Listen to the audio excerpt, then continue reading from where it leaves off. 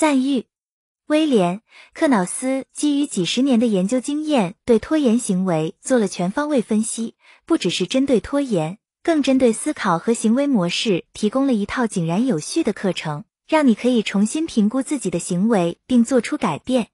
本书通俗易懂，实践其中的方法可以让你的日常生活走向正轨，你会更受人信赖。这本书是无价之宝。理查德·威斯勒 （Richard Wesler） 博士，佩斯大学名誉教授，摆平棘手的当事人。作者。这本书为克服拖延方面的自助书籍树立了一个新的标准。别再拖了，现在就将这些方法和练习付诸行动。告别你跟拖延的搏斗挣扎，提高你的工作效率，提升你的生活品质。阿诺德·拉扎勒斯 （Arnold A. Lazarus） 博士，著名职业心理学委员会成员，罗格斯大学心理学特聘名誉教授，一小时心理医生作者之一。每一个与拖延战斗的人都可以从本书中发现新鲜的观点。快速见效的技巧和强大有效的自助练习，为自己开启一种卓有成效的快乐生活方式。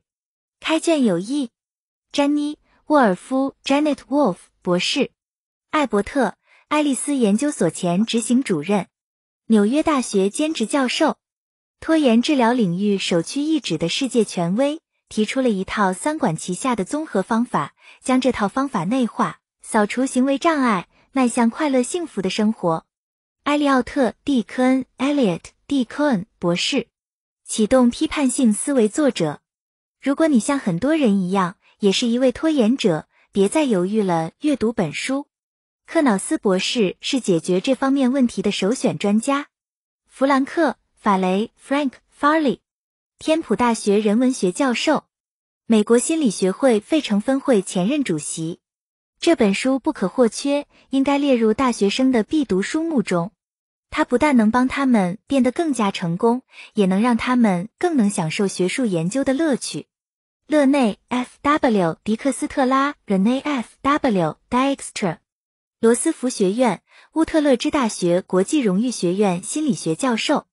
本书提供了一套合理有效的办法，帮你对付拖延症这个无处不在的拦路虎。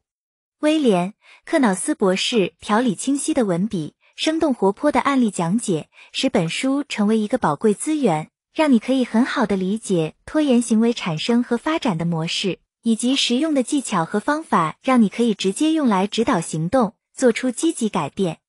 普利希拉 ·M· 克拉克森 （Priscilla M. Clarkson），马萨诸塞大学阿莫斯特分校联邦荣誉学院院长，在克服成瘾行为的道路上。学会拒绝以后，个人面临的最大困扰就是拖延。为了解决你的问题，让你能够放手前进，克瑙斯博士将多年的实验研究经验融汇到这套实用、实效的解决方案当中。乔·盖斯坦 （Joe g e r s t i n 医学博士，美国内科医师协会会员，Smart 自助康复网络创始人。推荐序：没拖到最后一分钟，我啥也不会去搞定。艺名，我们都会拖。你看，我就拖到了现在，直到最终期限来临的前夜，我才终于提笔开始写这篇推荐序。如果早就读过这本书的话，那我就会采用威廉·克瑙斯的方法，早早的写完它，不用等到最后期限了。无事不拖的人确实难找，而从不拖延的人也很罕见。我们都会拖延，只不过程度有轻有重。按照今日心理学的观点，百分之二十的人都认为自己有着积习难改的拖延症。当然，本书的关注重点并不是拖延者们，而是拖延行为、拖延想法和拖延感受。无论你是偶尔才拖上两下，还是问题严重的、压力巨大、焦虑重重的拖延症患者，你都可以通过阅读本书开卷有益，收获多多。与拖延相关的心理特征形形色色。不一而足，缺乏自信，让人注意到你有多忙、顽固，以拖延方式来应对压力，或者总是以灰心丧气的受害者自居。阿德勒学派心理学曾经告诉我，所有的行为背后都有其目的。所以，当我阅读这本关于拖延的书时，我总是在探求这种行为背后的目标或者目的。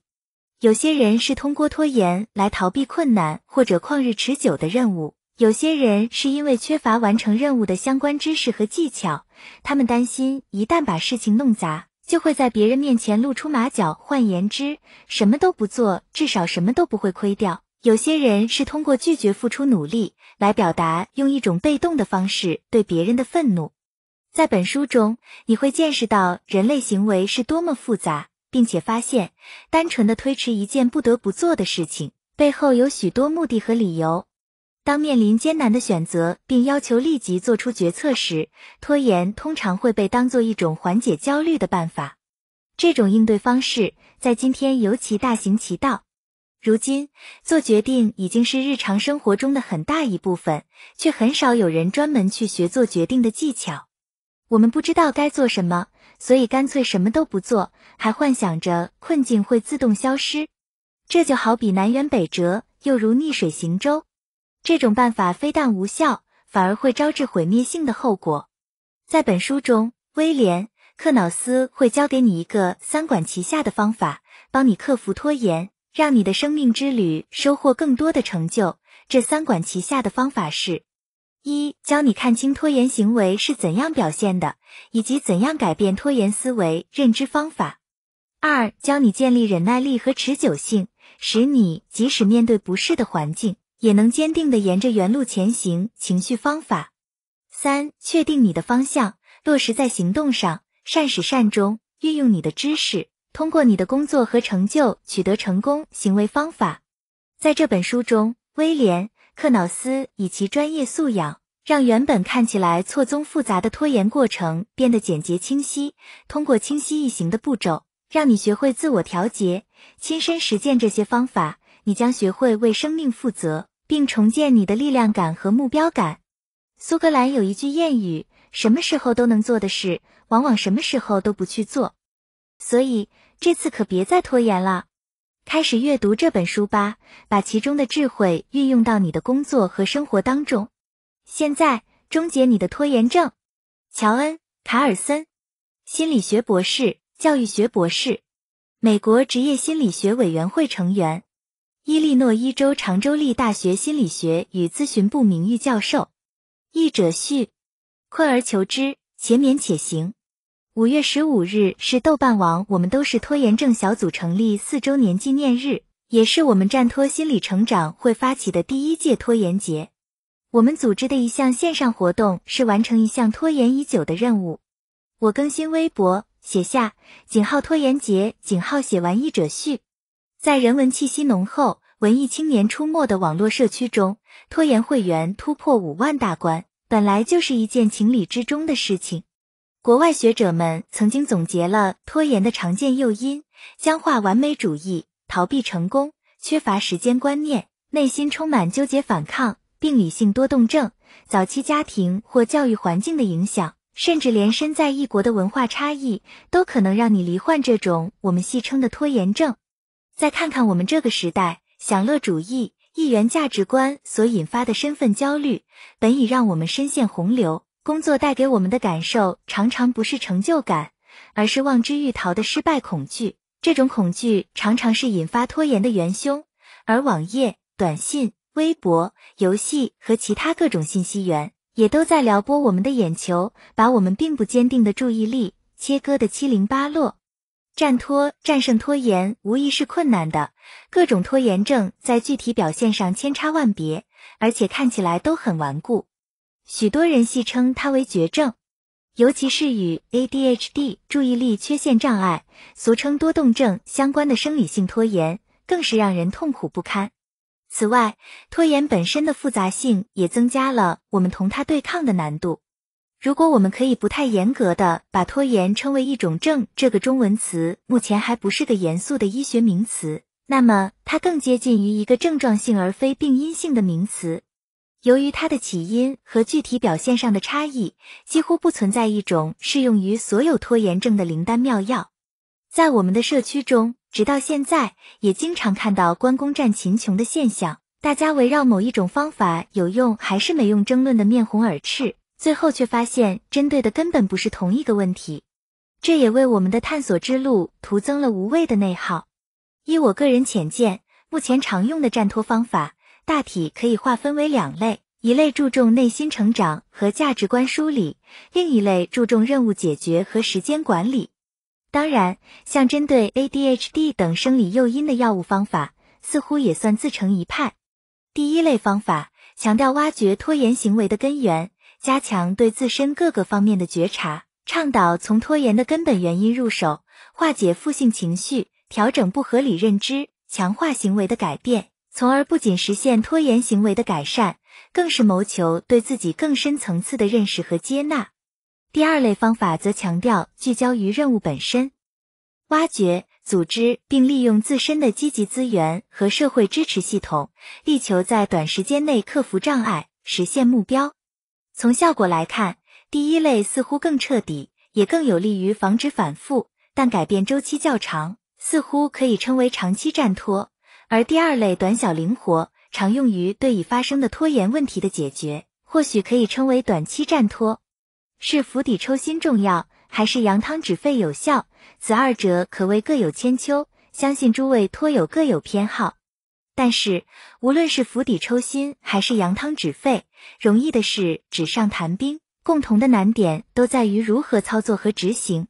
对拖延根源挖掘最彻底的人，可能会成为拖延心理学家，但这本身并不足以保证知行合一，在行动中实践那些觉察到的知识。而短期战拖当中的主要内容，如时间管理等，最适用的人群却常常是那些本不容易拖延的人。这些方法在设计时通常就没有充分考虑到拖延的干扰，而是假设人的理性决策能力已经足够强大。事实上，我们理性的一面也许需要事先训练和养成习惯，就像在这本书里一样，才能足够强大。本书给我们的惊喜也正在于此。本书篇幅短小精悍，语言简练，认知、情绪和行为三管齐下的方法方便实用，介绍了很多适合实际操作的流程、套路和练习，甚至可以在实战当中直接模仿复制。如果说长期战拖和短期战拖的强大在于助攻能力，那么本书这套基于理性情绪行为疗法的战拖力，倒很像是对抗拖延的正规军。毕竟，能够兼通长期战拖和短期战拖，并且取长补短的人不多，参加培训的成本更是高昂。而本书提供的策略思路清晰，操作性强，有些甚至接近于一种标准操作流程 SOP。按照作者的说法，熟练使用之后，可以推而广之，帮助你克服其他方面的拖延。本书中还有一点让我印象深刻，他不止一次的引用了德国军事家冯。克劳塞维茨的著作《战争论》当中的思想，再联系到他对理性的推崇，我们似乎嗅出明显的男性化风格。那么，这支正规军是否真的可以带来崭新的局面和耳目一新的感觉？刚刚翻译完书籍的译者们其实并没有足够的发言权，真正能够说明问题的是读者你的实践结果。在这里，我想表达对我们译者团队的衷心感谢。一场是战托会的翻译机构，纵跨线上和线下平台，负责与国内的出版机构合作，引进和翻译相关著作，主要是拖延行为、时间管理和心理成长等领域的学术著作、科普读物和自助书籍。这本书由首轮一场的成员通力合作完成，各部分分工如下：引号内是参与者指定的署名 ID。前言由于海城翻译，陶静校对；第一章由王子凯翻译，翟希凡校对；第二章由我要好起来翻译；第三章由 a p o k 翻译，均由卢伊丽校对；第四章由卢伊丽翻译，陶静校对；第五章由翟希凡翻译，a p o k 校对；第六章由陶静翻译，我要好起来校对；第七章由卢伊丽翻译，王子凯校对；附录部分由丁莹杏翻译，陶静校对。全书由于海城、丁莹杏和高丽托人完成文字润色，并由卢伊丽统稿。本轮一场调度工作由陶静及王子凯完成。在翻译这本书的过程中，我们遇到了不少意料之外的困难，也一直在跟拖延进行着艰苦的斗争。正如每一位托友和战托同路人一样，我们都是在这个过程当中困而求之，且勉且行。忘不了一场工作前期，我们在北京五道口、双井雍和宫各个地方咖啡馆里围桌而坐，并肩作战时那份浓浓温情，也忘不了因为对一部分内容接近苛刻的要求，我们曾经闹过短暂的小情绪。现在我最想说的是，我爱你们。我们要感谢华章心理的赵彦军编辑不厌其烦的催促，让我们这群出身重度拖拉机的人组成的译者团队，历经辛苦，终于完成这部作品。我们也要感谢华章心理的李新伟、许可等诸位编辑的热情合作、鼓励和支持，以及战托会心理咨询师蓝晶在专业方面的多次指导。战托会作为目前国内最有经验的民间拖延互助自救组织。一直致力于传播拖延知识和支撑战拖互助，从相关书籍的一场和读书会，到团体心理咨询和毕业论文临时教练支持，我们一直在做着助人，同时也是自助的事情。我们也衷心期望，作为读者的你，从我们翻译的书中所获得的知识，不只停留于认识层面，而是通过实践转化成实实在在的战拖行动。我们也衷心欢迎你来我们的战托学员社区：http: 冒号斜杠斜杠三 w 点 jtuo 点 com 斜杠 bbs 右圆括号，分享你阅读这本书的收获，寻找你战托互助的朋友。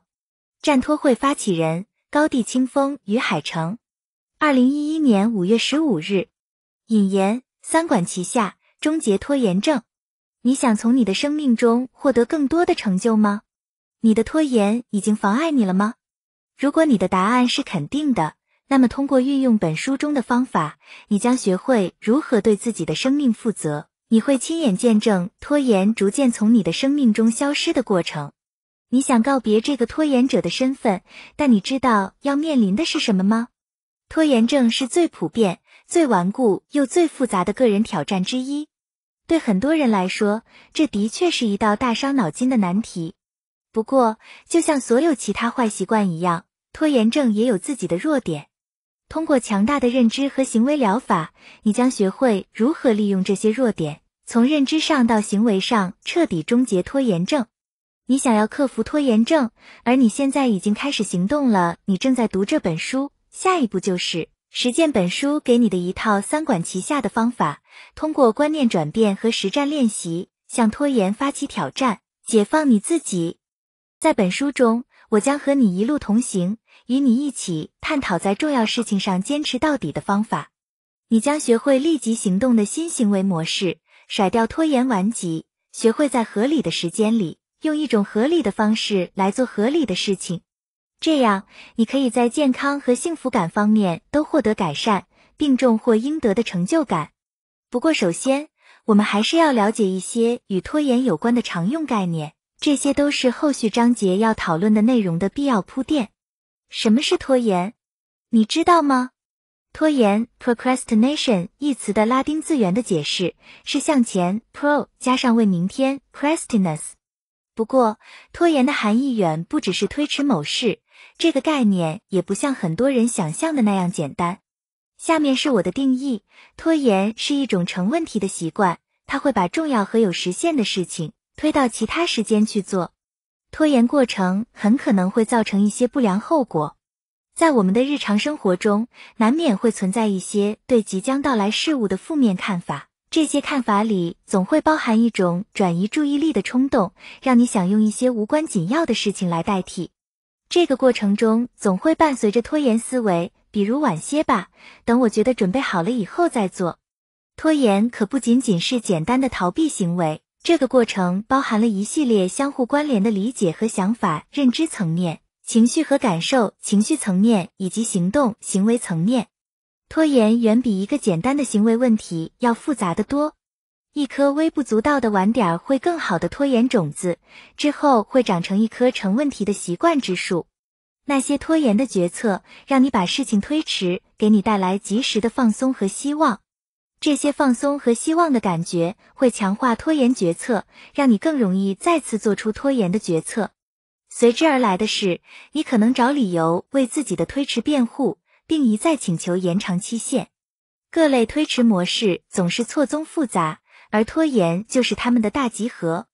我们来看一下这个案例：简面对公司的季度财务结算的书面分析，陷入了拖延的挣扎。在拖了数周之后，简决定在周末完成这份报告。在周日的午饭后，他准备好了要开始。他无精打采地走向他的电脑，想要写东西，却退缩了。下面就是随后发生的一系列事情：一，当简坐下准备写报告时，他听到草坪上高草的召唤，他得去剪草。二，简走向剪草机，拉动绳索。在这一刻，他听见拖延的声音，拖延又一次降临到他的生活中。三，他想等他剪完草之后，就去把报告搞定。这个想法让他觉得宽慰了许多。他把注意力集中在剪草上，并把内心里唠叨着的提醒抛诸脑后。四，剪完草之后，简看到邻居在游泳池旁边瞎着柠檬水，就走过去与之闲聊起来。五，跟邻居闲聊了一阵以后。简回到家里做饭。六，饱饱的吃完晚餐之后，他去小睡了一下。他对自己说：“我稍后就开始，等我有精神了就开始。”七，从小睡中醒来以后，简意识到看晚间新闻的时间到了。他告诉自己，看完新闻以后，他就是熬到深夜也要把报告做完。八，新闻结束了，简回到电脑前，可是他的手指好像不那么听使唤似的。他点开蜘蛛纸牌，沉溺在游戏里。九，当他再次意识到时间时，发现已经是深夜了。他想，现在开始就太晚了，我还是明天早点起来做吧。这个新决定让他感觉好些了。十，早上七点，他的闹钟响了。简匆匆忙忙的为上班做准备，根本没有时间写报告了。十一，到办公室以后，他决定先把眼前要忙的事情处理掉。等他打完电话、回完邮件以后，午饭时间到了。十二，简没吃午饭，赶快写报告，跟下午四点的截止时间赛跑。但他已经没有时间了。十三，疲惫不堪的他以情况比想象的复杂为由，向老板请求推迟期限。老板同意多给他一天时间。十四，他屏蔽掉其他所有事情，完成了报告。十五，恼怒不已的简开始自责，他觉得如果早点开始的话，一定可以做得更好。他发誓，下次我一定早点开始。十六，但下一次报告又来了，他的拖延模式一如往昔。简的拖延方式说明拖延症既自动自发，又涉及面宽广。在后续章节里，我们还会重新讨论简的拖延问题。那时我会告诉你，简是怎样通过一种基本的认知、情绪和行为方法来克服拖延的。都有谁在拖延？拖延面前，人人平等。这个妨碍工作成效的坏习惯，影响着不同经济水平、专业领域、年龄以及其他人口分类指标的各色人等。实际上，每个人都有至少一项，很可能还更多严重的拖延问题要解决，特别是工作中的拖延。二零零七年，薪水网 Salary 点 com 的一份调查显示，美国的职场人士平均会浪费百分之二十的工作时间。约瑟夫·法拉利 （Joseph Ferrari） 是一位拖延问题的研究者。他和他的同事调查了美国、英国、澳大利亚、土耳其、秘鲁、西班牙和委内瑞拉等不同国家的白领和蓝领工作者。他们发现，大约百分之二十五的人会被工作中的拖延持续的拖后腿。不过，这是不是就意味着其他人相对来说就不受拖延困扰了？鬼才相信，很少有人在工作上从来不拖的。每个人拖延的原因和方式都各不相同。有些人在没有成功把握的时候会推迟做出决定，有些人为了推迟不愉快的任务。能发明出创意横飞的拖延办法来，顽固的拖延方式已经在千千万万的人那里成为顽疾，尤其是在两类人群中：一类是将自己的自我价值跟外在表现捆绑在一起的人，另一类是由于他们的拖延而引发与压力相关的健康问题的人。我没听说谁自己故意选择了拖延的习惯，那简直等于舍弃情绪健康，而直接选择抑郁。当你意识到，要么采取正确的行动，要么空怀着最美好的幻想却什么也不做，二者只能择其一时，选择就开始出现了。如果你选择了改变，就要负起你的责任，采取正确的行动。然而，改变也是一个过程，而非一个孤立的事件。第一章有关于这方面的详细论述。改掉拖延的习惯。如果拖延是自发形成的，那是否意味着你被它粘上就再也甩不掉了？当然不是，你仍然有别的选择，你仍然可以采取办法把它除掉。改变错误思维、认知方法，发展对不舒适的忍耐力、情绪方法，以及循序渐进的方式、行为方法，就可以甩掉拖延，并防止反复。在未选择的路中，美国诗人罗伯特·弗罗斯特 （Robert Frost） 写出了生活中无处可逃的选择。这首诗描述了一个朋友所面临的两难处境：当选择了一条路时，他将为不能选择另一条路而焦虑。弗罗斯特的诗叩响了人类好奇天性的心门。最后一段尤其被频频引用：树林里分出两条路，而我，我选择了人迹更少的一条，从此决定了我一生的道路。在这里，我们看到了一个有趣的例子。我们看到拖延的自动习惯可以怎样被选择的观念所调和。美国心理学之父威廉·詹姆斯 （William James） 对选择的重要性有深刻的洞见。你知道，詹姆斯一直被反复发作的抑郁所困扰，在尝试了他那个时代的行为疗法之后，仍然没有多少起色。他需要一个新的方案。最终，在十九世纪法国哲学家查尔斯·雷诺维耶 （Charles Renouvier） 的自由意志哲学中，他找到了一个方案，也就是当你可以选择另一条道路时，你却选择了这条路的观念。詹姆斯的决定是他要试试另一条路。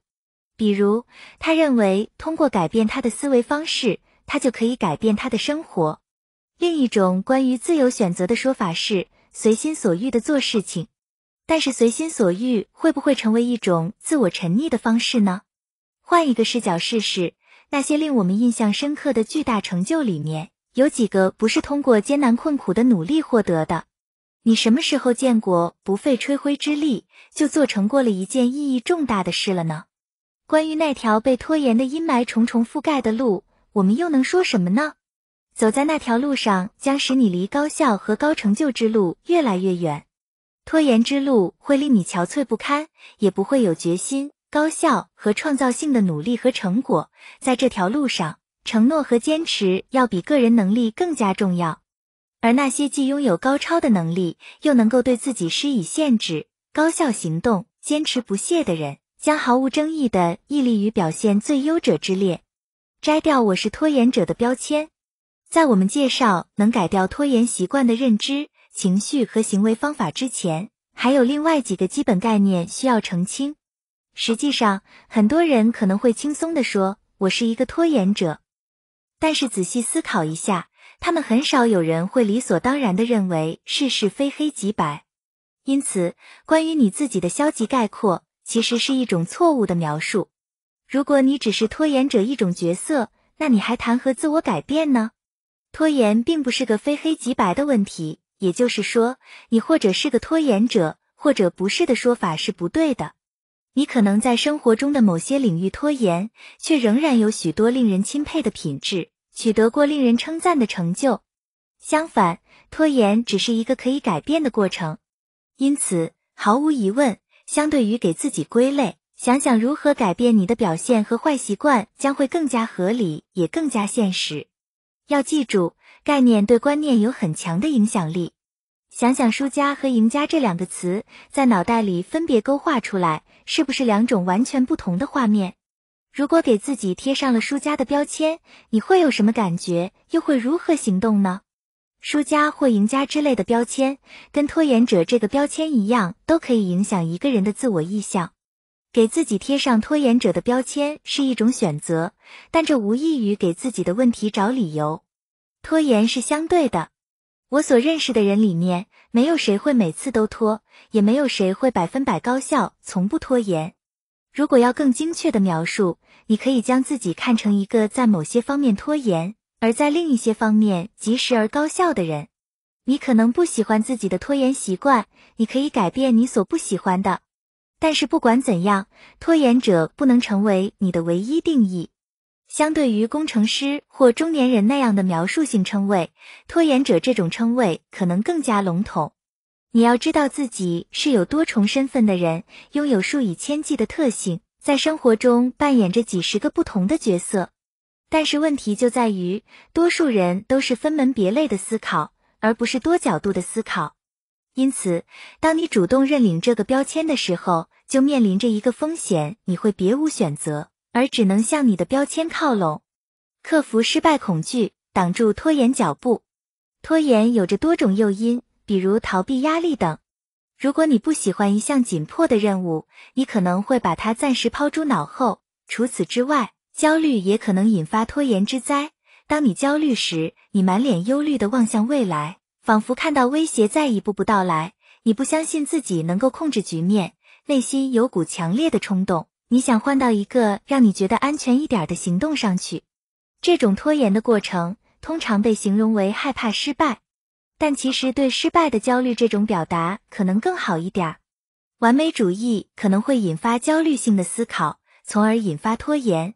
你可能会死守着要么成功，要么失败的想法，而且还觉得成败的标准在于你能否表现优异的自我期待。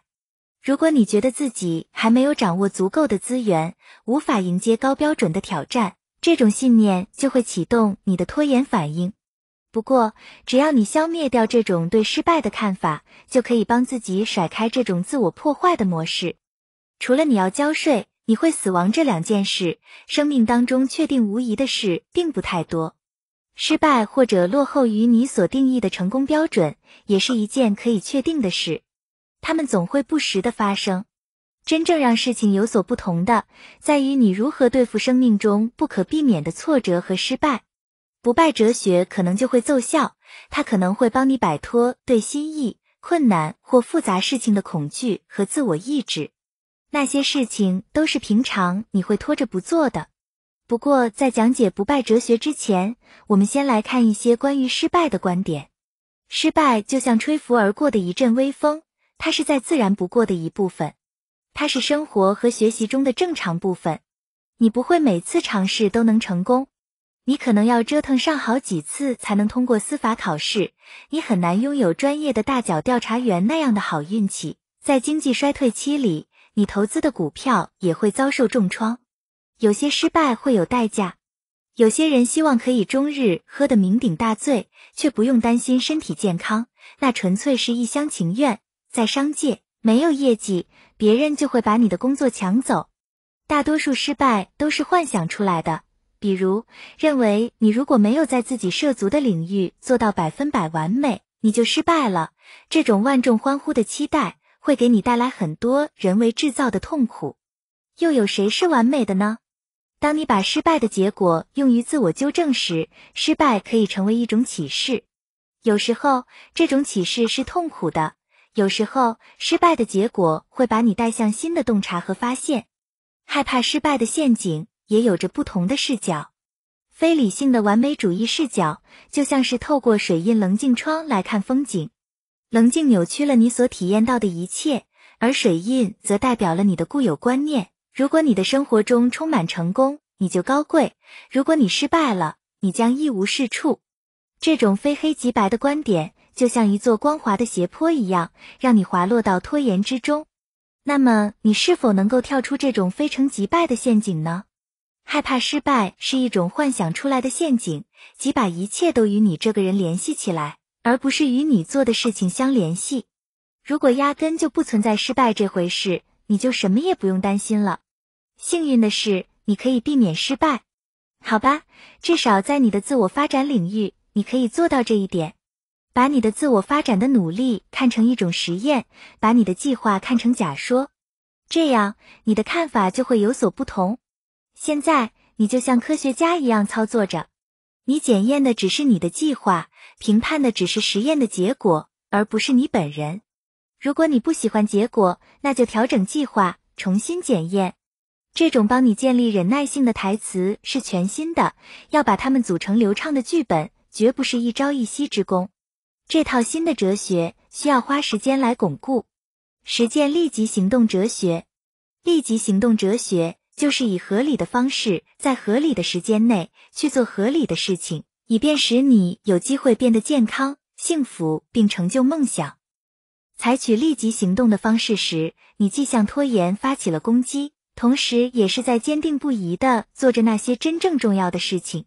当你为了自己的事情而努力工作时，你拒绝让自己因为冲动分心，而那些事情可能原本是你很想拖延的。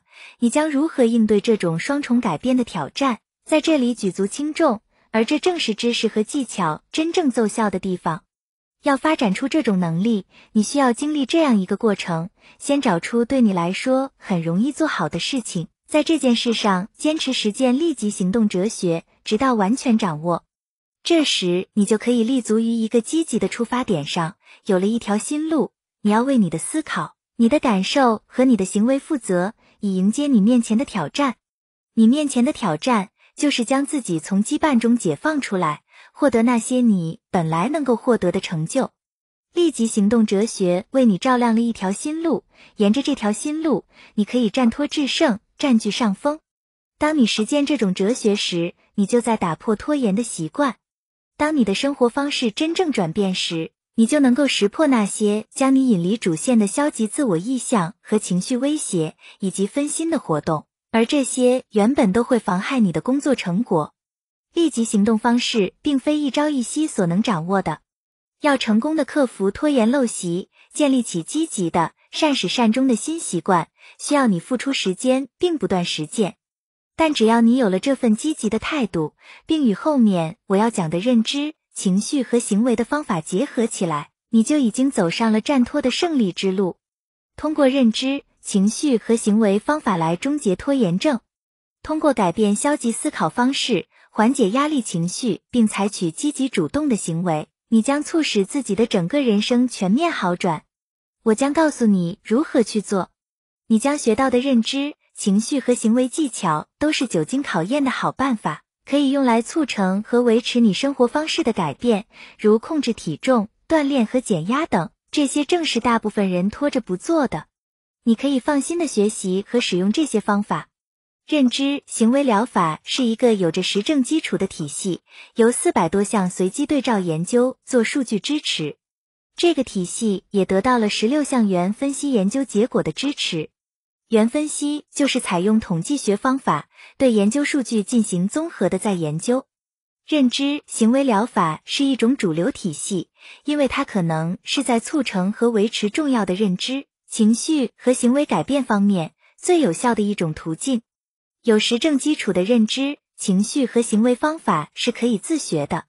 最受欢迎的自助书籍，莫过于着眼于一个具体领域，应用基于经验的认知行为方法，并由接受过该方法训练的博士级别的精神卫生专家们写成。本书恰恰就符合了以上几条标准。这并不是一本陈词滥调之作，这本书才不会对你说叫什么加油工作，多花时间干活。当然，有时付出最大努力是很重要的。然而，人生中的许多成就是一天天的努力积累而成的。我们的最终目的是让你摆脱拖延的干扰，让你活得更精彩，从而不必承受那些常与不必要的自寻烦恼的拖沓相伴的痛苦。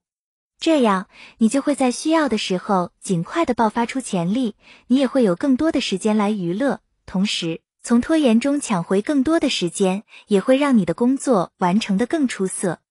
在本书中，你将学会怎样去使用这个认知、情绪与行为三管齐下疗法，用它来摆脱拖延的纠结，从那些你通常要拖延掉的时间里，得到更多你想要的收获。这种方法也同样适用于那些有截止时间和预定日期的任务，而使你免于最后一刻的疲于奔命。这个三管齐下疗法可以帮你做到以下几点：教你看清拖延行为是怎样运作的，以及怎样改变拖延思维认知方法；建立起你的忍耐力和持久性，使你即使面对不适的环境，也能坚定的沿着原路前行；情绪方法，确定你的方向，落实在行动上，善始善终，运用你的知识，通过你的工作和成就取得成功；行为方法。这套三管齐下疗法，既可以使消极层面拖延的层面有所缓解，也可以用于强化积极的选择和意图。事实上，缓解毫无必要的消极事件、拖延事件本身就是一件富有积极意义的事情。三个方面既相互独立，又相辅相成。在任何一个方面有所进步，都会对其他方面有积极的影响。这套认知、情绪和行为方法可以用于应对诸多领域的挑战，比如如何真正持久的改变自己。举个例子，在摆脱拖延的过程中，你不但能学会如何果断的应对挑战，还能学会如何将自己从这种压力的禁锢中解放出来。这样的压力既是拖延的诱因，也往往是拖延的结果。认知方法，认知方法建立在这样的基础上：你要重新思考你的思维和行为方式，改变那些自动负性思维。And，正是这些自动负性思维给你带来了不愉快的感受和自我挫败的行为。我们所面临的挑战中，很大的一部分就是要弄明白何时、怎样去识别这种思维，怎样预防拖延，怎样让拖延之中停摆。你可以教自己去跟拖延思维争辩。你在整本书中都将看到关于如何争辩的指导技巧和方法。拖延思维，如我以后再做的声音，代表了一种不切实际的推理，而你将很快学会揭穿这种骗人把戏的方法。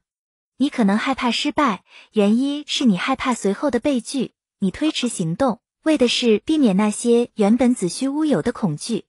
本书的第一部分。将向你展示如何识别和对付这些认知路障。情绪方法，在拖延之前，你很可能已经体会到了某些形式的不快情绪，这些不快情绪都与开始这项行动相关。你可能觉得备受诱惑，想要避开这种紧张，换到一条阻力最小的路上。你可能想用一个让你更加安适的行为来转移情绪，来代替那些让你觉得不快的事情。然而，被拖延的任务通常并不会消失不见，令人不快的感觉往往还会继续纠缠不休。不管你怎样处心积虑，一意逃避，拖延可能源于你对几类任务的情绪反应。这些任务或者错综复杂，或者迟迟不能给你回报，或者让你觉得沮丧、不快，甚至如临大敌。这些任务可能唤起了你的焦虑。当这些负性情绪在你心底窃窃私语的时候，拖延就成了你再自然不过的一种反应。你可能认为某些任务必须在某种情绪中才能做，你可能认为自己只有精神振奋了才能开始行动。如果你要继续坐等精神振奋起来，那你或许可以到塞缪尔·贝克特的《等待戈多》一句里，给自己寻个角色演演。振奋的精神爱爽约：“戈多会放你们鸽子。”然而，面对不喜欢却必须要做的任务时，要想善始善终，最好用理智引导自己，强行跨越情绪的障碍，踏上富有成效的道路。在本书第二部分，你将学到很多行之有效的技巧，帮助你扫除情绪障碍，迈向成功和幸福。行为方法：当你拖延的时候，你十有八九是在用一些压力小或不太重要的事来代替被拖延的那件事。你也可能在做一些压力小却更重要的事，但是多数时候你横生枝杈，却只是做着那些无足轻重的鸡肋事物。比如，宁肯去读报纸上的连环漫画，也不去仔细研究复杂的政府新规章，虽然那规章可能会极大的影响你的经营策略。从本书的第三部分中，你可以找到大量的行为方法，帮你控制住分心行为，而代之以富有成效的努力。拖延思维、拖延情绪和拖延行为，当他们联合起来时，即便你一开始再怎么痛下决心不再拖延，常常还是回天乏术。要从习惯性的拖拖拉拉变成习惯性的卓有成效、善始善终，少不了要付出时间，做大量练习。你可以从书中找到认知、情绪和行为方面的训练方法，然后将这些方法应用于你的日常生活。过程虽苦。不过，它有个很重要的增值特点，你可以反复运用这套综合的心理自助方案，从你的生活中得到更多你想要的、你值得拥有的东西。试试看吧。通过发展积极的认知、情绪和行为技能，你可以迅速的走上实现自我效能的大道。相信自己有能力组织、调控并引导自己的行为，去实现某个积极的目标。这种信念。经过心理学充分研究，表明跟优秀的工作绩效密切相关。反之也不难理解，低自我效能拖延和不及格的绩效也是息息相关的。通过这些认知、情绪和行为的方法，你可以拓展和改善你的工作技能。然而，这并不能在真空中实现。好比你参加了一个项目，自己结出有意义的成果。另一需要强调的要素是承认生活中主要的和有目的的目标都是要一小步小步的完成的。把你的关注点再放在你减少拖延后的收获上，并向着目标继续奋进。除了战拖的技巧和策略以外，你还可以为科学文献找些参考依据。其中一些工作是很有前景的，比如近期的一些研究。我曾概括出一套关于拖延的理论，这项研究是针对这套理论中的一个环节进行的。但是，也有许多有关拖延的研究都免不了有系统误差。大多数社会科学家做的都是针对学生群体的调查，相对于广阔的社会情境，相对于不同的人群和组织，这种学生样本有很大的局限性。此外，集中关注某一特质，比如拖延的研究。也会导致一种聚焦错觉，并成为一项显著的误差来源。加拿大卡尔加里大学的皮尔斯·斯蒂尔教授曾对拖延研究做过综述。这些系统误差在综述涉及的研究中时有所见。或许在未来的十年里，我们会看到如何战拖的研究大量涌现。这些研究关注人们究竟可以做些什么来改掉拖延的习惯。而在那之前，我们这套结合了认知。情绪和行为的三管齐下疗法一直都是基于临床研究，并着眼于具体操作，而我们已知的战拖知识也将陆续得到改善。终结拖延症，你的计划在整本书中并列了几十种不同的方法，可以帮你增进执行动机，减少拖延干扰。作为一项额外的工具，在每章的末尾都有终结拖延症你的计划栏目。你可以在横线上记录你的战托日志，你可以记下你觉得重要的事，你计划去做的事，执行计划时具体做的事，执行后的结果，以及你还可以做什么来学以致用。这项日志提供了一个持续不断的记录，方便你随时回顾你的收获，并运用你所学到的提升你的自信和成就。它包括四部分：关键思想、行动计划、实际操作以及已有收获。无论你是要提醒自己哪些方法对你有用，还是要制定你的行动计划，形成一整套行动方案，你都可以参考这些信息。为了从拖延中释放出来，你可以做的事有很多。从长期自我教育的角度看，你重蹈拖延之路的可能性将减少。学会瞅紧机会，在那些可能通往拖延的借口小道上设置小障碍。你就不会滑入拖延的泥潭，意识到那些不快的情绪和感受是暂时的，并去接纳他们，你就不会因为这点正常的不适而退缩了。强制自己开始做出正确的行动，让自己的生活中烦恼少、成就多、更健康、更快乐。我们这就出发吧。第一部分：认知方法，磨亮自我觉察，改变拖延思维。第一章：透视拖延，为改变而觉察。拖延现象仿佛一团迷雾，这种多变而又复杂的过程，往往伴随着一系列借口、症状、笑话和可怕的故事。它有时是偶发的，有时是持续不断的；它有时显而易见，有时又善于伪装。在本章中，你将从不同的角度审视拖延现象，而且你将学会根据所需的时间和资源来调整自己的期望值，采取矫正措施。对抗拖延行为，保持警醒是认清拖延陷阱的第一步，这一点非常重要，这样才能做出积极的改变，以克服拖延习惯。不过，普通语义学一门研究词语准确用法的教育类学科的奠基人阿尔弗莱德·科日布斯基曾经说过：“地图并非真正的疆域，而是一种象征和指引。想了解真相，就得去亲身体验。”那好，我们开始吧。常见的拖延类型，拖延是对时效性活动所进行的不必要的推迟。这个定义适用于从回电话之类的小事，到做商业计划之类的大事，乃至戒烟等各种不同情形。在你生活中那些相对不重要的方面，偶尔出现拖延，并不意味着世界末日。如果你平常每周去超市购物一次，只是某次推迟一天去，这种拖延是微不足道的。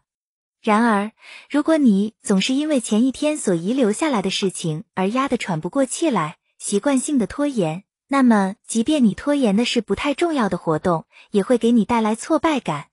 不管你的拖延行为是阶段性的还是旷日持久的，你都可以通过采取行动，终止拖延的习惯与行为模式，来帮你突破以往给自己设置的局限。拖延行为本身的任何一方面，都可以转化成自己挣脱拖延的教材，因为只有你最清楚拖延是怎样让你变得缺乏自信和无能感的。拖延者与时间管理高手截然不同，时间管理高手崇尚巧妙工作、轻松工作，并激励人们更加努力，成效更多。拖延行为的起因多种多样，有些是社会性的，有些源于大脑的处事方式，有些由信念所导致。有些则是与气质或心境有关，某些形式的拖延也跟焦虑情绪有关，比如因为被评价和被判定而感觉不舒服。而拖延背后的动机也存在个体差异。然而，正因为拖延情境的复杂多变以及拖延过程的一贯性，才使得拖延行为可以脱离具体条件，成为可以专门研究的对象。相对于不同场合的形式多样的且意想不到的拖延所耗费的精力和时间来说，改变恐慌反应的心理暗示用时更少，更节省精力。我们先来看看拖延都有哪些常见类型吧。期限拖延，最后期限都有一个时间节点，而且都和某种限制规则有关。这种限制规则是你无法控制却必须服从的。在你想拖延的时候，你可能会想是错过最后期限，还是为了赶上期限而冲刺。这是一个常见的拖延场景。可以预见，期限拖延就是等到黄花菜快凉了，才开始匆匆追赶最后期限。任何工作都由时间表、流程和截止日期所限定。假设你在制作公司的半年刊宣传册，为了在规定时间内做好。你需要完成一些步骤，比如内容准备和设计、打印、分发，这些都要参照时间表来做。如果不对这些行动进行管理，这个宣传册也许最终会以一个混乱的状态问世。如果时间表和行动指南模糊不清，但最后期限却明晃晃的在那，你就会遇到麻烦。你可能会把没有明确说明的任务推后。如果一个任务的目标和说明都是清晰而确定的时间、地点和方式，你就更容易立即开始。所以，对于你不确定的，要问；对于没有明确结构的，自己就设计一个。对于某个长期而又复杂的项目，或许你有一个最后的期限，但它唯一的回报，却仅仅是你最终完成它的那一刻所得到的那一点点轻松感。在这种情况下，你可能要面对另一个挑战了，你不得不在远离内在奖励机制的状况下坚持下去。鸽子在短期小回报下表现积极，而在需要更多努力的长期回报下，尽管回报更大，仍然会表现懈怠。猴子在回报遥不可及的情况下，就会表现的烦躁，并且拖延。那些需要付出更多工作才能得到的遥远回报，往往导致拖延。在这点上。我们和其他哺乳动物并没有什么差别，人类也更倾向于获得短期回报，而低估更大的长期回报。对那些看起来复杂、模糊不清、前景不确定的工作，我们更倾向于迟迟不开始。一边是逃避复杂性引起的不是原始冲动，一边是我们用来解决问题的高级认知能力，两者之间的冲突会干扰你做出理性的决定，并且导致拖延。复杂的长期项目可能就可怕的如同一场风暴，除非你能事先做些准备。那些包含最后期限的拖延情形，往往需要你再三权衡。毕竟，如果你还想领取薪水的话，你就要服从你所在公司的流程和时间表，并且避免拖延。你的公司得到你的工作成果，你也得到了你所需要的薪酬，那正是你提供的服务换来的。如果你手上的项目有一个最后期限，而且这个项目是那种既复杂又需要长期持续的工作，那么你可能别无选择，只能尽早开始，而且要投入大量的时间和精力。如果项目进程本身就足以为你提供内在的奖励，它本身或许就足够支撑你继续下去。否则，你就只有明智的把整项工作预先分块，为自己设置一些中间期限，并根据完成情况定期奖励自己。一项工作量大的长期工作，其进程很可能被拖延所影响。这时，使用表格提示的方法，也许会帮你认清工作的目标、最后期限、时间表以及受拖延所影响的风险大小，如表一杠一所示。要记住，在我们认知。情绪与行为三管齐下的战拖方案当中，对自己的拖延习惯保持觉察和认识是首要的一步。提醒物总是很管用的，因为人类的记忆难免犯错，而且有一些延迟就是由遗忘造成的。借助一些机械的流程，你可以自动的在许多方面做到守时。比如说，针对公共事业公司和抵押权人的自动付款系统，会让你省事很多。而且使用这些工具也可以大大提高效率。你可以使用到期备忘档案、日历标记系统、iPhone、掌上电脑以及手机备忘录来帮你提醒那些重要的日子。个人事务拖延，相对于所有的拖延现象来说，期限拖延只是冰山一角。更大也更严峻的挑战则来自个人事务拖延。个人事务拖延就是习惯性的推迟你早该进行的活动。这种习惯性的推迟会带给你不必要的恐惧，让你倍感压抑。你深陷一份早就想摆脱的工作之中，压力巨大。你觉得自己有些怯懦，发誓某天要去参加一个自我肯定训练课程，但你现在呢，还是在看着电视，读着八卦杂志，不肯去做那些有助于你自我提升的活动。由于自我发展活动只跟你自己有关，也由于它的开放性以及并没有明确的启动日期。所以，个人事务拖延看起来也许不太像拖延，其实它也符合拖延的定义。表一杠二就是一个帮你明确自我发展需求的不同优先级的经典框架。在这套流程包含你最紧迫和最重要的自我发展计划和重点，以及其他值得你从事的活动。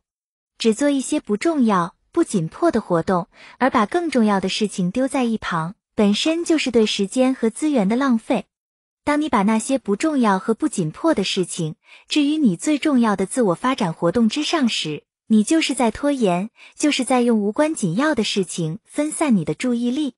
比如，你的身体健康已经受到威胁，可还是宁愿去看好莱坞八卦杂志，也不肯拿出点戒烟的行动来。你确实需要好好反思一下，你正在做什么了。表一杠二就是一个个人事务优先等级表范例。现在轮到你来想想了，试着完成表一杠三。仔细想想，对你来说最紧急、最重要的事情是什么？遗漏，在个人事务拖延当中，你遗漏掉的可能恰恰是最首要的那种事情，而把宝贵的时间花在了无关紧要的事情上。迪克就在退休后，把大量的时间花在了满腹牢骚当中。他抱怨他的一位女性朋友。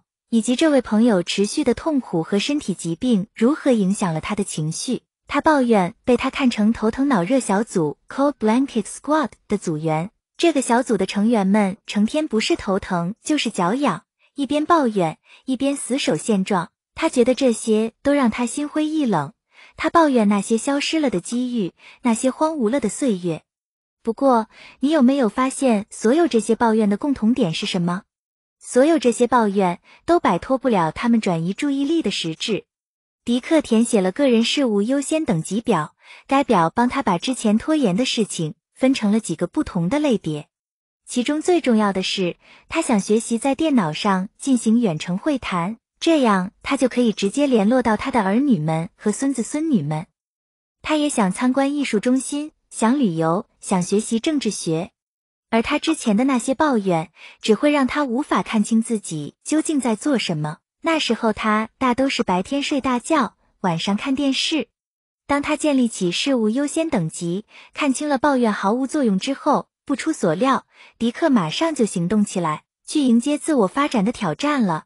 而那些挑战也不再像先前那样显得神秘了。简单拖延。简单拖延是一种不作为的拖延方式。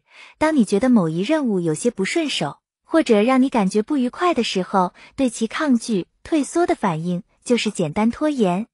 这种拖延可能会以瞬间的犹豫作为起点，除非你能采取有效行动，迅速完成任务，否则这一瞬间的犹豫可能就会触发拖延的自动反应。而犹豫的过程可能与大脑的工作方式息息相关，大脑会连接到一个以后再做的因素，或者自动减缓做出决策。大脑在对知觉信号 （sensory signal） 做出抑制性反应 （voluntarily react） 时。所耗费的时间要比预期的更长。究其原因，也许是因为高级心理过程很难理解来自较低级的脑功能所发出的信号，从而产生了决策和延迟问题。大脑低级过程与认知决策过程的冲突，也许部分的解释了简单拖延不作为反应是如何开始的。如果这种冲突触发了你不愉快的感觉，你就会从推迟行为加剧到拖延的水平。而以后再做的因素又为这种加剧提供了可能的机制。不过，无论这种机制确实存在还是另有原因，解决方案都是相同的：必须采取行动，推翻这种生理抵制。复杂拖延，当包含了相关的多重因素的拖延行为时，就属于复杂拖延了。复杂拖延是指伴随着诸如自我怀疑或完美主义等其他因素的拖延行为。通常这种拖延具有多层结构，你可以拆分这些层次，并针对每层的子问题，用各个击破的方法予以解决。在不同层次之间存在着内部联系，所以当你对付某一层问题的时候，可能同时也会削弱它跟其他层之间的联系。比如，你总是被一种冲动所驱使，很容易被娱乐性的活动转移注意力，为了逃避重要的事情。你转而去做那些微不足道的事情，也许这样做的代价更大。你本要付你的账单，可你没去，却跑到赌场去一试运气。过后呢，为了暂时忘掉你新欠下的赌债，你又看起了电视。即使你已经正视并且克服了这些并发因素，但你减少拖延的目标仍然不算是完全达成。你也许已经消除了这些复杂层次当中的一层，但拖延常常就像有自己的生命一样。一有机会就春风吹又生了。如果你想要真正卸下这副重担，你需要进一步对付习惯性的拖延。你需要改变拖延思维，锻炼情绪耐受力，并且行动起来，去追求高效率的目标。症候、防御、反抗与坏习惯。拖延可能表现为一种症候、一种防御行为、一种成问题的习惯，或者由这些常见情况组成的复合体。拖延可能表现为某种模式复杂的症候，比如为忧虑本身而担忧，却又迟迟不肯去学习能够解忧的认知处理技巧；无意义的忙乱也是一种因为逃避不想面对的问题，从而导致潜在紧张的症状。这种忙乱是一种分心行为，就像是沿着一条死胡同狂奔到底，根本毫无意义。识别拖延所表现出的症候也非常有用。它提醒我们那些需要认识和纠正，却一直被我们视而不见的遗漏。例如，英国博物学家查尔斯·达尔文曾经推迟了他的医学学业，不过他最终找到了自己真正兴趣的所在，提出了自己的生物进化理论。他的症状就是从医学院的学业中逃离出来。我们假设你的家庭说服了你经营家里的运动物品商店，而你的确对经营商店毫无兴趣。但出于责任，还是接受了。在你订货、做报表或处理人事问题的时候，拖延就会浮现出来；但在充分利用货架空间、装修商店或美化景观时，你却表现得迅捷而高效。那正是因为你真正想做的是学习建筑学，你在工作中你格外重视的那一方面，才是你真正的个人兴趣所在。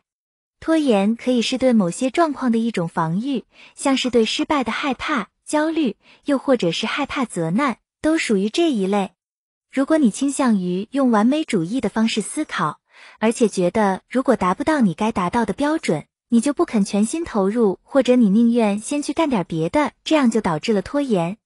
如果你的注意力被吸引在对失败的恐惧上，你就可能会遗漏掉一些很有希望的解决办法。像完美主义信念导致的拖延就是这种情况。害怕成功是失败焦虑的另一种表现形式，它跟害怕失败的效果等价。如果你认定获得了成功以后，就要面对更艰巨的任务，并承担更大的压力。在这种思维模式下，现在先推迟一下，比以后承担失败的风险所付出的代价反而会小得多。当然，对于这些也还有其他解释。迟迟不肯反思这种评价恐惧，拖着不去采取可行的干预措施，从概念上来判断，当然也属于一种拖延。只要能对付拖延的这些诱因，你就可以夺回你的主控权。不过话说回来，只要无意识的拖延习惯仍然存在，你也还会继续产生无意识的拖延冲动。有些习惯本身并不会把你带往有用的目标。但他们还是会带着你盲人瞎马的一路继续下去。拖延的习惯也是这样。要对付无意识的拖延习惯，你可以有计划的对你的战拖策略进行过度练习 （over practicing），从而削弱无意识习惯的力量。拖延一般是一种复杂的成问题的反应过程。把拖延分解为症状、防御以及问题习惯这三类，可以提供一种框架，帮你明确在你拖延时到底发生了什么。对复杂拖延的良好评估，可以带你找到真正有效的战拖技术。如果你能准确找出潜伏在拖延背后的发生机制，你就能沿着更准确、更切中问题的方向进行矫正，或者通过你自己的阅读和研究，发现潜在的解决办法。拖延的具体类型，导致拖延的原因形形色色，而拖延本身也像服装一样千变万化，表现出不同的风格类型。如果你了解自己的拖延类型，就可以针对它而准确选择矫正方向，如此才能事半功倍。如果你仔细辨别了矫正努力的方向，你就不太可能走进死胡同，或者把时间浪费在错误的干预方式上。比如那种躺在精神分析师的长椅上，把拖延与早年经历中的某个问题胡乱联系一通的做法，纯粹是一种障眼法。表一杠四是一个划分拖延类型以及相应矫正行动的例子。在不同的情形中，不同类型的拖延会风格各异的浮现出来。然而，埋藏在下面的拖延过程却大致相当。所以，当你认识到这种埋藏在下面的过程时，你就能够利用这个知识解决背景类型各异的拖延问题。自我倾注视角对自我观察视角，了解拖延的习惯。是做出改变的关键一步。了解一些将出现的障碍，为终结拖延做些准备，会更好一些。你会知道应该把视线投向哪里，把目标定在哪里。了解一些背后的过程是怎样发挥作用的，会在将来帮助你更好的试验那些战拖理念与技术。即便你并没有兴趣现在就搞定拖延，要从拖延的道路转移到高效率的道路上，第一步通常是这样一种转变。从拖延过程及其思维、感觉和行为当中的自我倾注状态，切换到一种问题解决式的自我观察状态。身处自我倾注状态时，你的注意力投向了自己内部。你为你的感受、为你在别人眼中的形象，或者为你是否足够完美而担忧。如果你沉陷在这种焦虑的想法和感受当中，你也许会发现，把注意力放在你的高效目标上，就成了一件困难的事情。如果你总是闷闷不乐，拖延的想法也会挥之不去。这种指向内在的视角表现于外在时，就形成了拖延。在觉察和行动的过程中，自我观察的视角是一种简洁而优美的选择。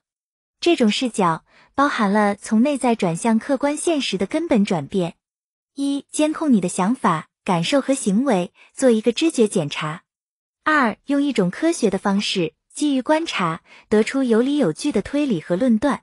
三、预测所有不同情况的结果。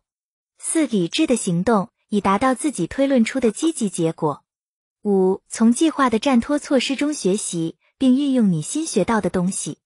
在一次又一次实践的基础上，你的视角能够从自我倾注根本性的扭转到自我观察。这种转变不像做研究那样要花很多年打基础才能完成。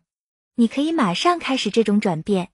无论如何，一步步控制住拖延是一个持续一生的过程，但它也会变得越来越简单易行。当你自我观察的努力得到的回报逐步累积时，你继续这种立即行动的方式就会更有动力了。做拖延日志，增进你对拖延的觉察。拖延日志是用来追踪你拖延时所作所为的觉察工具，在拖延时记录下你的思想、感受和行动，这增进了对拖延心理的觉察。它是对你的思维进行在思考，并找出你的思维、情绪、行动以及结果之间的联系的能力。如果你喜欢更随意的形式，那就写一篇记叙文，对拖延时发生的事做一个实况报道。当你产生了延迟的冲动时，开始记录你对自己说了什么，以及你的感觉如何。记下你分心的活动。如果不能马上记录，那么一旦有可能就立刻记，并且要记得尽可能具体详细，以便于回溯。你也许会发现，在你坚持下去时，记录你的想法、感受以及行为也同样重要。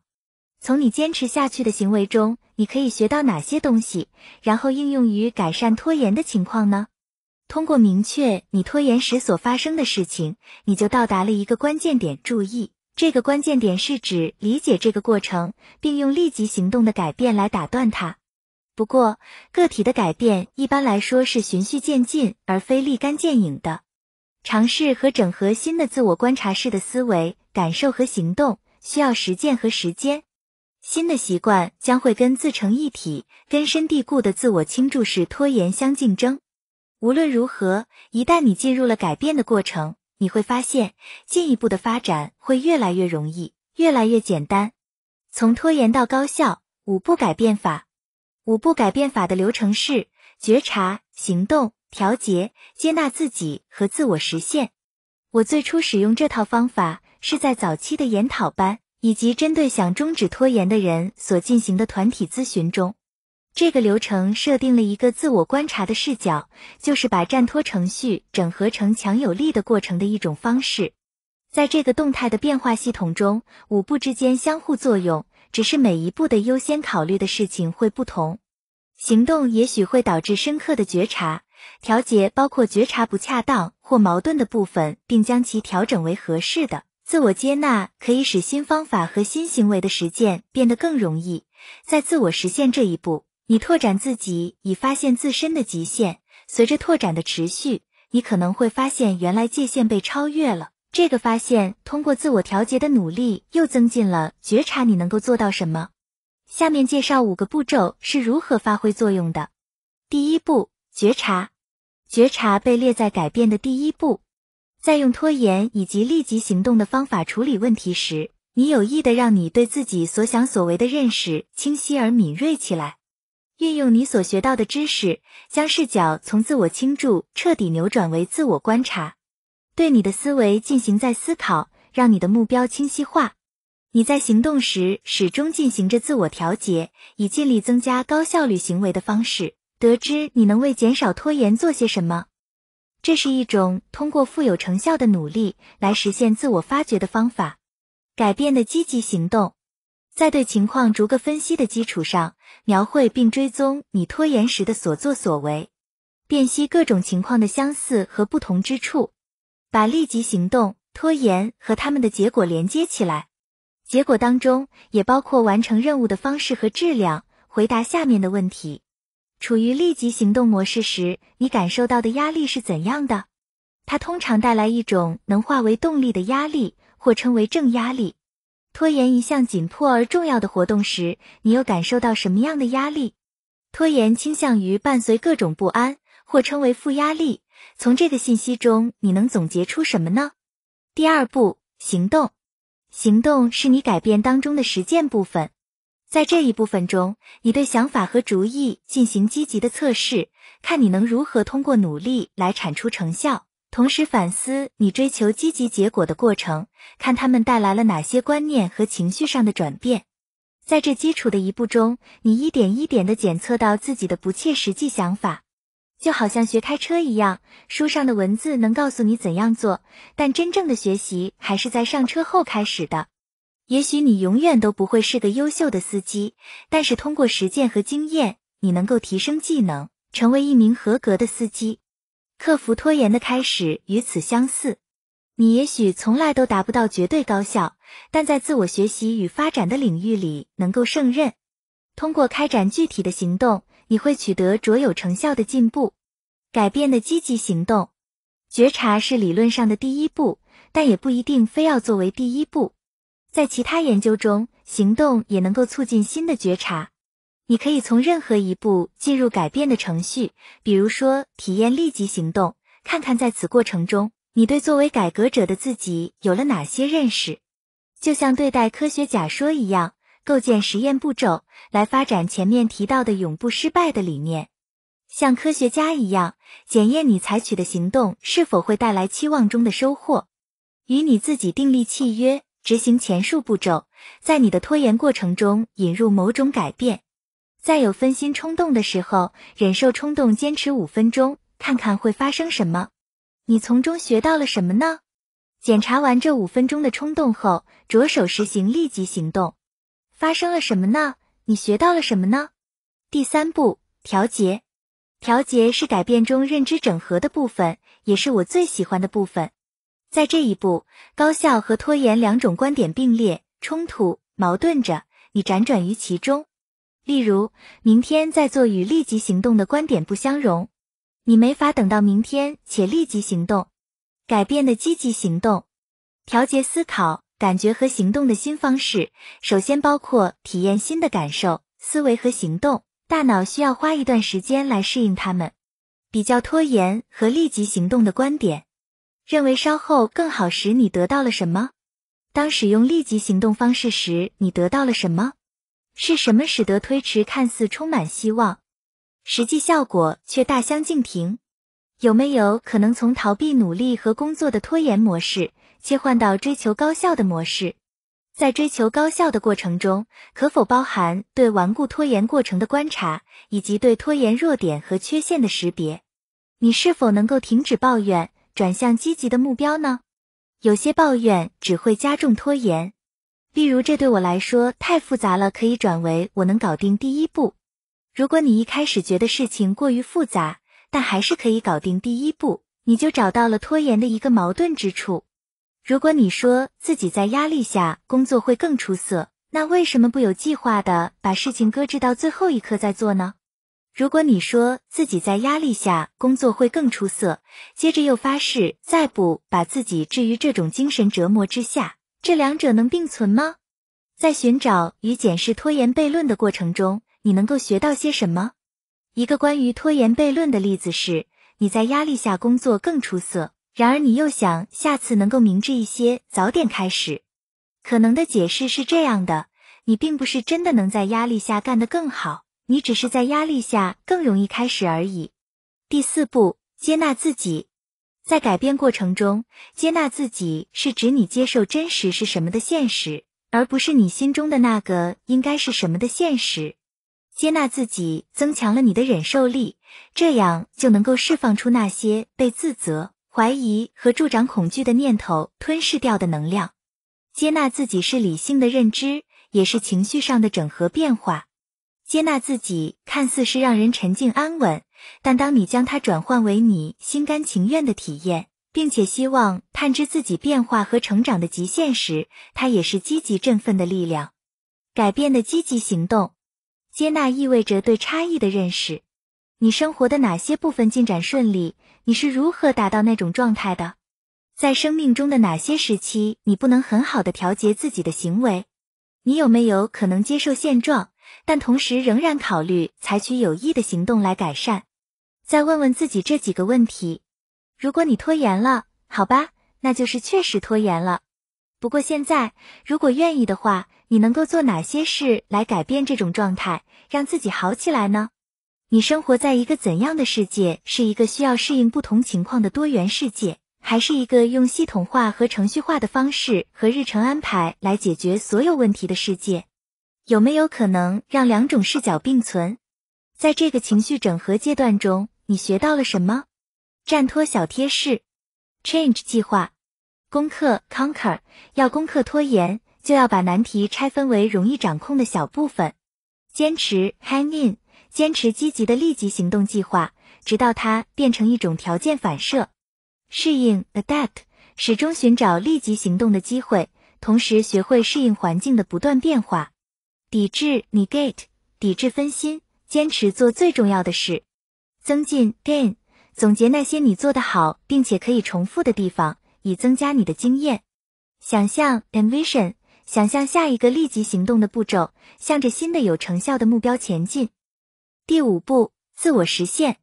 自我实现通常被描绘为一种类似高峰体验的神秘过程，它可以是一种佛陀般无欲的状态，也可以是一种超越文化与时空。与全人类在观念和情感上相连的心境，你也可以把自我实现看作尽力拓展和开发你的能力与资源，在那些你认为值得而且必须努力的领域中，促成有意义的改变。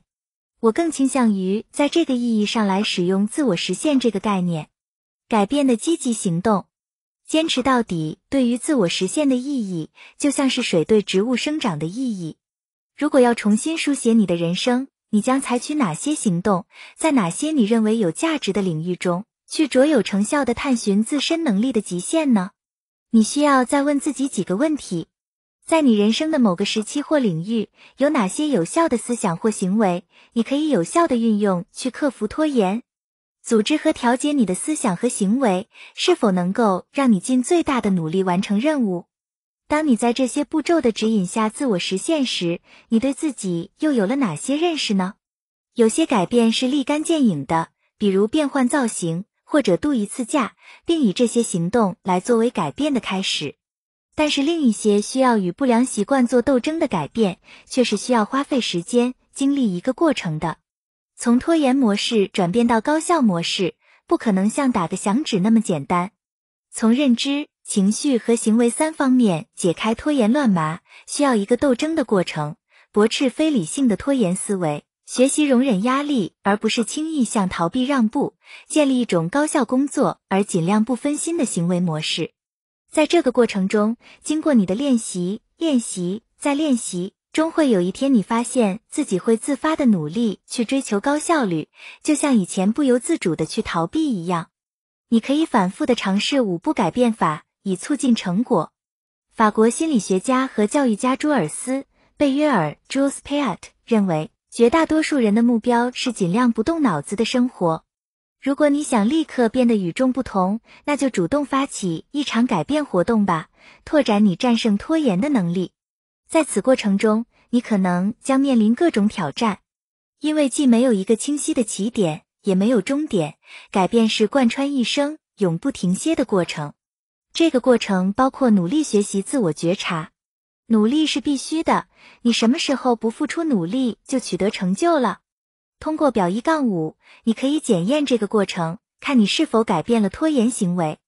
哥伦比亚大学教授、神话学者约瑟夫·坎贝尔在那些关于英雄的传说中看到了这种模式。事情都是环环相扣的，英雄只是知道了如何运用这种关联性而已。这是一种挑战。那么，你是否准备好去迎接挑战了？终结拖延症，你的计划，即便是最积极的改变，也都将面临一个调试的过程，以及随之而来的压力。当你期待去改变一个长期形成的熟练流程时，这种期待就会唤起你的压力。你也许会拖延，不过，如果你把一些不愉快看作生活与改变中正常的一部分，你就更有可能前进下去。如何有效处理拖延？你已经想到了哪三种对策？用笔写下来。一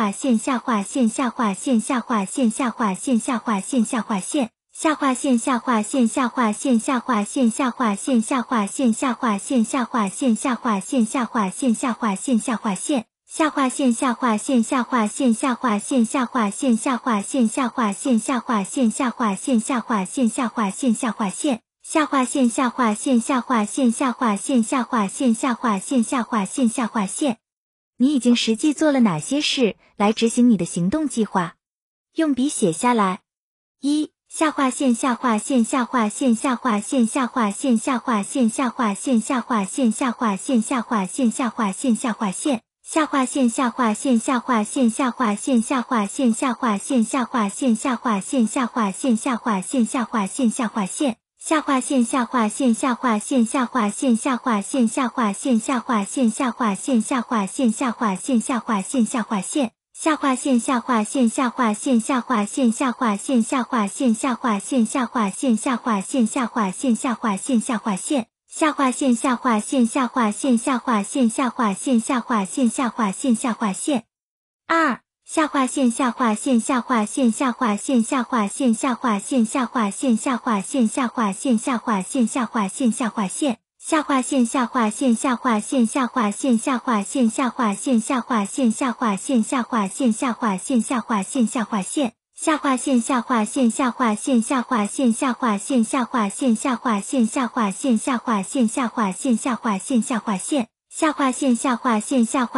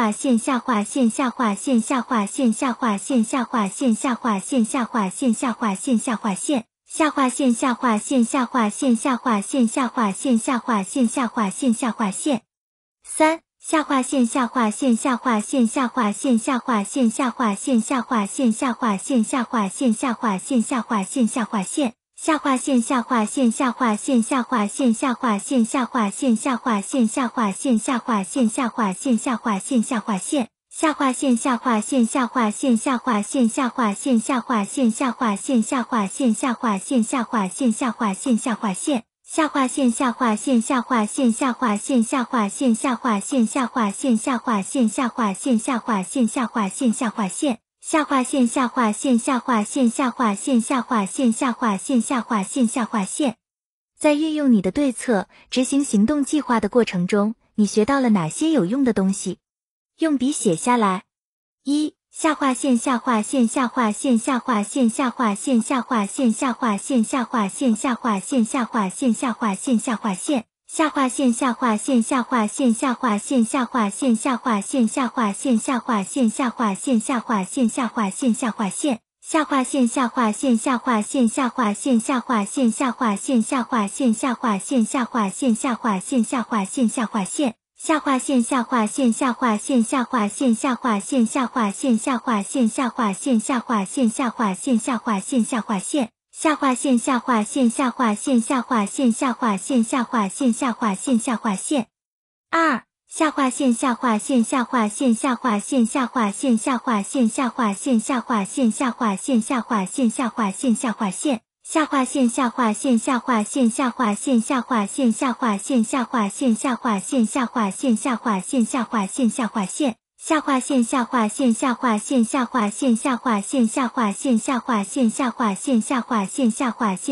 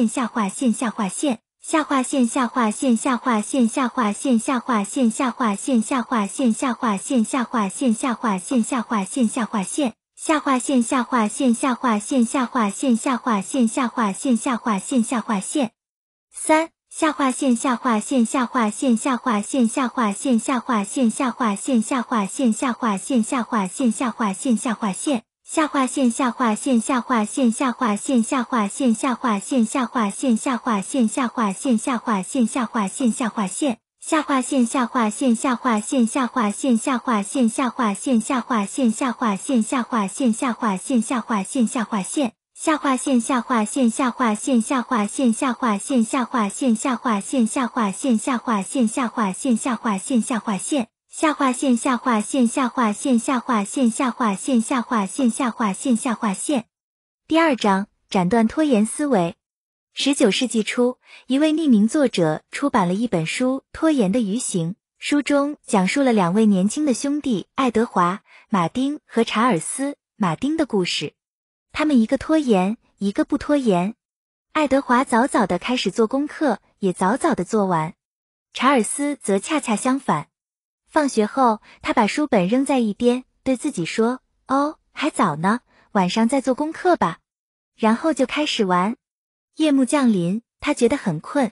他又告诉自己：“哦，我可以明早上学之前再做。”到了早晨，查尔斯又把时间往后推了。时间一点点过去，查尔斯发现他不知道该从何下手了。他在那些讨厌的作业上草草地写上几个答案，就急匆匆地赶去学校。这种待会儿再做的心态，就像一张借据。它相当于预支现在就玩的特权，以后再为现在买单。可是每当借款到期之时，甚至不用等到那个时候，你往往就会发现利息的高昂。我们在各种场景，不论是职场、家中还是大学校园里，事实上，在任何能发现拖延的场合中，都能看到这种稍后幻觉 （later illusion） 的破灭。这样的思维模式是一种认知转向 （cognitive diversion）。它让你暂时绕开紧迫的事情，先走上一条看似更安全的岔道，就像变色龙一样。拖延的思维模式也会随着推迟行为的类型、场合不同而发生变化。推迟写文章的教授可能会说：“我得先多做点研究才行。”在职场中，你可能会听到：“我有太多电子邮件要先回。”你也可能听到被动一点的解释，比如别人给我的反馈太慢了。这种被动化的声音就像伪装设备一样，掩盖了延误的具体原因。一旦开始拖延，自我欺骗就会接踵而至。你会想，我应该休息会儿，待会儿我再继续。你通常都不会好好检查一下这些分心的理由是不是讲得通。来吧，我们商量商量该怎样打败你的拖延思维。我们一起看看这种思维的具体形式和导向。以及你可以拿什么来替代它？我们先看几种拖延思维的实例。之后，你可以找到多种解决方案去战胜拖延思维，进而成为一个干练的、高效的人。拖延思维的种类，歌手兼演员迪恩·马丁在歌曲《明天》中捕捉到了这种稍后思维 （later thinking） 的精髓。在这首歌中，马丁唱到一扇破损的窗户、一个滴水的龙头以及其他拖延的后果。他反复唱着一句歌词：“明天马上就到。”词作者很了解这种经典的拖延思维效果。既然将来做总是更合适，于是现在可以做的很少。拖延思维是一种心理上开小差的方式，或者说是一种回避紧迫而重要活动的方式。这种思维方式的具体内容可以千变万化，却传达出同样的信息：我得把这个点子再斟酌斟酌，或我先睡会儿，休息好了再做等想法，很可能是正在拖延的信号。当你感到疲乏而难以集中注意力时，打个盹儿当然是个好主意。不过，如果你正打算睡，却发现可以跟朋友聊上几句，而且马上就精神抖擞了，那么这个打个盹儿的想法就变得很可疑了。明天再做的思维，明日复明日的陷阱，机巧而复杂。不过，你还是可以在另一个层次上运用这种思维。在明天再做思维的外衣下，你执行一项任务的条件依赖于先完成另一项，这样你就有理由推迟那些原本紧急的任务了。通过这种条件化的思维形式，你就成功的把一项意外任务与另一项拴在一起，然后把它们统统推迟。你想拿到 MBA 学位，因为你能预见到它对你大有裨益，你想得到这些好处。你坚信从课程中得到的知识和学位给你带来的地位会开启光辉的职业前途，并且获得收入上的显著增长。但是你对自己说，你得先收集和消化所有相关的 MBA 项目信息，以确保正在申请的项目是最好的。然后你在搜集材料的时候拖拖拉拉，当你拿到材料后，你又拖着不去看它们。好一个美妙的明日复明日情节！面对紧要的事情，你却通过新的细枝末节去逃避真正的挑战。另一种关于紧急事件的思维是，你觉得应急的状态会让你变得积极和灵感迸发，感觉良好是你行动的绿灯。所以，除非你被逼到绝境，否则你很容易受到诱惑，推迟所有你不喜欢的事情。另一种情绪应急状态是，你得等待有灵感时才开始。但是，像归档工作单这样的任务，谁会有灵感呢？你喜欢做什么，并不是一个问题。问题是，你不断推迟行动，被动的等待不可预期的情绪状态的来临。或许你也会不时的体验到一种情绪状态，在那种状态中，你的问题是可控的，你不会受到负面事件的影响，可以非常有效的完成你通常会推迟的任务。因此，有灵感时你会做得更好，也不是毫无道理的。可问题是，这种情况多久才发生一次呢？倒推策略，在倒推策略中，你告诉自己得先知道自己是怎么变得拖延的，才可能战胜拖延，否则一定会一再重复这一模式。你告诉自己，直到有时间完成一次考古之旅，探索灵魂深处，你才可能从拖延中解脱。好吧，你可算是找到一个永远拖下去的完美借口了。这个策略很唬人，它很像是为有关自我的深远问题寻找深刻的答案，听起来就像一种深思熟虑的行为。但是，就像其他应急策略一样，倒推策略所服务的对象也是逃避、逃避再逃避。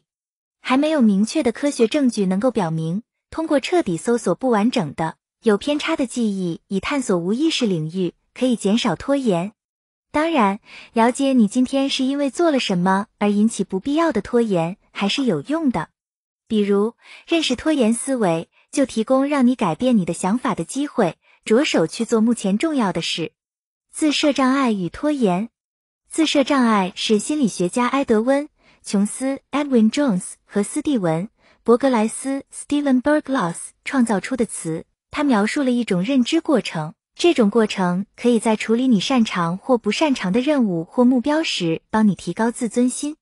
自设障碍在你的拖延过程中起到了关键作用。通过归咎于那些难以控制的障碍，你可以在表现有失水准或失败时保存一点颜面。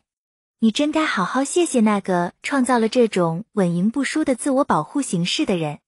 但是这么做会不会也有代价呢？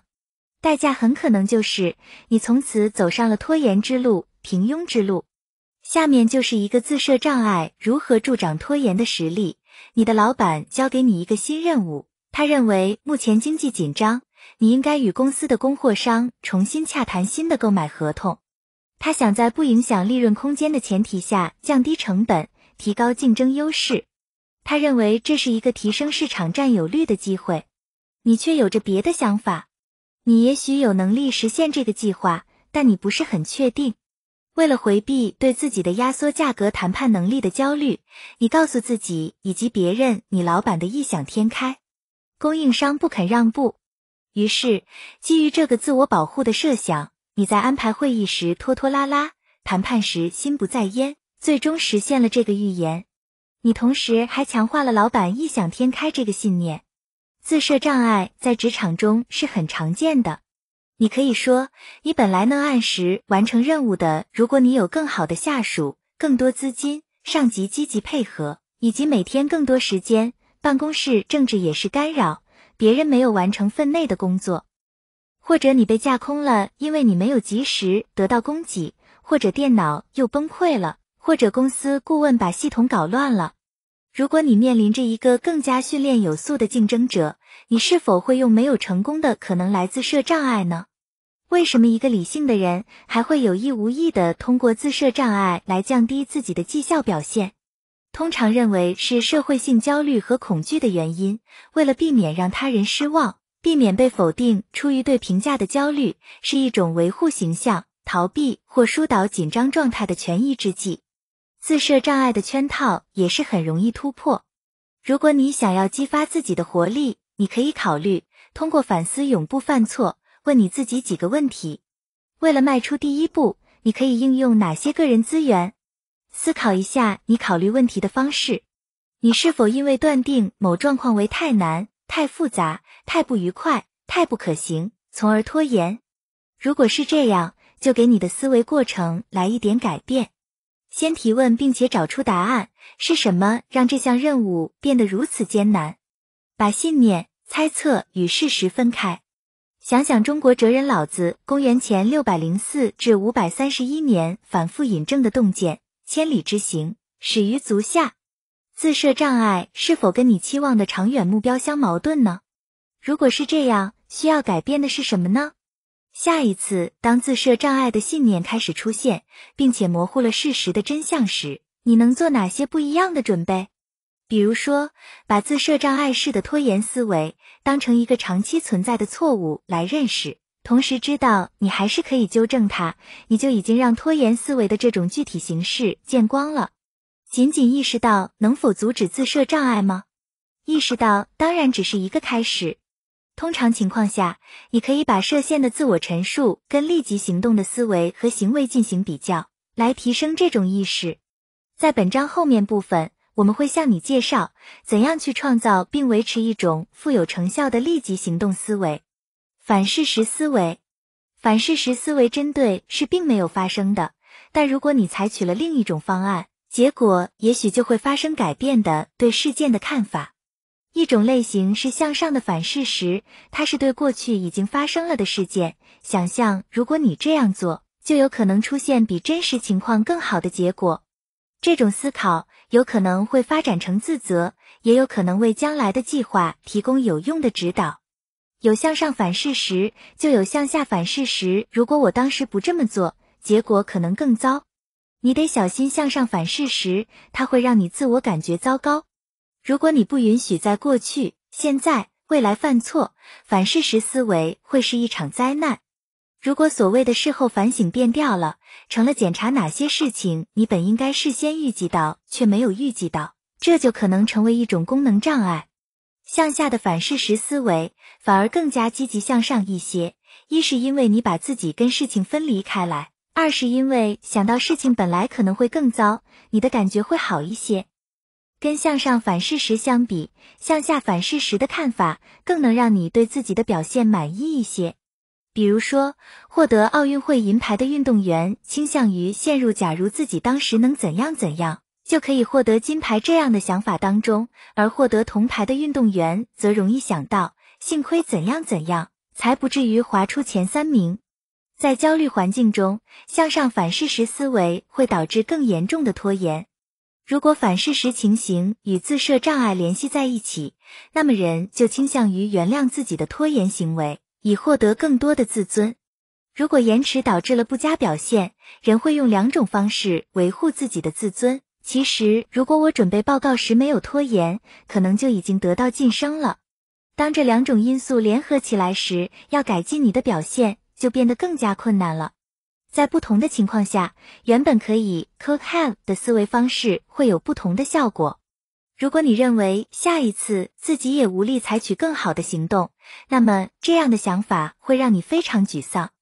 你也可能会考虑今后怎样才能做得更好，并计划采取能给你带来更好机会的行为。你有更好的选择，选择向下反事实思维，帮自己保存颜面。公元一世纪的罗马皇帝马可·奥勒留曾经说过：“过去的已经过去，将来的仍属未知。”如果你了解了这句话的真谛，你就会知道，虽然已经发生的改变不了，你还是可以在今天采取更好的行动，塑造美好的未来。原本可以的超现实思维方式可能会带来更严重的拖延，这是完全可以避免的。通过反思和计划，你就可以让你的原本可以 could have 少一些，让真就做到了 have done 多一些。你能够逆转反事实思维，把诸如我本来可以做得更好修正为正确的反思。如果伴随反事实思维的是一个被推迟了的尝试，就利用这个机会去计划一个更有希望的战脱策略。你最希望完成什么？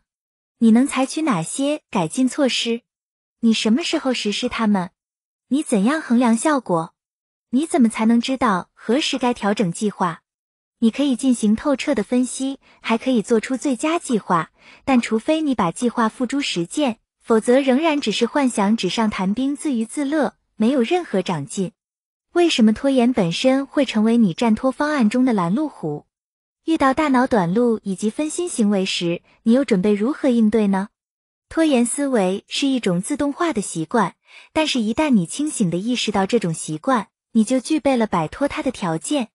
这里有一些抑制这种自动思维的技巧：一、监视你的念头；二、识别分心心理 （mental diversion）；三、对分心心理发起质问；四、强迫自己去坚持原计划。调整拖延思维的 A B C D E 方法，在诸多心理自助系统的建立者中，美国心理学家艾伯特。爱丽丝 （Albert Ellis） 是独特的一位，他提炼了艾比克泰德 （Epictetus） 哲学的核心思想，并把它们整合到一种新方法中。这种强有力的方法被称为合理情绪行为疗法 （Rational Emotive Behavior Therapy，REBT）。你可用应用这种方法来降低压力、增进健康，并终结拖延症。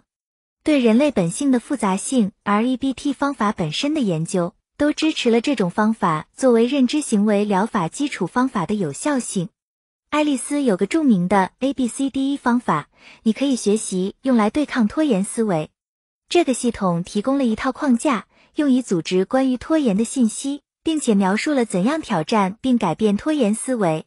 以下是它的具体框架模型：A aversive or activating 代表了诱发性事件，它涉及的范围非常广泛。不管是为了减肥而放弃你最爱的料理，还是职业生涯转型，或者是运转一个困难的项目，都可以作为诱发性事件。B believe 是指个体在遇到诱发事件后的相应而生的信念及他对这一事件的看法、解释、评估，不论是冷静的还是惊恐的，理性的还是非理性的，这些信念都经常出现。非理性的拖延信念包括以后再做等，而理性信念则包含立即行动。如何解决以后再做和立即行动之间的冲突，决定了你将走上拖延还是立即行动的道路。C consequences 是指特定情景下个体的情绪及行为的结果。对于那些不愉快却迫在眉睫的任务，你持有了某种信念，而这种信念的产物就是这种结果。D disputing 表示对拖延思维进行劝导干预，并且用基于事实的对立信念去替代原来的想法。E effect 是指质疑、挑战和对抗拖延思维所产生的效果。这种效果可能是外界所期待的，也可能是你个人所期待的。对拖延的思维方式进行质疑，你就能减少它自动发作的概率。对拖延思维方式最有力的质疑，应该具有如下特点：一、具体且有明确答案的，何时、何地、做什么以及如何做；二、科学，因为他们需要有明确答案；三、开放、灵活，有不止一个答案。下面的这些质疑就可以应用于对抗以后再做的想法。以后再做，先给家里打个电话，然后再安排日程表。质疑范例：现在先列出日程表，再给家里打电话，又会怎样呢？回答范例：我将会打破拖延的链条，并且搞定压在我身上的任务。以后再做的借口：我还是先研究一下这个问题，再处理我的工作压力吧。质疑范例：在我做研究的时候，我又怎样应对我的工作压力呢？回答范例：我可以马上着手处理我的工作压力。并且可以运用我减压的效果来进行我下一步的研究。在 D 阶段，你可以在质疑拖延思维的过程中完善你的批判性思维技能，可以用来识别并根除拖延思维的质疑方式，几乎有无数种。你对自己的要求和你对目标状态的信念是什么？这种信念是假设还是事实？有没有可靠的依据支持你对局势的判断？你能否把你的信念当做一种假说？并对它检验，这些质疑是否有助于你建立一个更符合实际的视角？如果你更喜欢使用那些经过检验的成套质疑方法，下面有些现成的工具可以满足你的要求。理性思维有六个标准，通过这套标准，你就可以把所有可疑的压力思维跟你觉得属于立即行动的思维进行对比，找出它们之间的差异。见表二杠一。你对这些问题的答案将成为对抗拖延思维中非理性部分的有力论据。另外，暂停并反思这一行为，切断了拖延的冲动，让整个系统发生了变化，让你重新审视你所面临的情境。现在，我们来看看下面这个 A B C D E 方法的例子，它展示了如何通过立即行动的视角对抗拖延思维。你还记得引言里提到的简的拖延模式吗？来看看他是怎样使用 A B C D E 方法的。简的拖延模式是一开始他就认为撰写季度财务报告的任务做起来复杂、艰巨又难受。虽然从前完成过类似的报告，每一次写新的报告时，他还是感到不确定，对自己是否有能力高效的完成报告充满了焦虑。他通过割草坪和聊天等方式来逃避任务，这支逃避之舞跳得又蹩脚又难受。每次决定再推一推，他总能感到松了一口气。在跟邻居闲聊推迟目标的时候，他也有这种短暂满足感。拖延带来了短暂的放松，但随之而来的却总是更大的压力。他总能听到内心有一个声音在唠叨着他的拖延，这个声音带来无尽的压力，让他憎恨却又无法摆脱。截止日期逐渐逼近，简不能再拖了。否则工作就保不住了。他进入恐慌状态，开始了最后一刻的冲刺。他没能赶上截止日期，只好给自己的拖延找了些借口，并且得到了延期。他哀叹：如果早一点开始，他可以做得更好的。可每当遇到类似情况时，历史还是一次次地重演。直到他运用 A B C D E 方法打破了这一拖延模式。简的 A 是日益逼近截止日期的撰写财务报告，他把撰写报告看成复杂和困难的事，他不知道该从哪开始，因此只是围着任务团团转，同时期待着灵感突然降临。简期望做到完美，他的自我怀疑部分源自他害怕自己的能力并不像他该有的那么强，他认为这个项目是一个威胁，觉得从中体验到的紧张难以承受。也就是说，他的拖延成因是很复杂的，指望同时处理拖延模式中的所有要素，就像一边开车一边看书一样，是不现实的。所以，简以爱丽丝的 A B C D E 方法为指导，对他以后再做的想法进行处理。他要求自己：一、对以后再做的思维进行隔离处理；二、从立即行动的视角引入与拖延思维相反的信念；三、通过实事求是的看待报告来努力管理自己的感受。在 A、B、C 阶段，简描绘出了他的拖延模式。一旦他给思维过程画出了一幅地图，他就掌握了主动权，可以近距离的审视那些思维状态的实际有效性。这就带我们来到了 D 阶段，简运用艾比克泰德的沉思法控制感官，以达到新的效果。由于他一开始并不熟悉对付拖延思维的 A、B、C 方法，他要先让自己熟悉这个系统。他发现，要学会这个系统，最好的办法就是直接把它运用到自己最急迫的拖延问题中。简的拖延习惯当中包含了以后再做的想法。表二杠二让简决心从这种思维中解放了出来。艾伯特·爱丽丝的合理情绪行为疗法当中包含了主动的行为训练，因此只要具备立即行动的想法，就能够顺利的进行行为训练。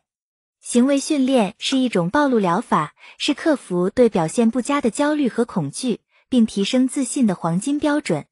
在你的战拖行为训练中。你是不太可能拖延的，只要你真心相信他们在你的能力掌控范围内。当然，你还是得给自己来上个拉伸训练。让我们看看简为了避免未来继续在报告传上拖延，他是通过什么样的自我训练来迈出第一步的。在他完成这次报告之后，他用书面形式把他的高期待、怀疑、逃避心理不适等倾向表达出来。他设置了一个比较早的开始日期。以保证有充裕的时间，高质量的完成任务。他设置了一个中期的时间点，以帮助他保持动力。他设置了一个比较早的截止日期。当下一次报告快期之前，简的老板提前收到了报告。站拖小贴士：留意你的拖延思维。一、对你的思维进行思考，识别并标记出你的拖延思维，能够增强你的控制感。二、与你的以后再做的想法辩论。从而改变拖延思维的进程。三、通过行为训练，培养立即行动的主动性和坚持到底的习惯，把开小差的苗头扼杀在摇篮里。通过提前一步采取应对措施，保持积极冲劲儿。通过以上方式，简建立起了对负面拖延过程的掌控，这是一种积极的掌控。他还采取了一些预防措施，那部分内容我们会在第四章有更多介绍。在下一份报告任务正式开始之前，他就积极的进行预先处理，解决相关问题，并制定计划。预先处理的目的是提升工作效果和幸福感。这些结果代表了他通过以上练习获得的新成果。现在轮到你来运用 A B C D E 系统了。见表二杠三。效果：这个练习给你带来了哪些积极的改变？战托小贴士。生命中几乎没有什么比建立对自己和正在做的事情的掌控感更加重要了。当产生拖延时，你可以控制你的认知、情绪以及行为。有没有可能把拖延思维减少到零，并且永不复发呢？不幸的是，除非你坚持有意识的用积极的意念指导你的行为，否则就像浴火重生的凤凰一样，拖延也会一次又一次的卷土重来。不过处方也很简单，对于所有有时间限制的任务，既注意及时开始，也要做到有始有终，坚持行动，让拖延思维退居幕后。你会有很多机会来实践这套流程，终结拖延症。你的计划，找出三个能有效对付拖延思维的方法，用笔写下来。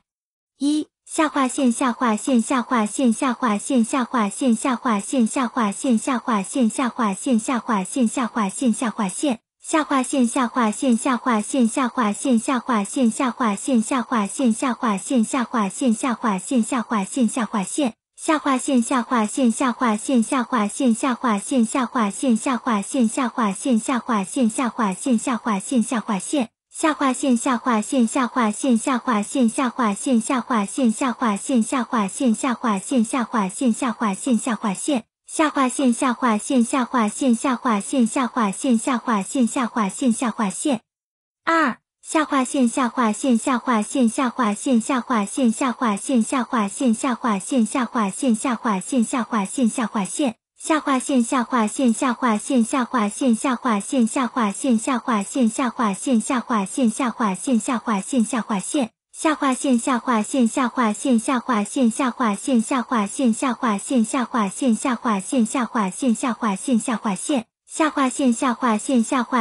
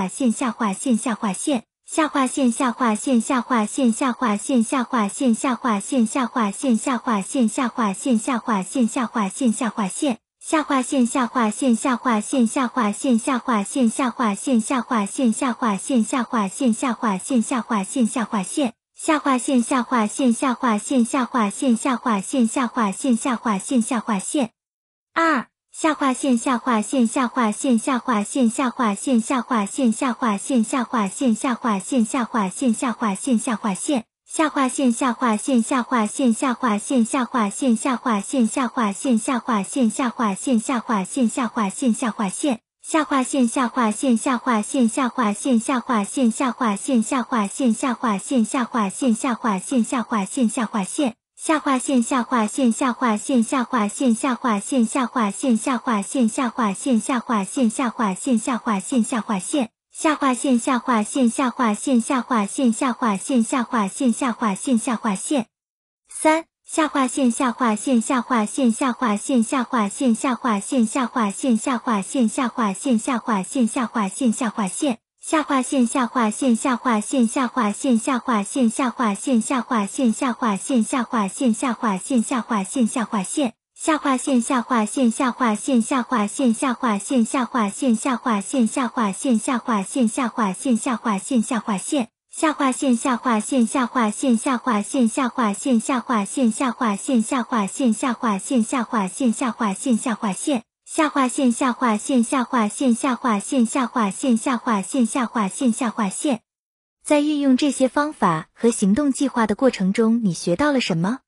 下一次你将如何运用这些信息？用笔写下来。一下划线下划线下划线下划线下划线下划线下划线下划线下划线下划线下划线下划线。下划线下划线下划线下划线下划线下划线下划线下划线下划线下划线下划线下划线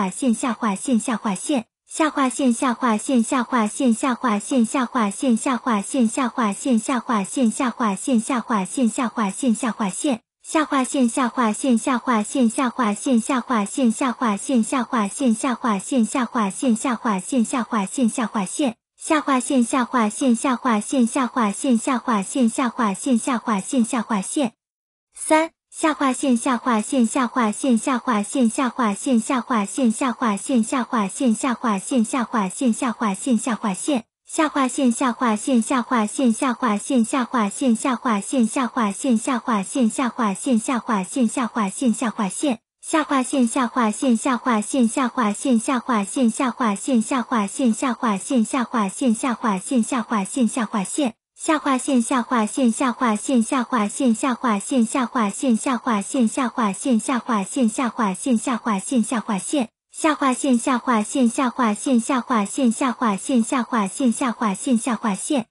第二部分情绪方法，建立对不愉快任务的忍耐力。第三章练出情绪肌肉，克服拖延。讨论完拖延的认知成分，下面我们谈一谈拖延的第二个重要成分——情绪。面对任务时，你是否会感到焦虑，从而以逃避告终？例如，避免贯彻实施绩效考核，也许是因为对考核可能引发的冲突感到焦虑。终结拖延症需要建立弹性和韧性，也就是我所说的情绪肌肉。通过实践和锻炼，你可以强化情绪肌肉，抵制那种阻碍高效率工作的冲动。不过，建立情绪肌肉作为一种建设性的努力。它需要以我们积极的情绪能力为基础，这种积极的情绪能力对于主动而高效的做事是必须的。当焦虑、恐惧和厌恶引发了拖延的时候，情绪肌肉可以帮你经受住你一路上的紧张、压力和挫折。当你练出情绪肌肉以后，你将学会放弃短期回报，期待长期收获。你会接受这一点：生活既不是一帆风顺的，也不是艰难困苦的。生活就是生活，有一个事实看起来很像悖论。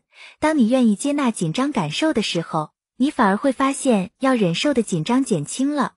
去掉紧张性拖延的枷锁，更多的机会会呈现在你眼前。你将进而有机会选择高效模式，继续前进。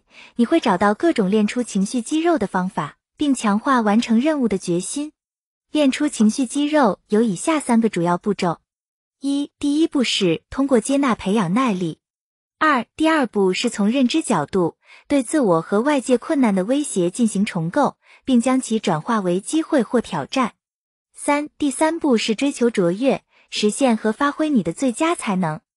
单凭意志力，往往不足以决定内心冲突的斗争结果。相反，接纳负面评价的能力，才是在行为上避免拖延、走向高效的起点。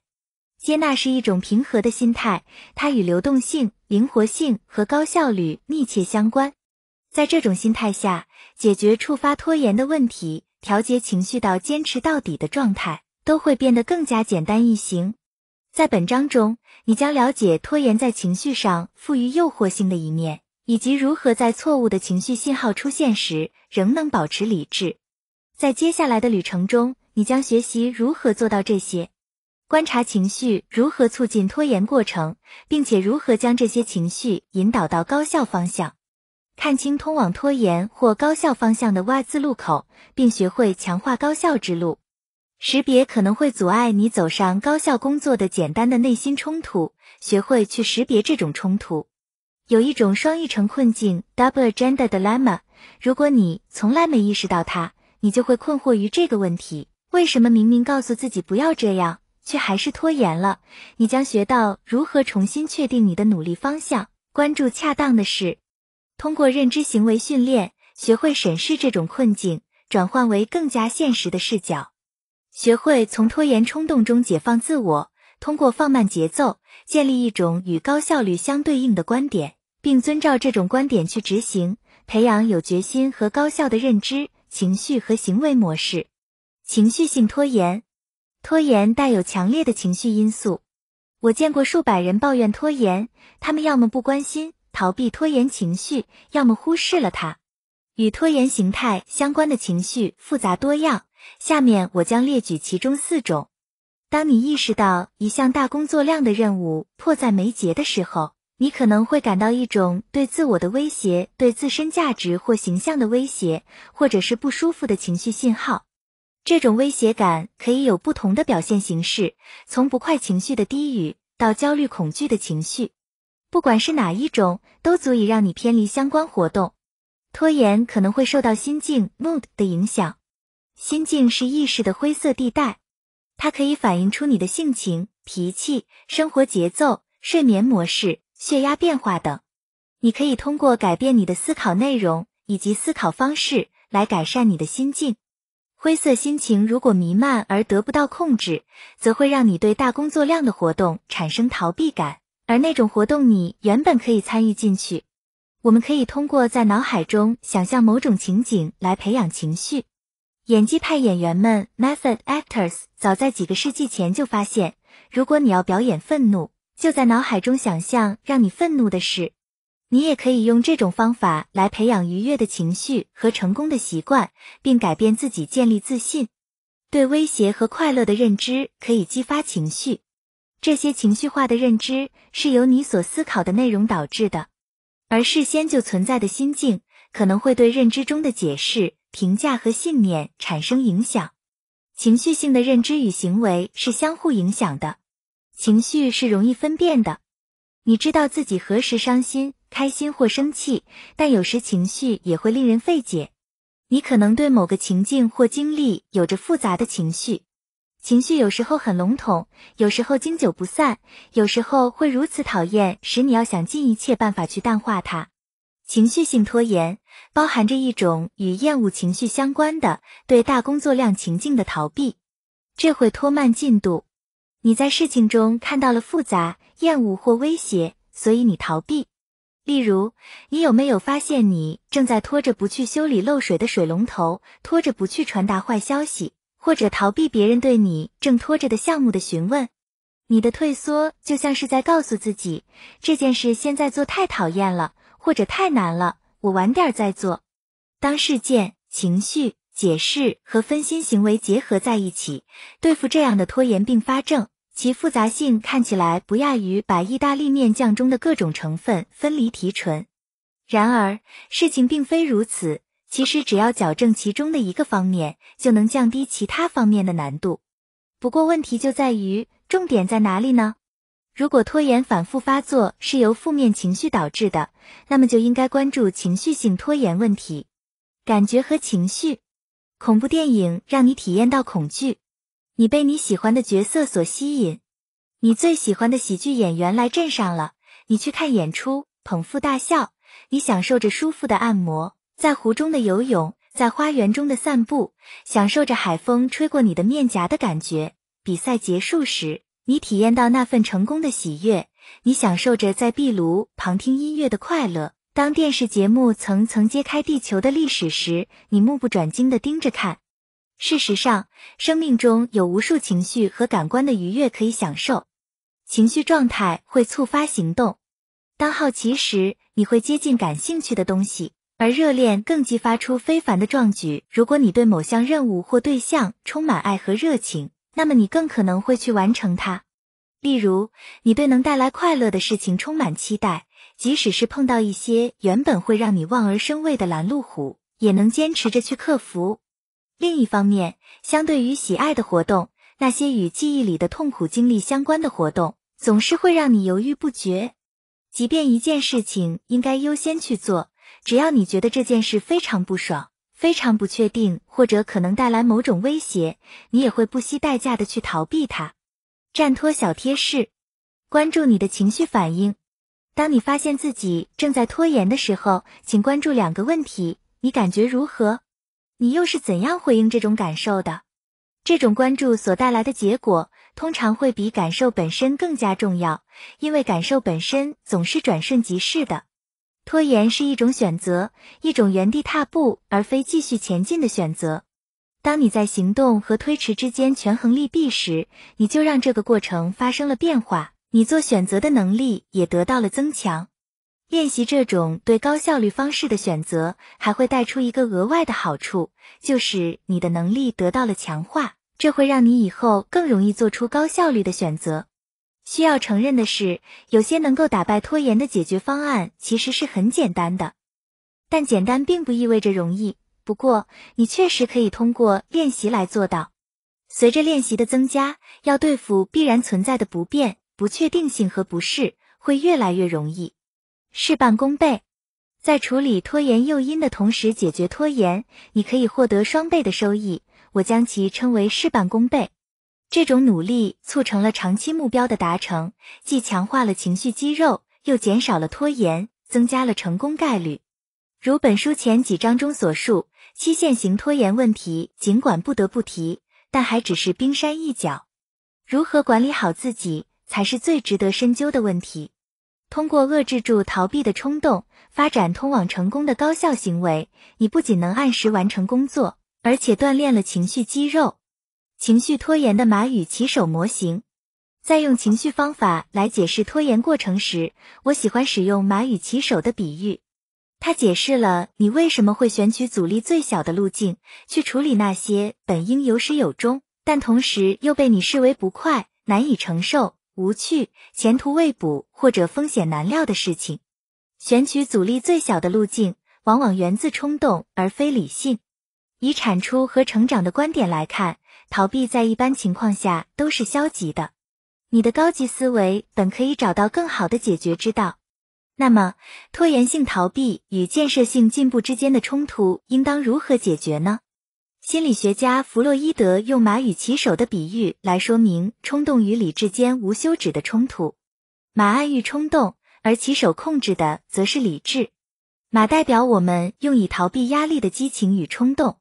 马只知道两件事情：如果感觉不好，就逃离；如果感觉愉悦，就去争取。马可以快速识别危险，但难以摆脱虚惊。骑手是你的高级思维过程，骑手会进行推理。找出联系，制定计划，并控制行为。骑手可以很快学会坚持立场、解决问题以及预测变化。当马的直觉偏离骑手对现实的认知时，骑手有能力控制马，但是马也有自己的想法。马的行为是自发的，骑手的行为也可以是自发的，但是两者方式不同。不一致时，骑手可以一笑而过，但马却永远做不到。马和骑手都不愿感受到压力，但是骑手能意识到什么时候承受压力是必须的。比起做深入的竞争力分析，马更喜欢吃草，而骑手的任务则是做出分析，避免像马一样分心消遣。骑手拥有理性的力量，但是有时不够现实。你也许会在无意中因为错误信念而扭曲现实，比如把麻烦想得过于糟糕。你也可能会担心失败。焦虑就是一种在不确定性面前的无助感，它会把马吓坏，并且激发拖延。激发拖延的情绪和心理过程，并没有弗洛伊德所描述的那样根深蒂固、难以察觉。相反，它往往浮于意识表面。如果你在行，就可以轻易找到它。这本书中的信息或者其他认知行为资料，都可以给你提供可靠的模板，去帮助你在反思自己的想法时，识别出你真正追求的是什么。马与骑手的比喻勾勒出一幅重要的情绪图像。它帮助你看清逃避不适的欲望与追求成就的动机之间的竞争。拖延可以看作一个战场，虚假的危险信号刺激着马，而骑手需要用理性的视角去创造、推进，并避免单靠马的力量无法意识到的长期威胁。对于开明的骑手而言，挑战的其中一部分就是识别和设法摆脱虚假的威胁，并做出成效。因此，当你发现自己正跟着马的本能走上逃避之路，而这又与达成成就的方向不符，有洞察力的骑手就会发现这是一个可以事半功倍的机会。在创造积极结果的同时，我们也强化了情绪肌肉。由于猿脑学习东西很慢，比起经常性的受制于马的冲动，耐心和坚持往往会让你走得更远。因此，当你面对是闲逛还是工作的选择时，就可以趁机让骑手抓住缰绳。你真正夺取控制权的时候越多，你就越能够驾驭马的强大力量向目标前进。Y 决策，并非所有马与骑手的组合都是类似的。一些组合对压力更敏感，细微的压力就能让马带着骑手冲向拖延之路；而另一些骑手能意识到不是是不可避免的。不能将其作为逃避的理由，在这两种极端之间还存在很多种情况。因此，马与骑手的比喻表示的是原始的情绪冲动与理性的认识控制之间无休止的斗争即 Y 决策。当你来到分岔路口，你的马匹想走阻力最小的路径，这时你面临一个 Y 决策。你明白坚持自己的目标很困难，但是你需要这样做。Y 决策就是要么选择坚持并达成目标，要么选择拖延。不论是面对什么任务或目标，马匹总是选择他觉得更轻松或危险性更小的道路。他奔向旷野，驻足溪边，或前往觅食。骑手可能也希望这样做，但是有时马匹的冲动最好加以抑制。你在截止日前完成一个竞争力分析，而工作能否保住在此一举。但马才不在乎这些，这时就是聪明的骑手夺取控制权的机会。引导马的前进需要特别的努力，马主导还是骑手主导之间有极大差别。那么，当骑手的目标与马的方向不符时，会发生什么呢？骑手该如何抉择呢？Y 决策通常意味着简单的抉择。为了保持健康，你注意饮食，参加体育锻炼，快速摆脱压力。你现在已经知道该如何应对拖延情绪了，对吗？只要去做就好了。然而，简单的抉择实施起来却并不简单。当马主导时，计划可能偏离轨道。目标所激发的拖延，并不像你想象中那么多。把目标想得太复杂，你就是在智力上自设障碍；告诉自己这太困难了，则是在情绪上自设障碍。避免拖延需要你尽全力在紧急重要的事上保持高效，而非自设障碍。这可能是件简单的事，但简单并不意味着容易。这几乎是颠扑不破之理。十七世纪，普鲁士将军卡尔·冯·克劳塞维茨发现，象牙塔中的理论家们可以将一个简单的策略人为的复杂化，并深陷于无意义的恐惧中。因为他们所臆想的不确定性转化成了各种可能性无法被预知的难题。根据克劳塞维茨的观点，明智的做法是继续前进，用双眼发现事实，发现真实的复杂性。虽然冯克劳塞维茨没有提到拖延这个词，但是他描绘了你是如何将一个简单的过程看得极端复杂、困难的无法想象的。这种拖延过程没法用理论表达。你可以养成能在面对不确定性、不适以及不可预知之事时，继续前进的习惯。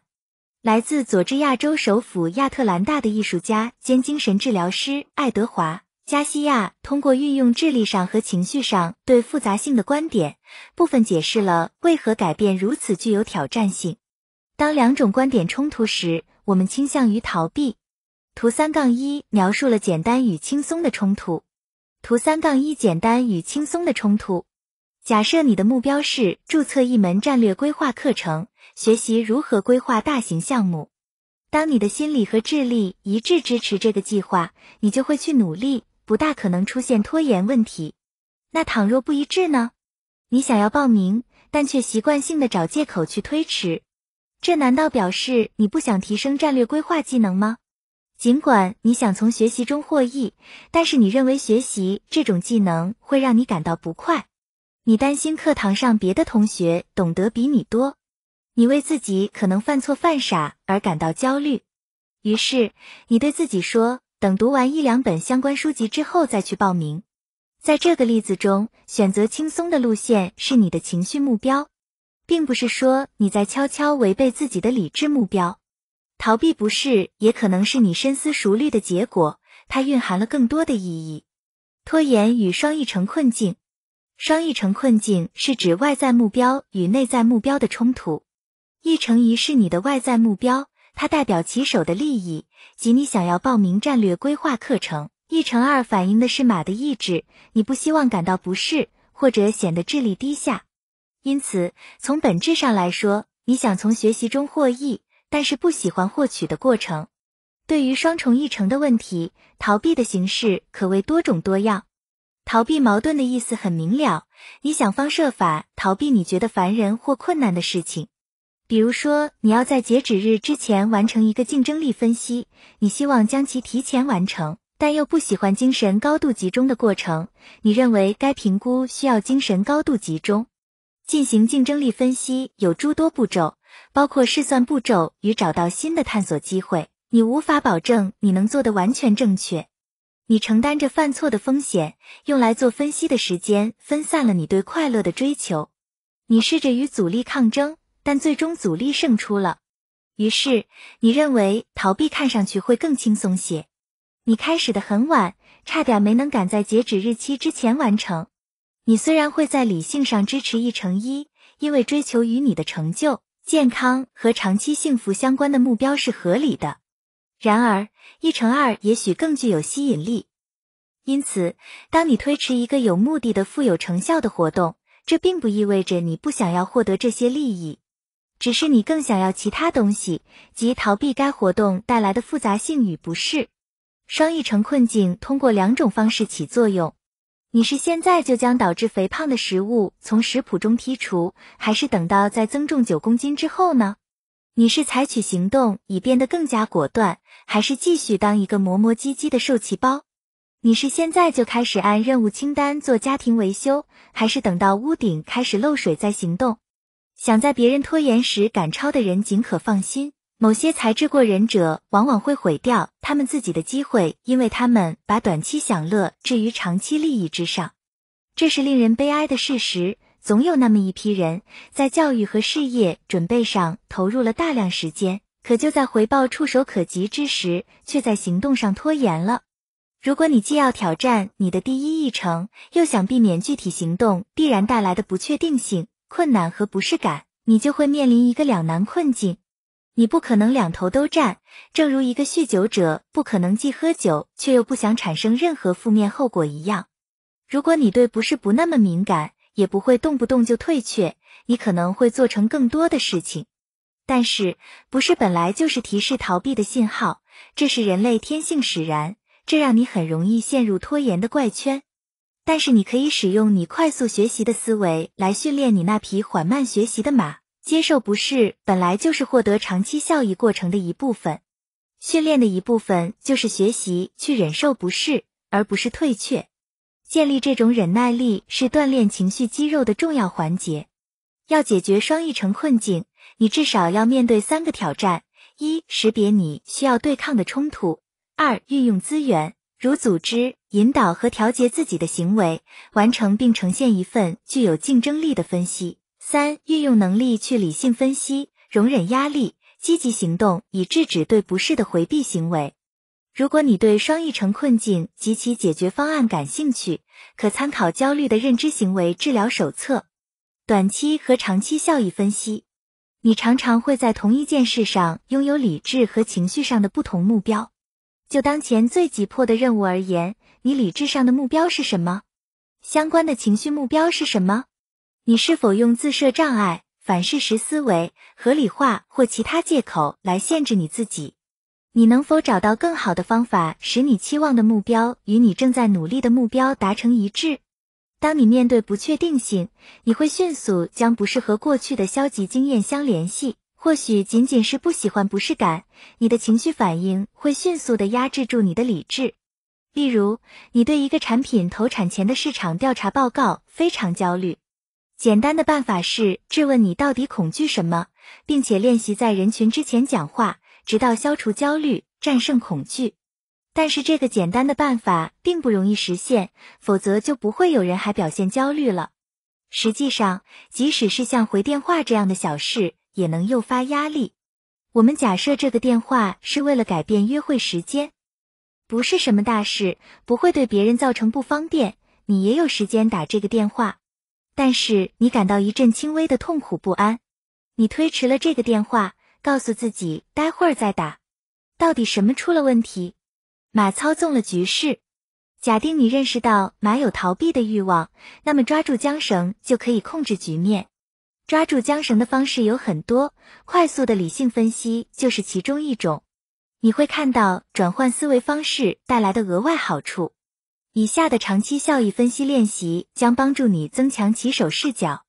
通过把短期内拖延分心的冲动放到一个更大的背景中进行分析。你会发现你的拖延逻辑中的弱点。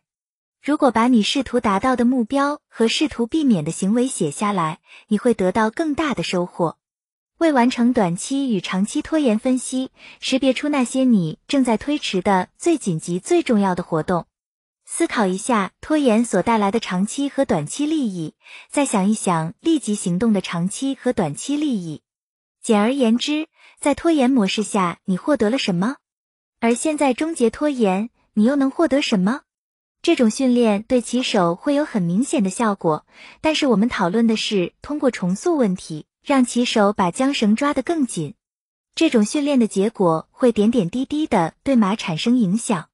下面展示了一个分析模型：当任务或者目标摆在你面前时，思考一下拖延与执行的长短期效益。完成这一练习可以帮助你在长期利益与短期利益的抉择中更加重视长期利益。举个例子，对于那些在香烟上花费数千美元的人，在列出的对照模型中看到支出与潜在的生理或疾病后果，可以帮助他们贯彻实施正确的行为。见表三杠一。立即行动的短期收益，也许是使你向着高效工作迈出的坚实第一步。而长期收益包括一取得进展，二培养对抗挫折的耐受力，三掌控情绪化的决策过程，四减少不必要的压力。现在换一种方式重新做这个练习，不再比较拖延和停止拖延带来的利益，而是把这个练习反过来做损害分析。拖延与立即行动的短期与长期损害是什么？该练习能给你另一个视角。拖延的长短期损害通常远大于其好处，短期与长期损害结果相似。对于重复性的循环拖延，长期的后果更加不利。甩开工作转向拖延，会提升一种暂时放松的错觉，却带不来长期的效益。持续的拖延会提高健康风险，拖延会悄无声息的带来严重的后果，及错失良机。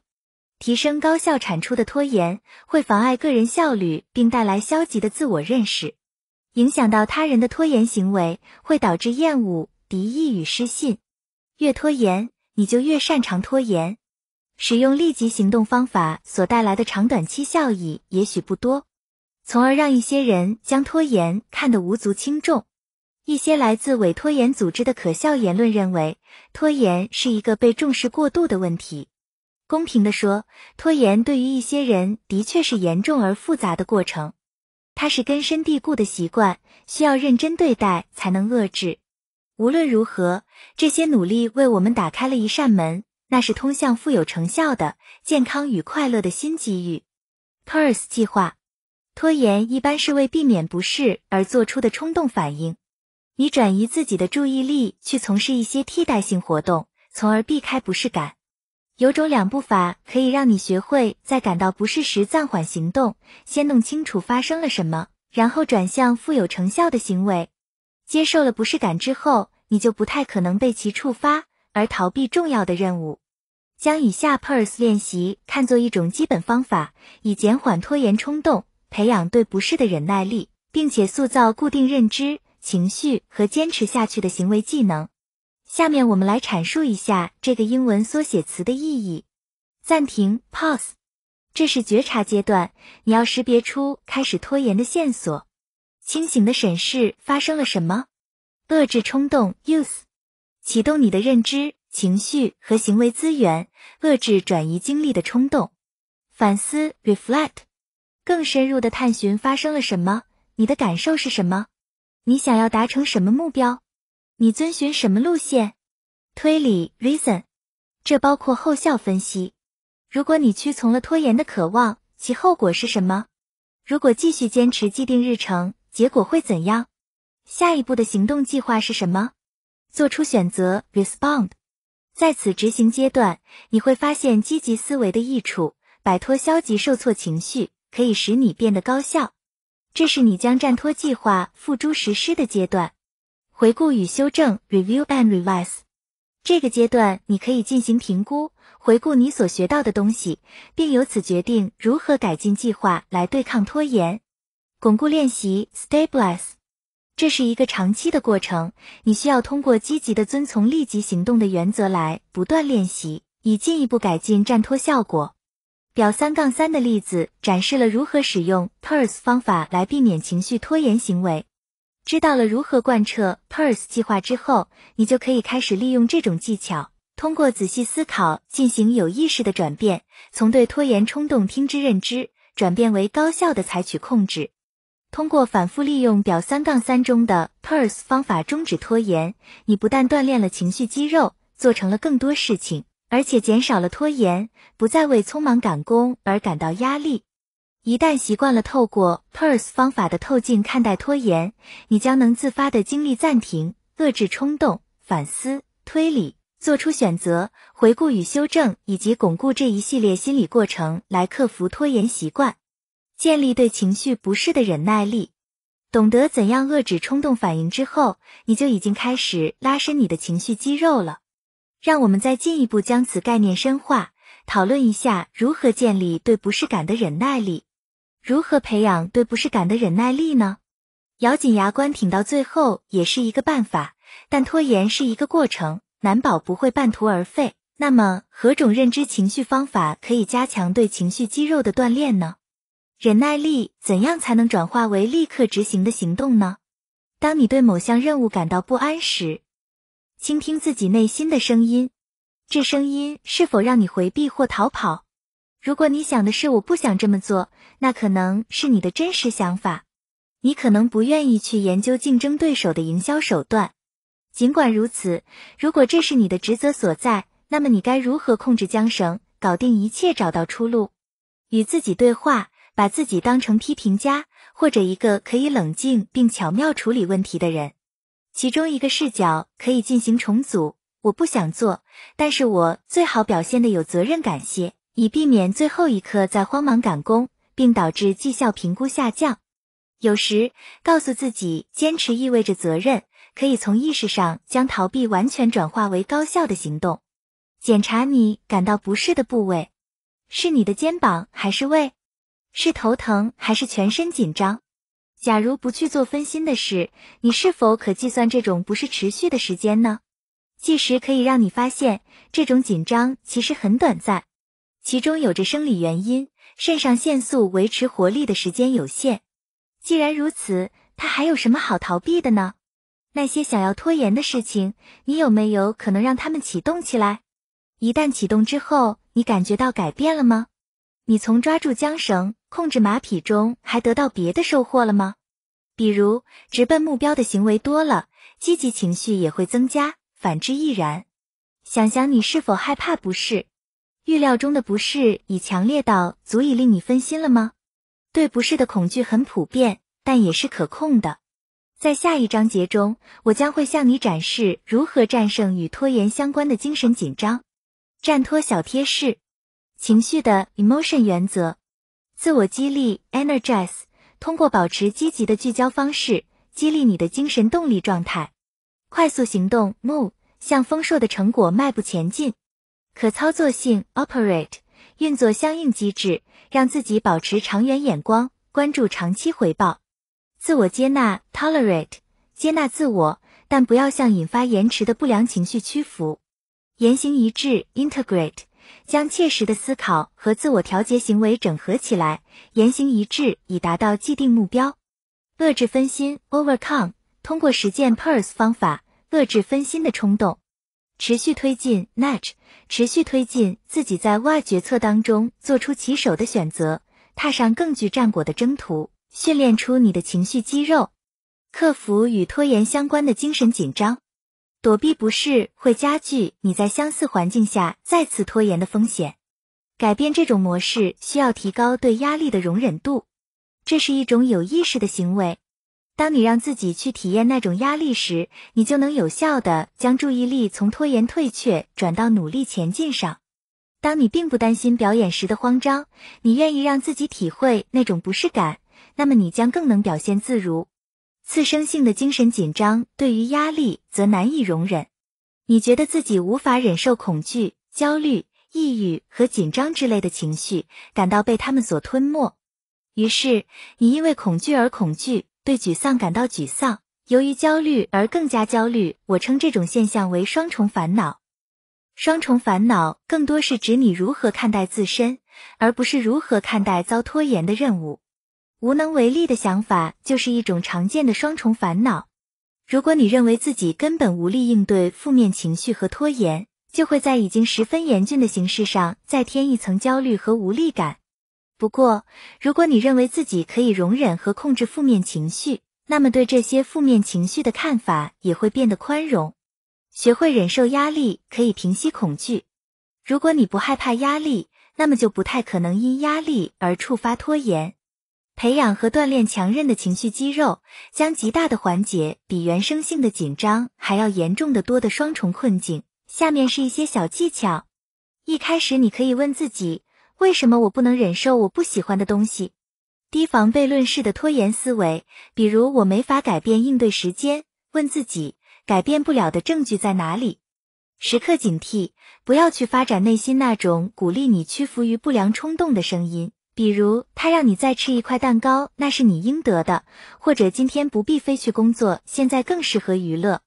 运用长短期拖延分析表格，把这种短期念头转化为理性思维。遏制不良冲动，双重烦恼将你拖入思维怪圈。例如，如果你无法摆脱悖论式的拖延思想，我没法改变。通过仔细分析，你会发现这样的怪圈：我没法改变，因为没法改变，我只能永远压抑和拖延下去。拎出其中一环节，弄清楚它只不过是一种假设，那么你已经开始突破了。假设并不等同于事实。在本章。你看到了面临拖延时如何建立情绪肌肉，在拖延诱惑向你招手时，只要坚持去破解各种拖延情绪的怪圈，不断提升这种能力，那你终将能够不屈从于诱惑，终结拖延症。你的计划，死读书不知道实用技能是书呆子的举动，实用技能是指将你学到的技巧结合运用，从而取得丰硕成果。懂得运用实用技能，令人成功。有关控制情绪的知识是实用技能的重要一部分。关于有效处理拖延，你已经想到哪三种对策？用笔写下来。一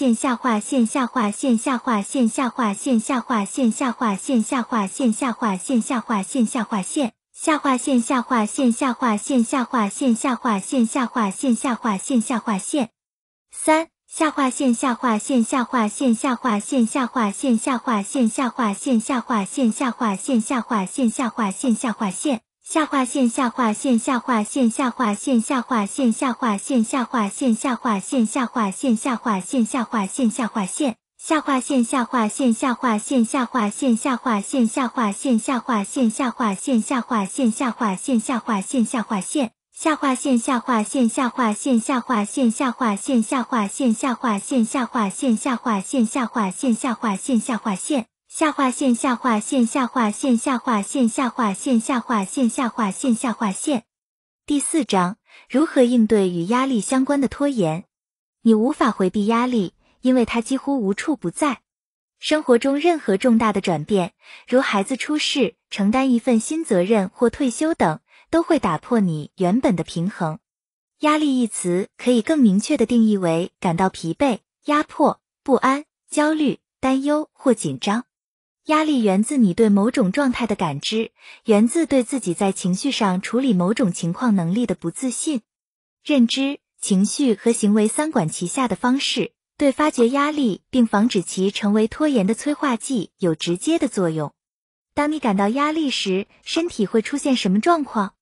通常，大脑会控制自主神经系统 （ANS） 自动释放应激激素肾上腺素和皮质醇。这个挑战过后，身体会恢复平衡 （allostasis）。但是，过多的压力会导致激素迅速消失，对身体不再有保护作用。持久的压力严重影响身体健康。压力会使你的血糖升高，最后还有可能使你患上二型糖尿病。当持久的压力开始常常打断你的睡眠时，你身体的自我修复能力就会受到限制，免疫系统也会受到损坏，继而出现睡眠障碍，并引发抑郁症。当你面对压力感到无助时，你就会开始觉得自己生活在一个情绪战区。不恰当的压力处理方式会增加非稳态负荷，而使用认知行为压力管理方法可以减少由于慢性疲劳。广泛性焦虑症以及其他压力环境而释放的皮质醇，可能引发拖延的压力类型。工作压力是最常见的压力之一，它在为你带来很多改变的同时，也带来不少困扰。人们对工作的满意度正在下降，百分之四十九的被调查者表示对工作不甚满意。然而，当工作满意度可观时，人们更多是为了赚钱，而不是娱乐。但是，相对于工作满意度来说，工作压力的潜在影响也许更大。你也许找不到太多关于拖延、工作压力、职业倦怠、低薪水之间关系的文献。这难道真的意味着工作压力和工作拖延之间没有任何关系吗？如果害怕冲突，你就可能不会对有可能发生冲突的问题进行讨论。如果你对某项工作任务感到不安，你可能会有回避它的冲动。当你可以选择或者冒风险或者有把握的完成一项任务时，为避免指责而产生的拖延会消失吗？你会想推迟决定吗？工作时的积极思考可以让你在闲暇时也感到安逸自在，而下班后对工作积极方面的思考可以让你更加积极、主动并努力的工作。但是，当工作压力很大时，有效的应对压力可以让你对自己的应对能力更为自信。我将为你详细解释应对工作压力拖延的几个步骤。然而，由于压力几乎贯穿生活的每一个角落，你在这里学到的知识将会得到更加广泛的应用。它会让你感到更能掌控自己和周围发生的事情。在失业频频发生的社会环境中工作是很有压力的。但每个人的受影响程度都不尽相同，在某些情况下，你可以借力使力。这并不意味着压力环境不会影响你的思维、感觉和行为，而是相对而言，你受到的影响会比较少。在持续的压力环境下，例如与挑剔执拗的同事或领导共事，与自己过不去，或当你发现工作分配不平衡的时候，你的内心自由可能会受到挑战。然而，这些环境就像对着你吹冷风的风扇，你完全可以让它远离你，即使它依然在吹，也与你无关。你完全没有必要放大压力，或因为它而去拖延。其他原因导致的压力，如果你身边工作或生活的其他方面有一些狠角色，你通常会发现这些人会削弱你工作或达到目标的能力。你也许会给这些人起外号，例如把乔叫做制片器。因为他总把错误嫁祸于你。高超的骗子表面看起来忙，忙得不可开交，但其实他只是在忙乱而松闲的拖延着，而你却得帮他收拾烂摊子。老顽固有一句口头禅，老被人留下的传统。有时高人一等，一有机会就让你难堪，而抱怨者则整天告诉你没有得到提拔或者指定停车位距离入口很远会有多可怕。你可能会陷入某人的拖延阴谋中，但是你并不一定就在这个斜坡上摔倒。你能让别人停止这种让你分心行为，好让自己不偏离自己的职责吗？这样你也许有一定的说服力，并使情况略有好转。然而，最容易控制的人始终是自己，虽然并不完全是这样。但如果你接受他并不在控制不可控之事，那么即便在极其恶劣的工作条件下，你也会感到压力在减少，在最极端的压力环境中，你可以锻炼出你的情绪肌肉吗？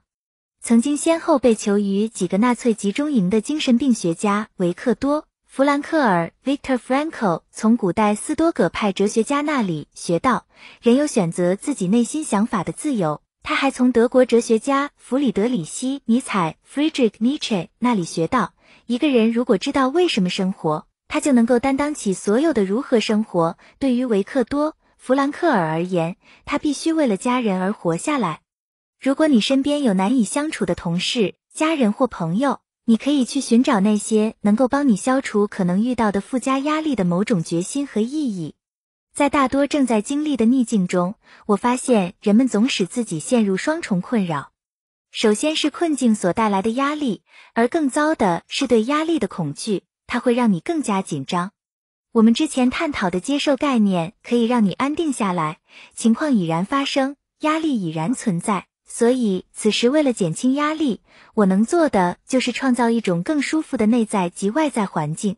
在很多工作环境中，由于办公室政治、勾心斗角以及敌对的合作行为，很多时间被浪费了。你如果为此悲叹，并把自己的注意力置于其中，就好比被公共汽车撞后责怪司机并怨天尤人。看待此种形式的压力，有另一种视角：要使自己远离痛苦，是咒骂司机好，还是使自我恢复健康好？接下来我将介绍，在拖延就会导致危险的不利条件下进行自我控制的具体方法。战拖小贴士：从与压力有关的拖延中释放自己的七个步骤。以下七个步骤描述了在他人拖延时自我控制并取得进展的方法：一、确立一个明确的目的、目标以及为实现这个目标所采取的具体步骤；二、确定一个领导者。他能够有效召集一个志愿组来实现这个共同目标，并且有担当、负责任以及有智慧和才能。三、始终聚焦于你们的最初目标，行动要有战略头脑，努力寻找或利用易被多数人忽视的机会，或提问未来愿景中缺失了什么。四、在不断变化的环境下，明确新进程的结构和意义，与时俱进，做出有效行动，以利用不断变化的信息。协调资源分配。五小组的集体智慧能提供丰富的信息资源，鼓励交流，认真倾听，并且评判哪些人比较可靠。但是，当你对此有了判断力时，为自己保留最后的决策权。六，在你负责的活动中，你有权保留最终决定权，提出理性判断对活动进展是很重要的。七，尽快推开分心之事，时间紧迫。分期。调整进度以及保持行动力通常是比较重要的。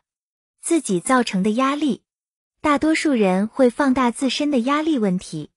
你可以拥有好的下属，支持你的同事以及具有挑战性的任务，前提是在你的能力范围内。但是你还是会把工作和生活混淆，并为犯下的错误和将来可能犯的错误而烦恼不已。对目标的负面思考可能会影响你努力的程度。康妮是一个拖延讲习班的成员，他总抱怨说办公室的每个同事都厌恶他，这就是他拖延的原因。我问他部门有多少人，他说二十九人。接着我让他列出这些人的姓氏清单，并且挨个问他是如何知道他们厌恶他的。归结起来，在与他共事的六个人当中，他只能证明其中三个人不喜欢他，其他人与他还是比较合拍的。问题就在这里，如果每个人都厌恶你，那为什么会有例外呢？当康妮抛开那些错误观点后，并开始与他们合作的时候，他对他的工作更满意了。当他不再凭空假想问题时，拖延问题就缓解了。你周围也许有不计其数的潜在应激源，如果你能够减轻压力，那么你能建立内部控制机制并下决定绝不拖延吗？焦虑与复杂拖延，担忧。焦虑和抑郁会加重拖延，这种催化复杂拖延的情况颇为常见。第一章中讲到复杂拖延及拖延与其他共存状态，如焦虑、自我怀疑或压力低容忍力的叠加。复杂拖延包括拖延某项任务以及拖着不去处理这些加重拖延的问题。现在假设你对某个同事的拖延阻碍整个项目进度的做法表示不满。你迟迟张不开口，是因为你有一种对抗焦虑。你坚信，如果维护自己的利益，你将卷入一场口角之争并铩羽而归。停止这种由对抗焦虑而产生的拖延，你也许会及时说服同事继续做事，这样你就一箭双雕了。拖延习惯经常伴随着自我怀疑，这时拖延既是表现，也是原因。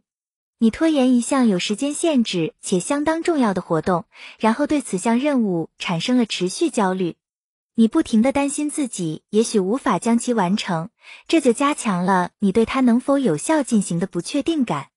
这种自我怀疑有其两面性，它既可能引发拖延，又可能因拖延而产生。自我怀疑经常伴随着其他能引起拖延的状态一起发生。自我怀疑、完美主义。害怕反对、害怕失败以及害怕压力是拖延评估中的一些表现，其中有很多共存的问题，但只存在一个主题以及一些分支问题。下面让我们来看一个拖延评估汇总见表四杠一，我将简要说明各项之间的区别，并提供一个概念性战胜拖延的方针。当你将这些方法归纳为一个核心主题时，你也许会发现复杂集合不是那么可怕。当你用一些高效率的活动来推进其进程，并且借此降低评估焦虑时，你也可以同时处理此种形式的复杂拖延，缩短学习曲线。承诺、积极、主动应对。正如通过调节音调或音量可以改变信号，下面我们将把承诺和挑战言辞视为拖延调节器。接着，我们将参考一些积极主动的应对方式，它们能够强化立即行动的信号。以便增强行动的有效性，运用承诺性的语言。美国外交官和科学家本·富兰克林 （Ben Franklin） 曾建议，当且仅当你愿意做某事时才去承诺，接着付诸行动。承诺是一种保证，一种允诺，是向你自己或他人保证你将在此刻或未来某个时间坚持承担某种责任。你可能会许下相互冲突的承诺，例如存钱买房子。花钱享受生活，并且投资养老，此种承诺意味着其中总有一些是要推迟的。你也许承诺减肥、提高工作效率或结束拖延习惯，可是如果没有一项明确计划或目的，这些承诺就像一张没有截止日期的期票。一旦推迟，你就置身于拖延斜坡之上了。如果你选择离开这湿滑的斜坡，那么在你自愿做出承诺之前。问问你自己，我这么做的目的是什么？很容易便会跳过此步，更多更初步的问题便接踵而至。你想实现什么？必须做什么？你需要什么资源？你预计会进行多久？有什么限制？接下来你就能开始投入你选择的行动中去。是如此简单的一句话，我会这么做。你的意图越坚决，你就越有可能坚持到底。然而，你并没有离开这个拖延斜坡，直到你抱着目的及决心开始行动。一些组织承诺生产高质量产品，并提供优于平均水平的顾客服务。依靠这些承诺生存的组织，很有可能成功的留住顾客，并增加其客户群。请把你自己视为你最好的客户。你认为自己应该得到怎样的服务？运用积极挑战言辞。心理学家詹姆斯。布拉斯科维奇 （James Blaskovich） 发现，如果你拥有能够满足或超过某种情形所需求的资源，你将感到自己受到挑战的激励。在这种挑战状态下，你很可能会为接受挑战并克服障碍而感到兴奋。这种积极的挑战式压力会加速心跳和思维敏捷度，对威胁的感知也许会起相反作用。如果你认为自己不具备完成挑战的素质，你很可能会感到自己在遭受威胁。威胁会降低你的办事效率及思维敏捷度。思维的这种状态还会增加你拖延的可能性。总结出某任务是否值得自己下决心去坚持完成是一个过程，而对威胁的感知是这个过程的一部分。但是，感知常常是信念筛选的结果。源于威胁的压力，通常源于非理性的忧虑、怨恨及消极想法，例如我不具备完成这件事所需要的素质，我将陷入困境和我将看起来像个傻瓜等。这种面对威胁的言辞预示着一种心理危险，而这种危险恰恰是拖延发生的诱因。由威胁转向挑战性的语言，可以在拖延发生之前先解决拖延的诱因。挑战式的方式包括。利用行动期限来构建一个从拖延威胁思维向挑战思维转化的积极过程，以及后续行动。当你采用挑战方式时，你会指导自己为建设性目标采取特定的具体步骤。这其实是一种自觉的坚持和指示。例如下列内容：我的目标或机遇。下划线下划线下划线下划线下划线下划线下划线下划线下划线下划线下划线下划线。下划线下划线下划线下划线下划线下划线下划线下划线下划线下划线。我正准备做的下划线下划线下划线下划线下划线下划线下划线下划线下划线下划线下划线下划线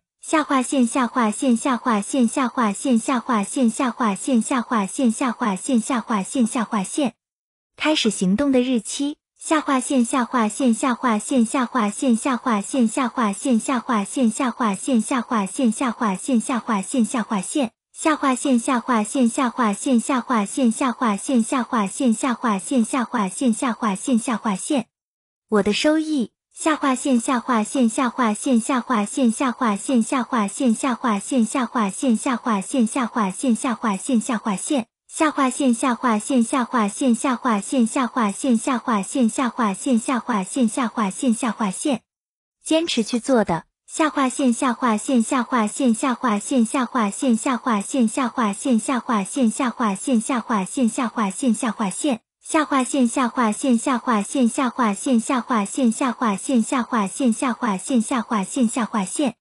挑战言辞思维对于鼓舞性宣言，例如“你能做到”“你会成功”不起任何作用。假如那些陈词滥调的口号有效的话，我们早就开始用了，怎么还会拖延呢？积极应对以迎接正面挑战。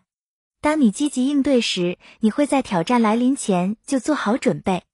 这种积极的应对方法可以帮助我们预防最后一刻的忙乱，找到一种低压力、高质量迎接挑战的方法。这种积极应对方法是一个新概念吗？不一定，很久之前它就已经是企业管理词汇之一了。但是这一名称和过程引来很多学者的研究，研究的初步结果是令人鼓舞的。这种前瞻性的目标管理方法挑战前景，似乎可以有效的提升积极成果，并且减少压力。通过积极步骤进行正面的努力，似乎是与幸福感相关联的。当你积极主动的应对时，你会用可利用的信息来评估当下的情形。为了填补空缺，你会研究关键点，算出你能够做到的事情。这种自律模式适用于在压力变大之前应对挑战。假设你将按计划召开一个解决问题的会议，会议中你将对如何维持变化中的绩效考核记录，以及如何提高其准确性和价值进行发言。你对该会议感到紧张不安，通常你会拖着，并说以后再做计划。接着你便任时间一分一秒的过去，直至会议马上要召开了，才仓促赶工完成。熟练掌握绩效考核信息是必要的。你并不喜欢在最后一分钟忙乱不堪的挣扎完成绩效考核报告，但是在汇报材料不完整的情况下，面对下属更会让你感到压力重重。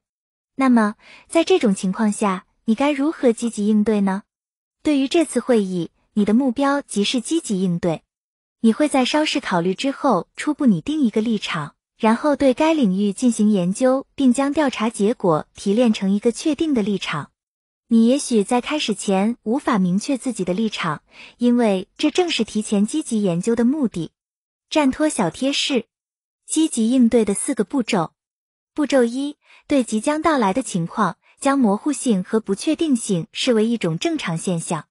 通过锻炼自己积极应对的能力，帮助自己减少对不确定性的担忧。在与挑战正面交战前，你不会看到事情完整的发展事态。你掌握的知识越丰富，就可以发现越多的突破口。比起单纯幻想明天会更好，而今天不付诸努力，这个办法通常要好很多。步骤二，想一想潜在的可预见的阻碍，例如届时会产生压力的想法，计划如何积极应对它和预测在它之前出现的其他阻碍。步骤三，为制定计划准备并收集信息，并利用新信息随时调整计划。在你积极进行这个建设性进程时，你可以为接下来的其他预备步骤制造动力。步骤四，建立起一个积极应对的时间观。以避免该进程也像其他被拖延的行动一样卷入相同的时间漩涡。承诺你将何时开始以及首先做什么，可以引导整个进程进入运行状态，并使其不再拖延。此外，还应运用挑战性的语言来确定积极应对的方式、时间以及地点。你不可能在会议开始前就已经知道全部的答案。会议目标就是使讨论的问题具体化，并得出合理的解决方案。但是，当你进行准备工作时，你很可能会将会议视为一种挑战。如果你不期待自己在会议中受到关注，你就不会感到有压力。控制挫折，低耐受性拖延。挫折低耐受力是指对可能导致困扰、躲避和拖延情况的压力表现出强烈的反感。这种对不适感觉的敏感性会被自我对话，例如任务太艰巨了，我受不了了，放大，从而变得更加严重。这些把压力放大的思维方式极有可能引起拖延。而诸如是什么导致任务如此艰巨，为什么受不了不喜欢的事之类的问题。能够帮你揭示这种思维的虚假评价维度。建立挫折高耐受力是一项重要的人生挑战。如果你不再惧怕或逃避压力，你就会觉得你可以掌控自己以及周围一切可控事物。有趣的是，当你不惧怕压力时，你反而不觉得有那么大的压力了。如果拥有挫折高耐受力，你将有可能在自己的日常活动中迎接更多挑战。收获更多胜利以及满足感，发展并利用战拖能力，能够在你提升自我效能的同时，帮助你减少对压力的恐惧。通过拖延的方式来摆脱压力，通常会涉及一个评估过程。不恰当的、夸大的评估往往会导致躲避困扰，导致困扰躲避的评估往往会与自我怀疑并存，并增加拖延所造成的伤害。如果你减少自我怀疑或提高对压力的容忍度，你便是在减少由此产生的拖延习惯及造成这种习惯的条件。针对挫折低耐受力建立压力缓冲，挫折耐受力训练是缓解压力和拖延压力相关的，可引起附加压力的拖延最有效的方法之一。以下是三大主要方法：一、锻炼身体以减缓各种挫折所引发的压力。持续的压力会增加患病、疲劳和情绪障碍的风险，所以一个良好的体魄可以起到缓冲这些风险的作用。这需要你定期锻炼、合理饮食，将体重保持在性别、身高和年龄能承受的范围内，并保持充足的睡眠。二、将心灵从不断的压力情绪中解放出来，它包括处理悲观、完美主义情绪以及挫折低耐受力的自我对话。例如，对自己说：“我受不了了，我必须立刻解脱。”三、改变与不必要挫折感相关的模式，例如不去盲目追求某个东西，不惜一切代价回避争执，阻止自己追求幸福和遏制拖延的行动，都是需要改变的模式。更多关于挫折耐受力的信息，请点击以下网址阅读免费电子书。Http: 冒号斜杠斜杠三 w 点 reptnetwork 点 org 斜杠 library 斜杠 h 下划线 to 下划线 conquer 下划线 your 下划线 frustrations 点 pdf 点维持适当压力以保证最佳表现的重要性。既然压力是不可避免的，那么为什么不接受这个现实，并找出从中得益的方法呢？耶克斯多德森曲线证实了动机唤醒水平与工作成绩之间的关系。他引入了一个动机不足的维度，同时也使你能够更加直观地理解恐惧和挑战。见图四杠一，图四杠一耶克斯多德森曲线。曲线最左边的斜线表示唤醒和动机唤醒水平不足，最右边的斜线反映了负面思维的影响。两点之间的区域代表唤起的最适范围。然而，不同的活动难度需要不同的唤醒水平。例如，接电话和完成工商管理硕士学位的唤醒程度就相差很大。但是，该曲线作为一种有效的认识工具，能让你更加直观的认识唤醒。如果你对某高优先级活动的唤醒水平很低，你将面临的挑战就是既要强迫自己开始，又要完成或找到某种奖励。强迫自己是唤醒的一种形式。而使自己从不必要的任务中解脱出来，就是一种可能的鼓励性奖励。如果你满脑子都是威胁的压力，你在解决复杂问题时很可能会遇到麻烦，因为当压力极大时，你的思维会变得特别分散和混乱，以至于你根本没有时间和精力做其他事情。你面临的挑战是喘口气，例如到大街上散散步，计划转换到一种自我观察的视角。或许可以利用 A B C D E 问题解决模式记录或梳理发生了什么事。该组织行动以一个更加清晰、冷静、理智和直达目的的方式，积极的为解决问题创造了条件。该曲线可以帮助你了解压力唤醒的作用，并明确这种唤醒是健康的。当然，很多学习和记忆是由适当的压力水平激发的。打破拖延习惯需要努力，并且这是解决拖延事项的最有效的办法。它还有另一方面，当拖延成为痛苦情绪的一种症状时，通向自由的最直接办法就是勇往直前，并利用苏格拉底、弗兰克尔和爱丽丝的方法评估这种情绪。如果一个不好用，试试另一个。战拖小贴士。Power 计划，预设目标，proactively 设置一个目标，积极主动迎接面临的挑战。制定行动计划，outline 制定出一份保证书和思维挑战方法，以帮助你提前想出应对方案。实施计划，work 按计划实施，并卓有成效的执行预定计划，减轻你的压力。评估进程，evaluation 评估你的工作进程，而非你本人。巩固练习，repeat，巩固练习这种预定挑战和承诺的思维方式，直到可以运用自如。终结拖延症，你的计划，你可以学着去缓解束缚你的压力环境。这些压力环境通常与拖延共存，如焦虑、将问题严重化或感到不堪重负等。最适合你的方法是什么？你脑海中有没有一些对付拖延行之有效的方法？用笔写下来。一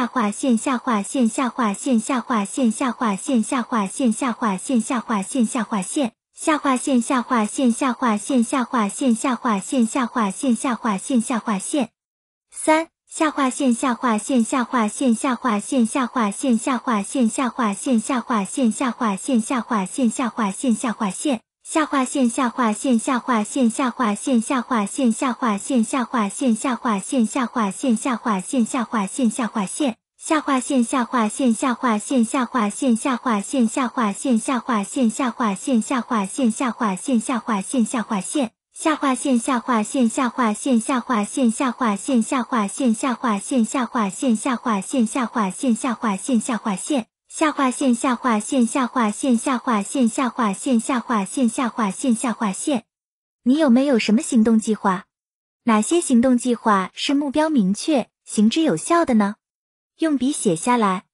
一下划线下划线下划线下划线下划线下划线下划线下划线下划线下划线下划线下划线。下划线下划线下划线下划线下划线下划线下划线下划线下划线下划线下划线下划线。下划线下划线下划线下划线下划线下划线下划线下划线下划线下划线下划线下划线。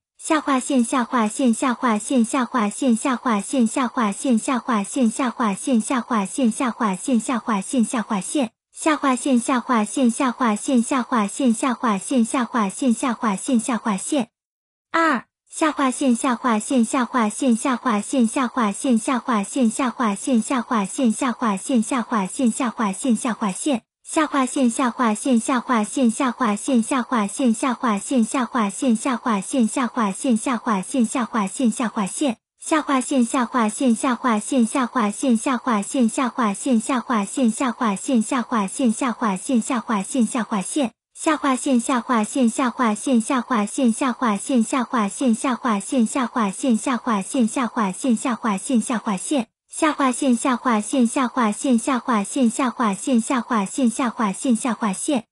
三下划线下划线下划线下划线下划线下划线下划线下划线下划线下划线下划线下划线。下划线下划线下划线下划线下划线下划线下划线下划线下划线下划线下划线下划线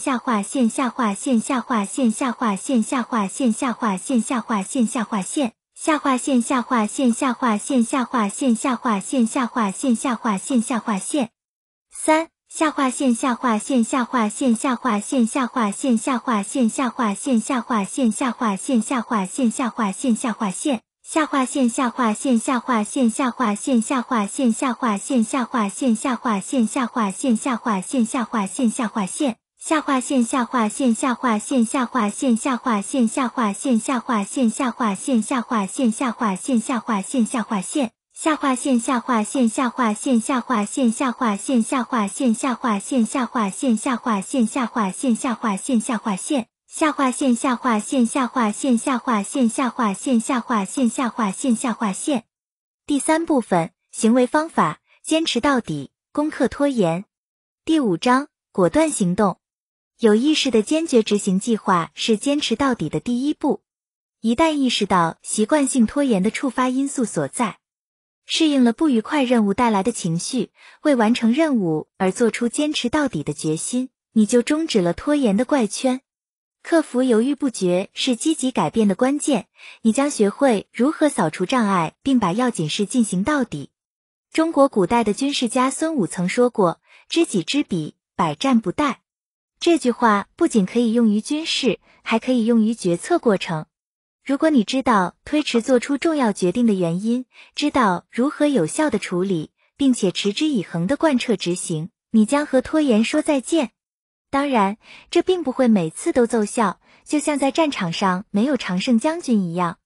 但是你可以使事情对自己有利，而本章将会教你如何去做。决策贯穿人类的一生，一个明智的决定有什么共同特征吗？如何做出那样的决定？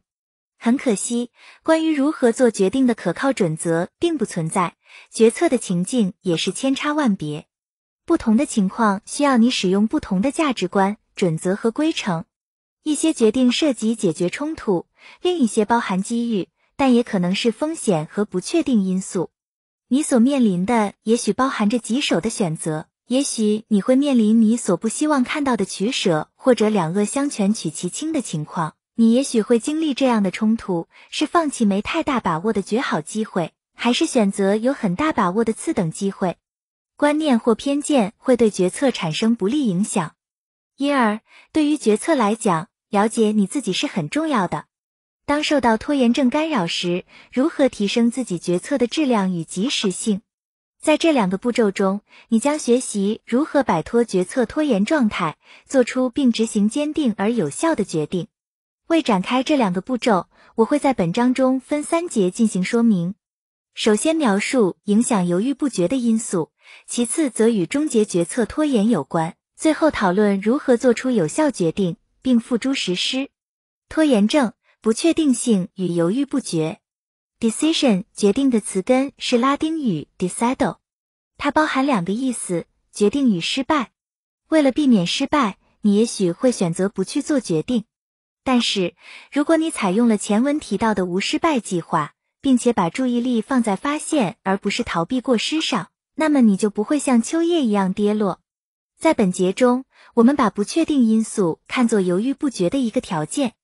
我们将讨论四种克服决策拖延的方法，避免如坐针毡的痛苦，得到有益的收获。在模棱两可的情况中，你无法审视全局。你知道自己面对着未知。无论你做什么，成功都不能得到保障。当你觉得不确定和困惑时，就算是头等大事，你也会逃避决策。不确定性会引起困惑、质疑或一些介乎两者之间的东西。然而，一个包含未知性的高优先级状况就会无意间引发压力与拖延吗？它取决于你对不确定性的容忍度与对现状的看法。如果你也像成千上万的其他人一样，无法容忍不确定性，也许你会发现这种无法忍受来源于一个不切实际的评价过程，比如对不适感过度敏感，加上对糟糕状况的夸大和渲染，或者把情况想的能多坏就多坏，紧张的状态很容易扩大。在这种被放大的压力之下，理所当然的抵抗力低的拖延方式就呼之欲出了。让我们来看看，由于不能容忍不确定性而拖延的四种情况：错觉、直觉启发、担忧与模糊。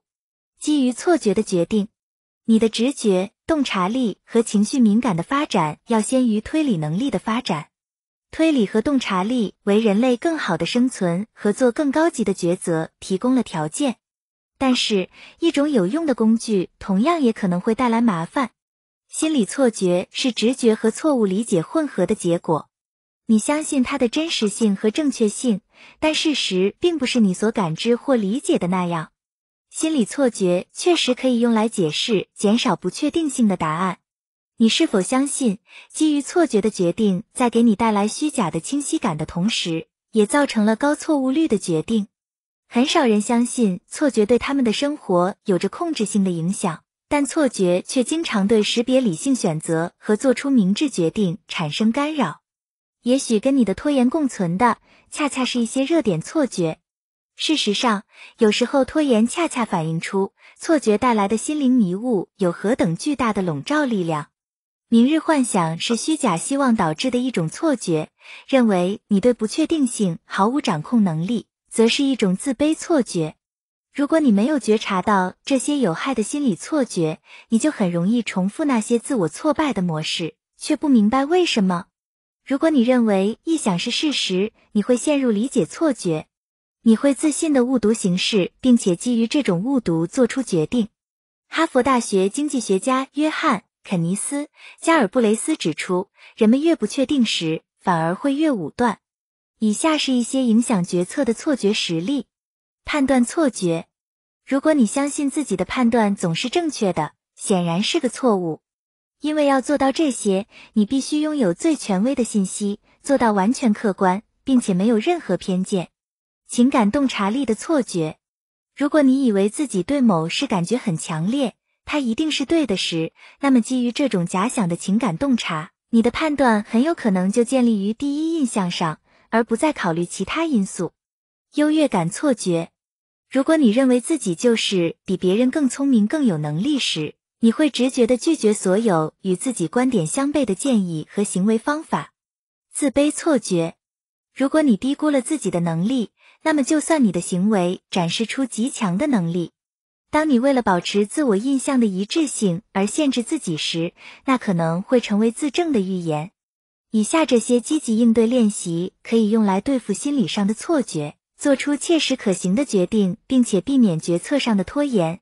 对直觉启发的过度依赖，在自己不熟悉的情况下，你通常会依赖直觉启发或经验来指导自己的决定。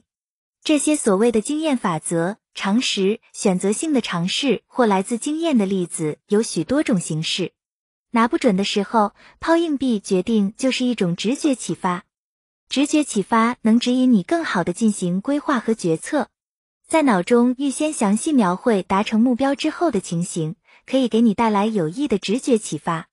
反思全部过程和部分细节，也许你能帮助自己突破规划的瓶颈。当你的知识库中产生空缺且没有时间研究某个问题的时候，相信自己的感觉也许是最好的选择。如果有些事感觉不对，它也许就不对。你面对的是一个需要马上解决的问题，例如你受到了一个邀约，要求你马上决定是否接受。它听起来好的难以置信。你根据情绪暗示和以往的经验来评估并接受了这个邀约。但是，一些直觉启发有不足之处，比如导致你做出不好的决定，还有一些潜藏着拖延问题。有时候，直觉启发能起到好的效果，但是经验法则可能引起曲解和不当的决定。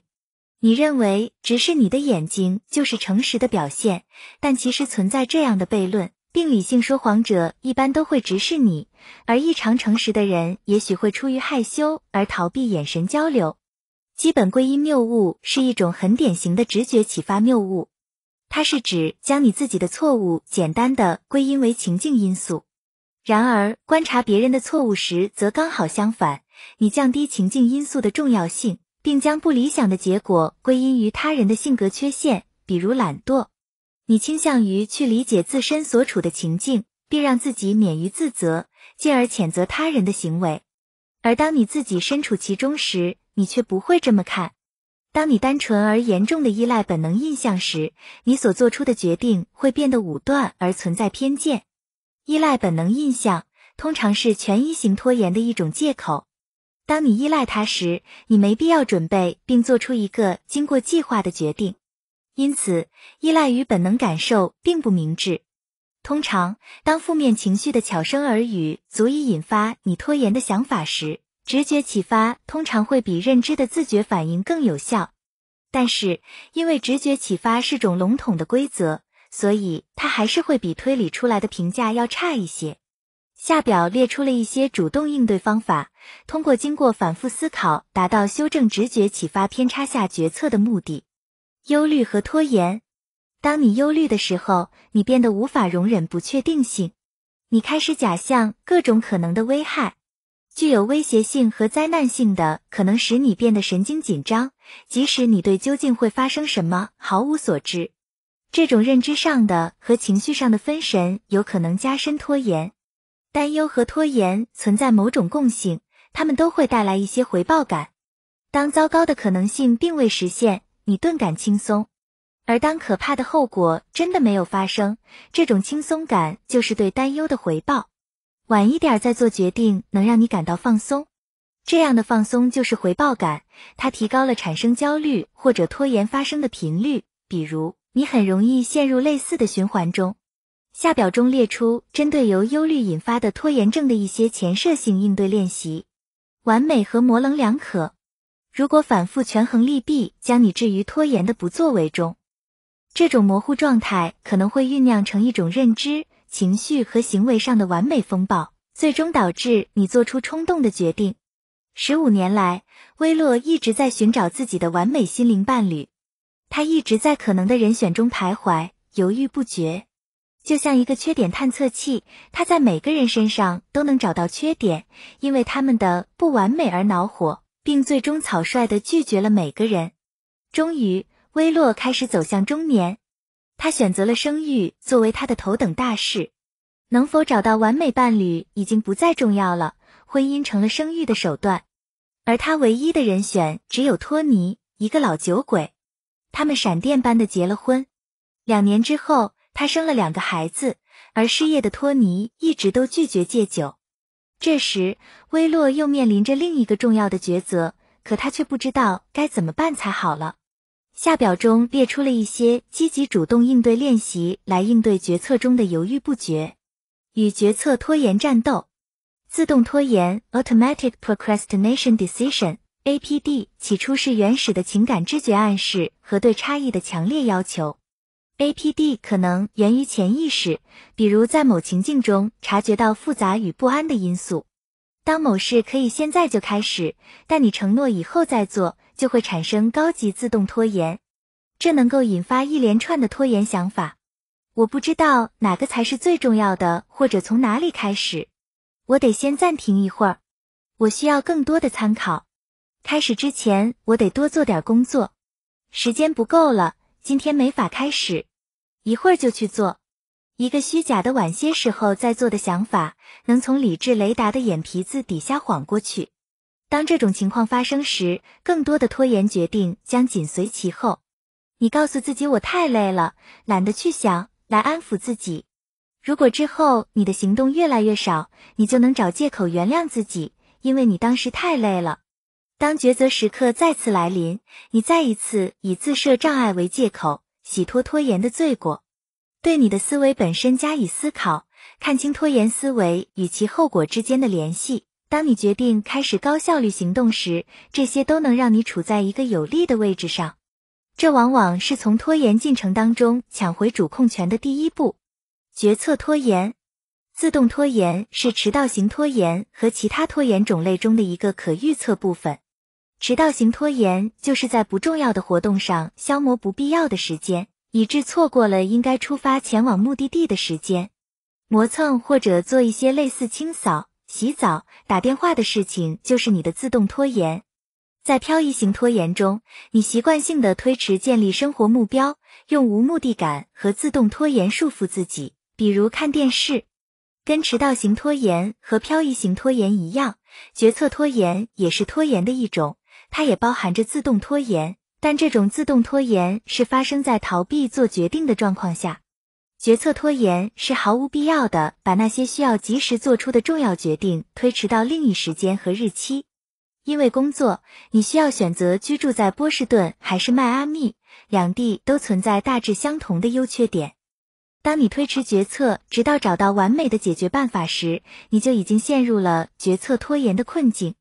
让我们来看看结束决策拖延和做决策的技巧和方法。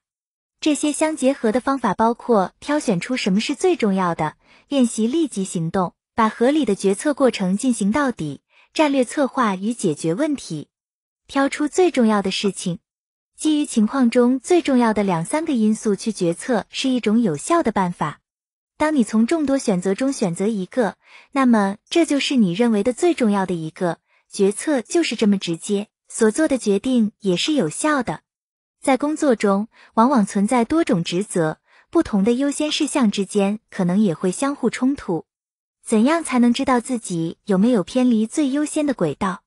你可以用表五杠一的优先识别矩阵，按照紧迫程度与重要程度，对自己的活动进行排序。这个优先识别矩阵是一种非常典型的时间管理方法，它可以帮助你有所侧重的进行决策。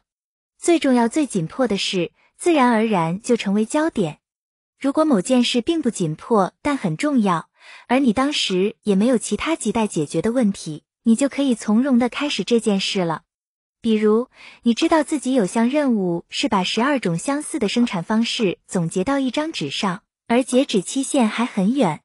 这时，你选择了先去完成这项任务，而不是先整理自己的文件，不重要也不紧迫的事。这样，在这件事转为紧急状态之前，你就已经把它完成了。这个表格还可以帮你把重要事物和分心事物区分开来。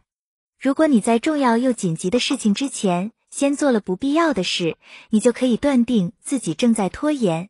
练习立即行动，导致决策拖延的对不确定性的焦虑，是由实际情况所引发，还是由你对它的理解角度所引起的？实际情况只是导火索，而不是根源。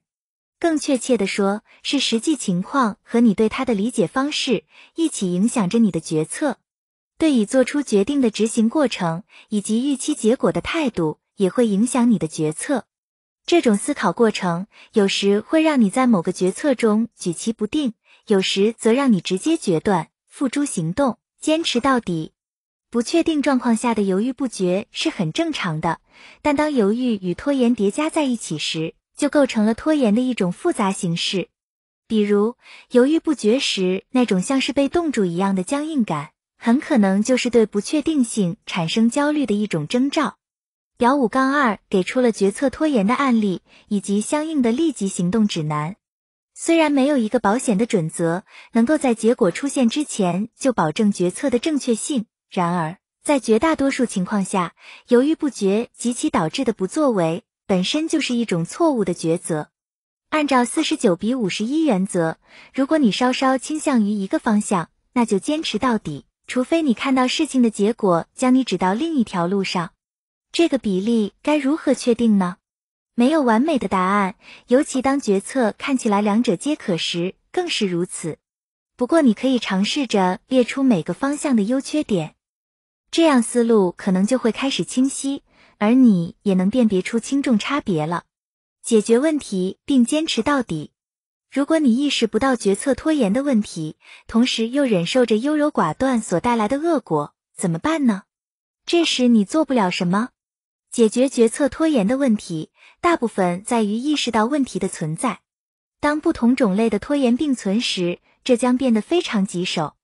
决策拖延可能会跟其他形式的拖延密不可分，比如回避责难型拖延，也就是说，推迟抉择是为了逃避责难。假设你是那种容易滑入行为性拖延的人，你可能会选择方向，确立目标，制定战略规划以实现目标，然后呢？你该执行计划了，可当你遇到第一个障碍的时候，你不确定要做什么。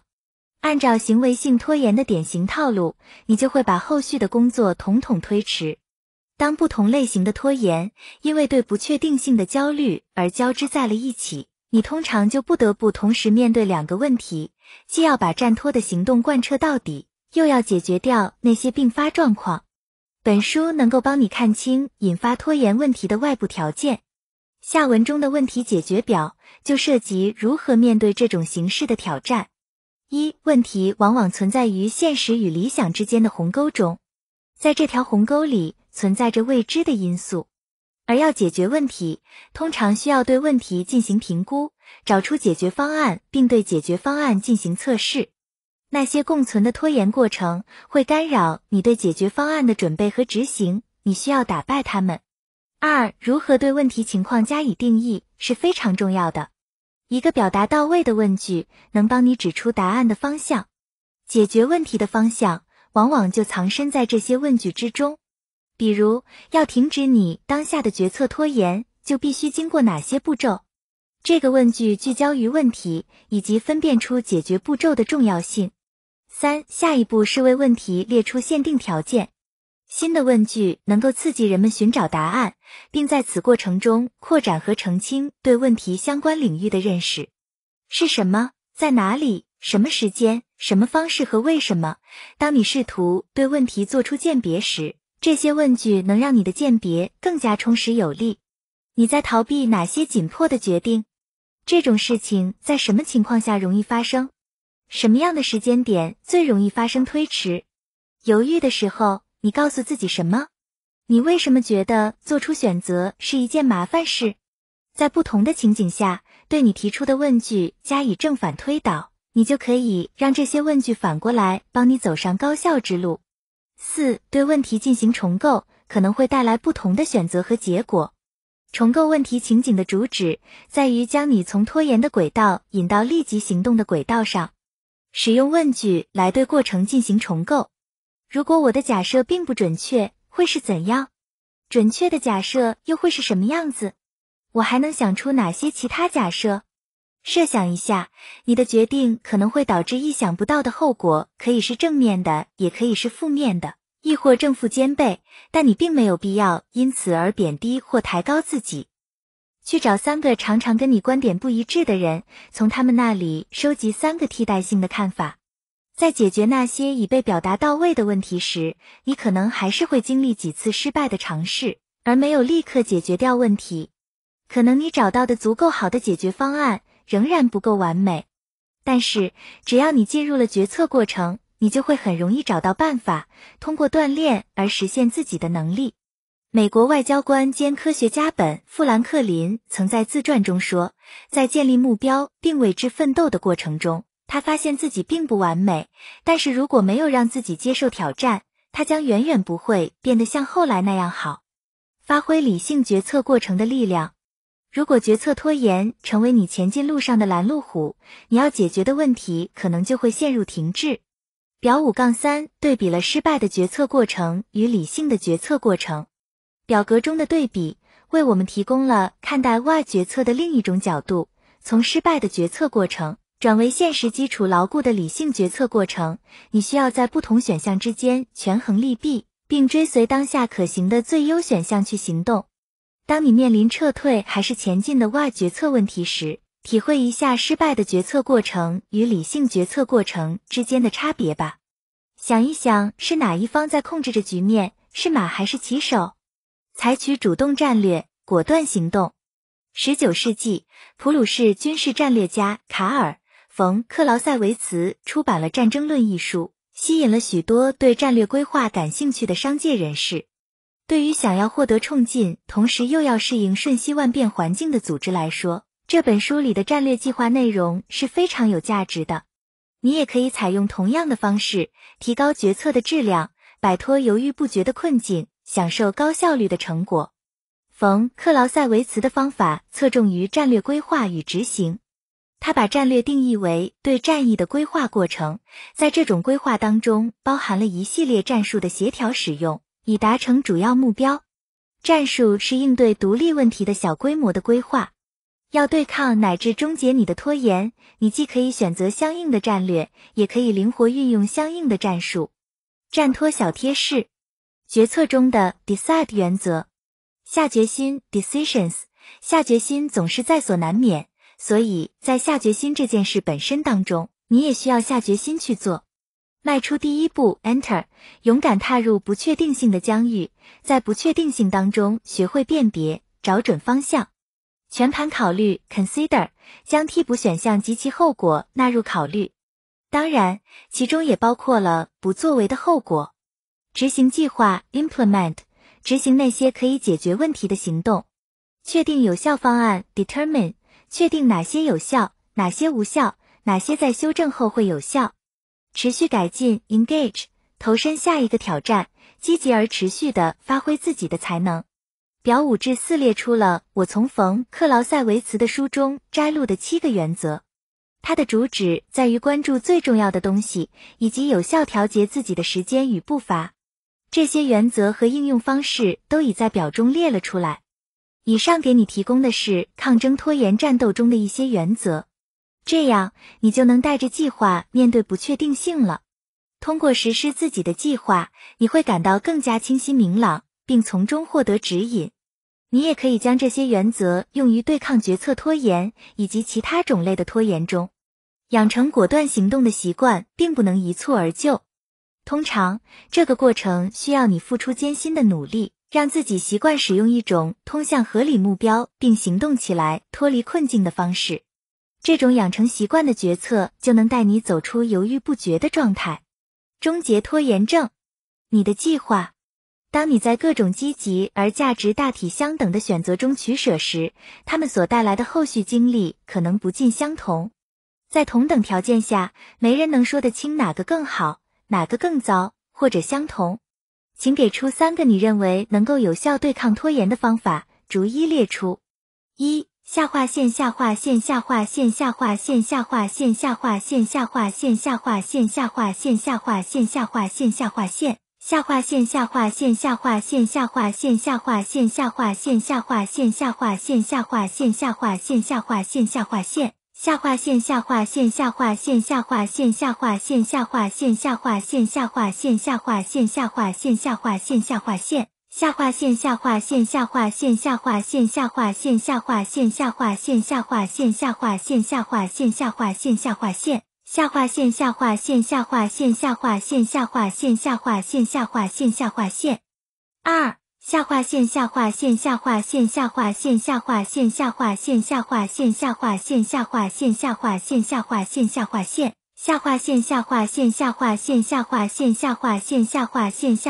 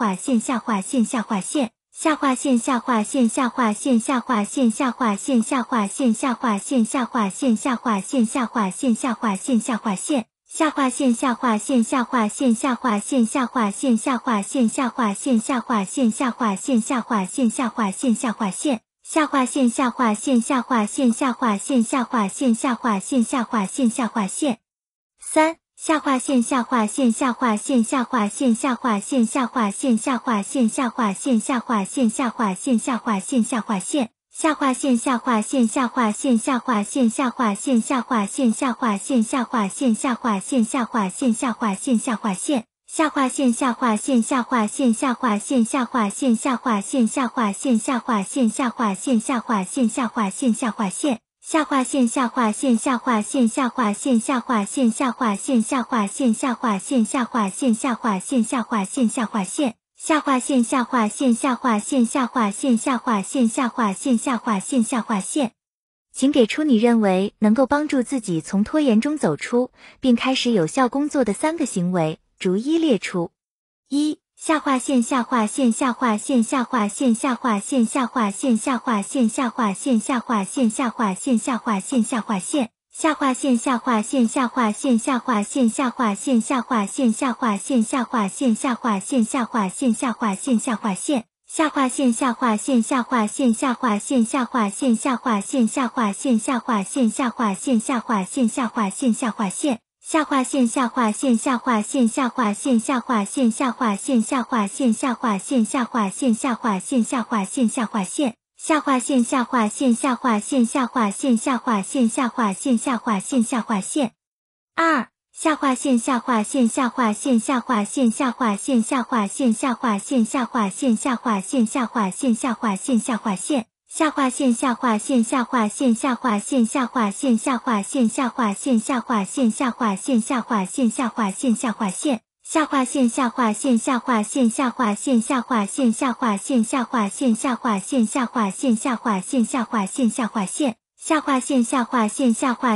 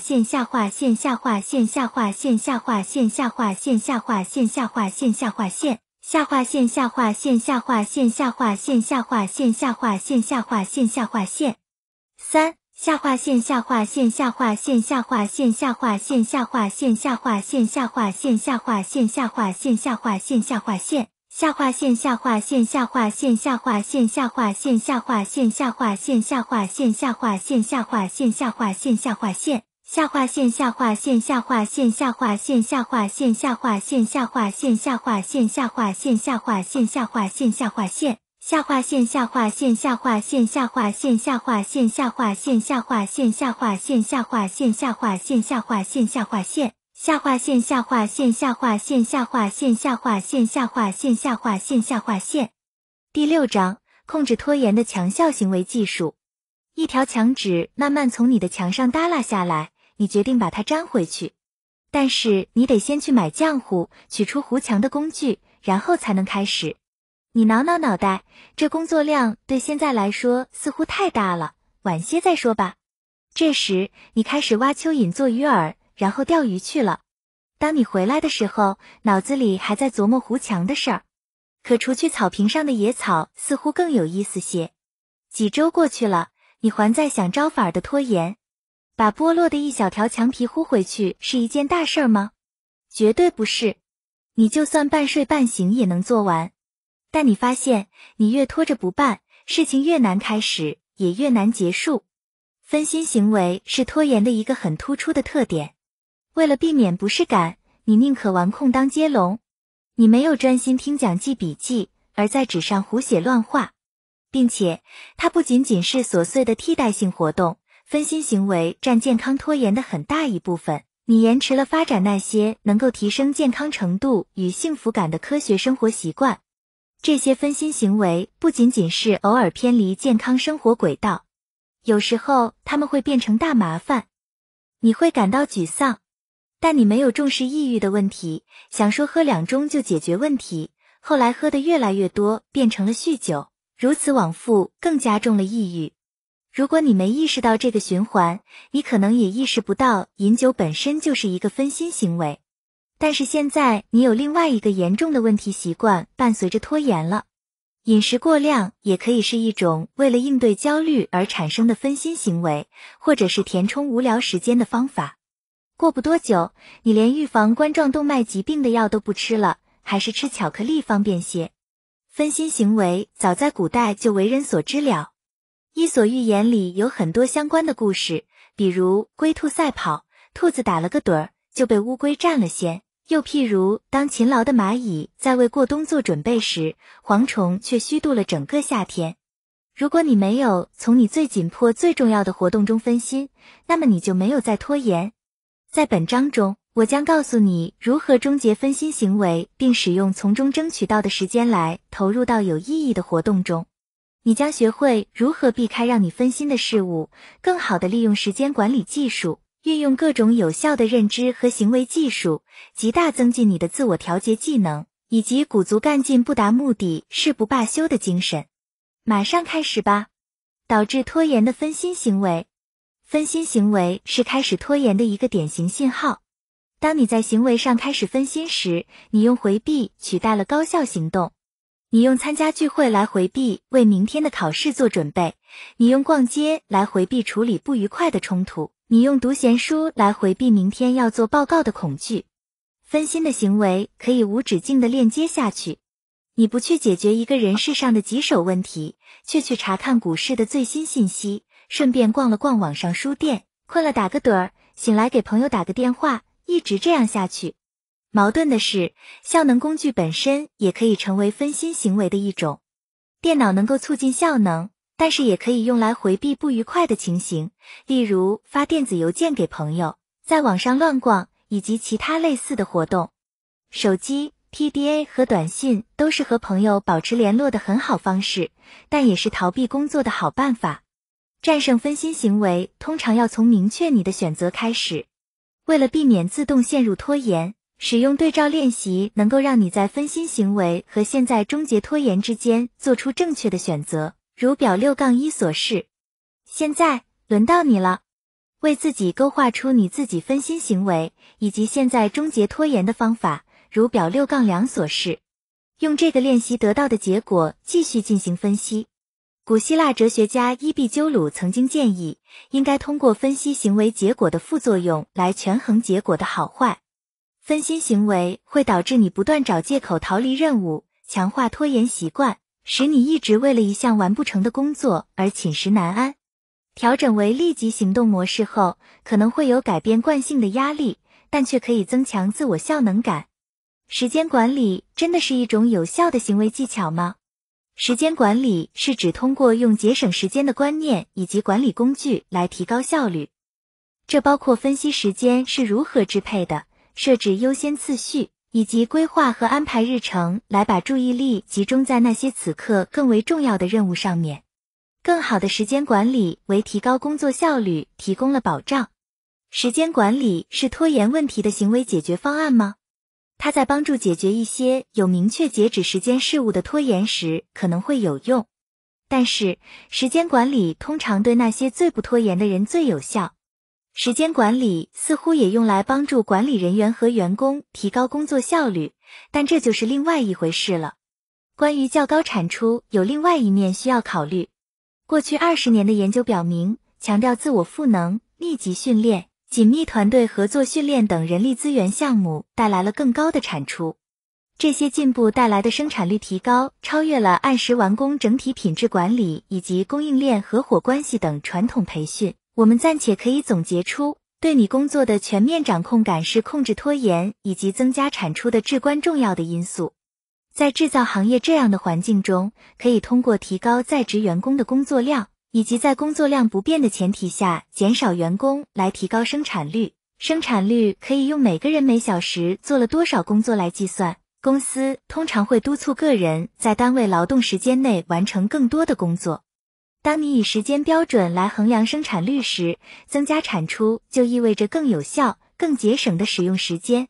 不同的工作对生产率有着不同的要求。在医疗环境中，流水线式的方法会降低对病人的看护质量。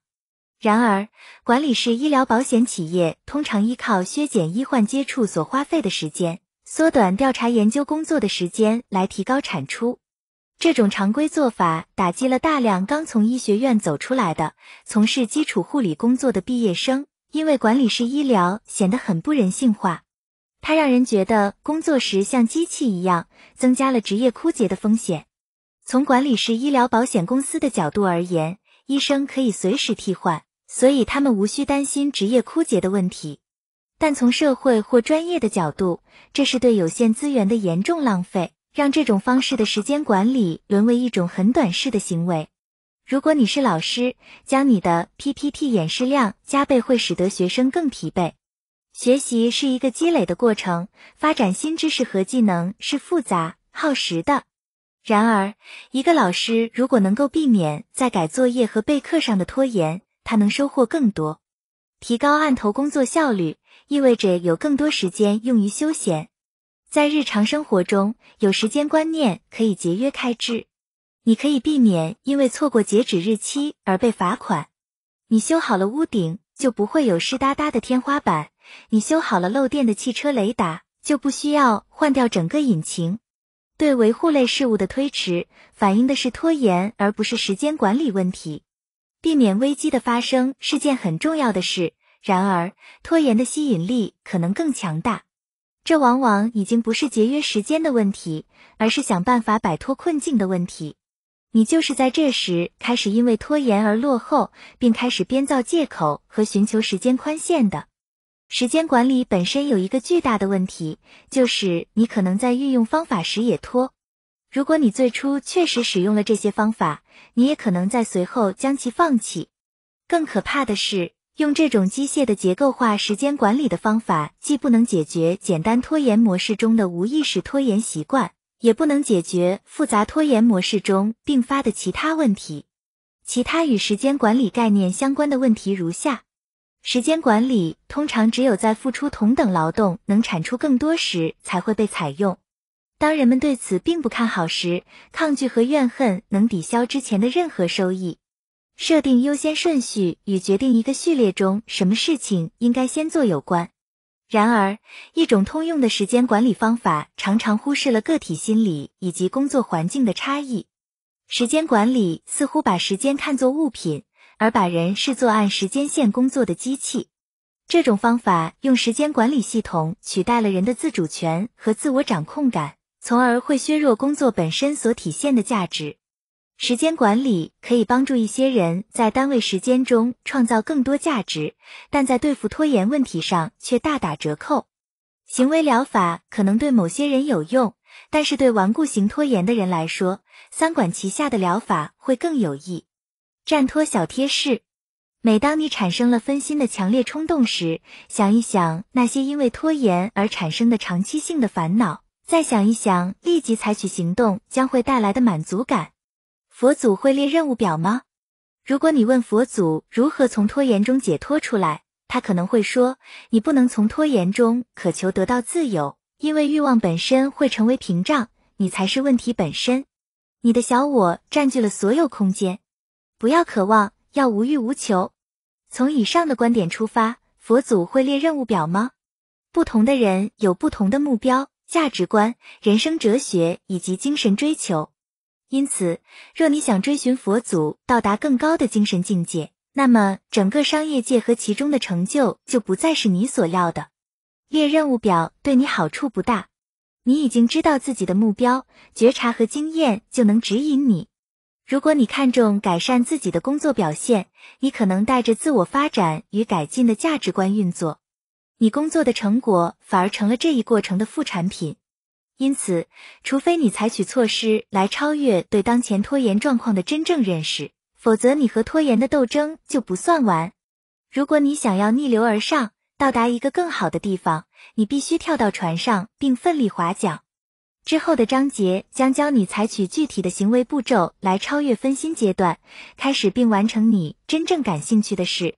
每步行动都给出了减少拖延并取得更大收益的几种选择。选择重要吗？是的，选择与提高工作效率和减少拖延都是相关的。思维终止，在幽默剧《疯狂大电视》的一个小品中，扮演心理学家的鲍勃·纽哈特对于每一种坏习惯都有一个同样的解决方案：喊停。那么，这对于拖延也适用吗？纽哈特只是开个玩笑，但喊停确实是终止思维练习中一种严肃的方法。思维终止是一种广泛使用的行为治疗练习，有时有快速且良好的效果。当你意识到自己的自动拖延决定时，就在心里大喊一声“停”。比如，你听到自己说“待会再做吧”，立刻在心里喊出来“停”。试试这种思维终止行为练习，你不会损失什么。然而，你要先想一想，你需要在什么事上喊停。任务表。任务表即是你想提醒自己去做的各项事务的列表。你可以使用这样的组织格式，按照重要程度将它们排序列出。它可以是一系列的提醒，比如去取干洗衣物、买一加仑牛奶或约见牙医；也可能是日常例行琐事的模板，你需要提醒自己每天都该做哪些重要的事。任务表可以很短，一到五项就够。简短的任务表可以帮你把注意力集中在少数几件重要的事上。反之，把你能想到的每件事都写在表上是不切实际的，贪多嚼不烂，你可能根本做不完所有事。你可以在网上找到各种不同式样的任务表，其中有一些是值得效仿的。你也可以制作适合你自己的任务表，在自己的电脑上使用。你的任务表可以既包括要做的事，又包括要避免的干扰。表六杠三的样例供你参考，每完成一件事就打个勾，这让你看到自己的工作成果。每次成功的避免了一件分心的行为也打个勾。每次你在富有成效的工作中又领悟到一点拖延的本质，每次你成功的避免了分心的干扰，你都又收获了一些成长。画去规划单，画去规划单是任务表的一种变形，在画去规划单上。你记录目标并列出步骤，每当你完成一个步骤，就在规划单上将其划去。这一步骤本身就让人很有成就感。这里表六杠四提供给你一个例子，并附上一个空白表格，如表六杠五所示。逆向规划，在逆向规划时，你想象站在一年之后回头看今天，想象自己经历了一段非常有成效的时间。我将以体育锻炼为例来演示如何进行这一连串的规划。从这个想象中的未来时间点回溯，你是如何通过完成每周三次、每次四十五分钟的体育锻炼计划来实现重点目标的？在逆向规划中，你可以做到以下几点：五、我锻炼了一整年身体，我现在身材很好且精力充沛。四、我按照我的日程进行锻炼，拒绝让自己有任何懈怠。三，在此之前，我第一次进健身房并开始锻炼。二，在此之前，我给健身中心打电话，安排了一次见面。一，在此之前，我接受了这个事实，即改变的过程必然伴随着不适的感觉。我坚决拒绝以逃避来取代有意义的成就。逆向规划的最后一步就是你计划的第一步。现在你应该知道从哪开始了。当你能够具体想象出自己的目标时，逆向规划就是有价值的。但是你很少能想清楚达到某结果所要经历的具体步骤。如果你可以具象化结果，那么你能否具象化达到这一结果之前的那一个步骤呢？在从容易分心的习惯模式转化为富有成效的工作模式过程中，计划细分是关键的一步。不做准备的话，则可能陷入不断做出承诺却无法兑现的拖延模式。细分计划能帮助你跨越从想到做的边界。然而，只有真正执行计划，有始有终，才会有实际的回报。一旦你的努力从观念迈向了现实，采取具体行动向目标迈进，就会更简单、更容易了。为了高效而组织，组织系统本身克服不了拖延，但是这些机械的技巧有助于提高效率，减少由于损失材料。以及在不同任务之间团团转，但一个都完不成，旋转门型拖延而造成的压力。如果你没有有效的组织系统，并且认为自己组织性不强，可以考虑创建一个组织系统来建立对日常工作的控制。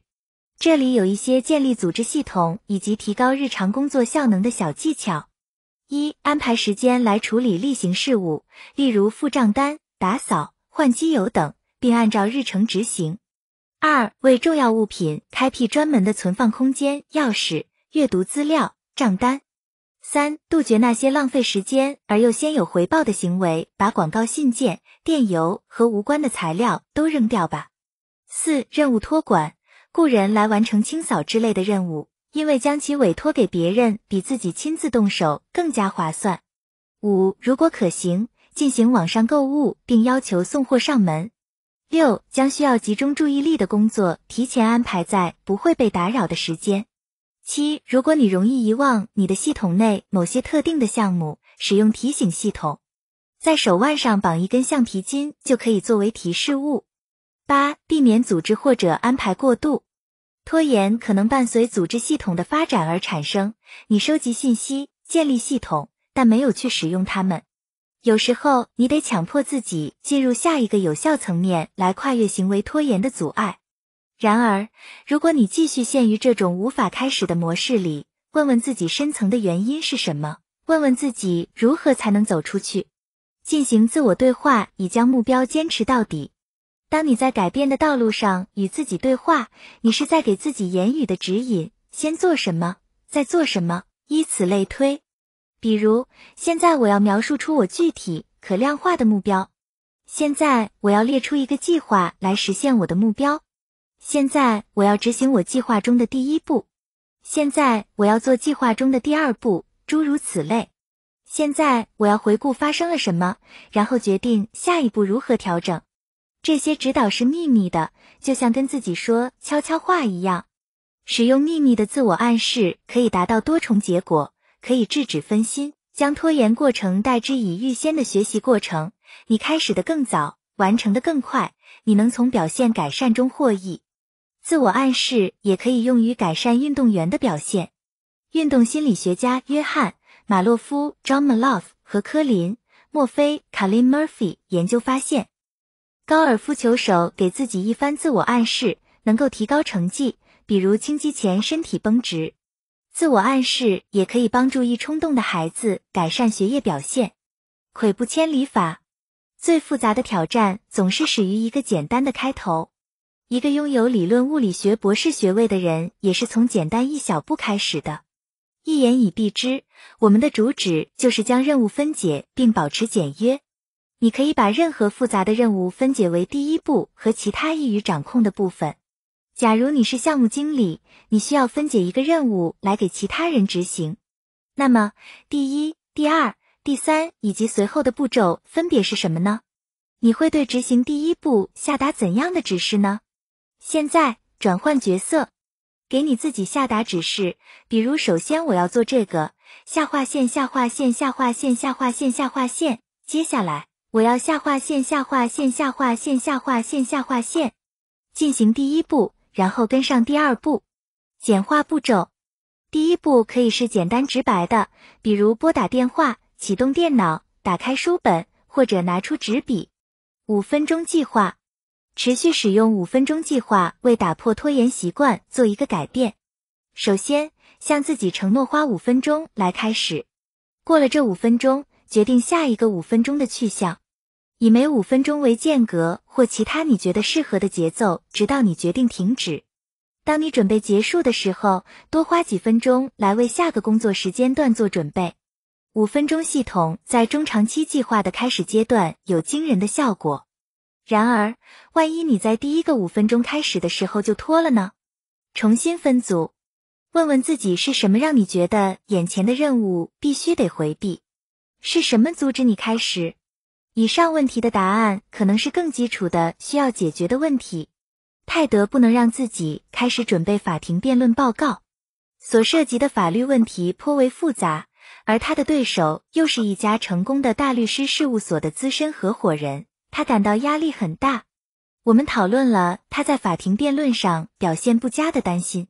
由于他还不清楚自己将如何辩论，泰德只能承认，在厘清问题之前，他并不知道会不会被击败。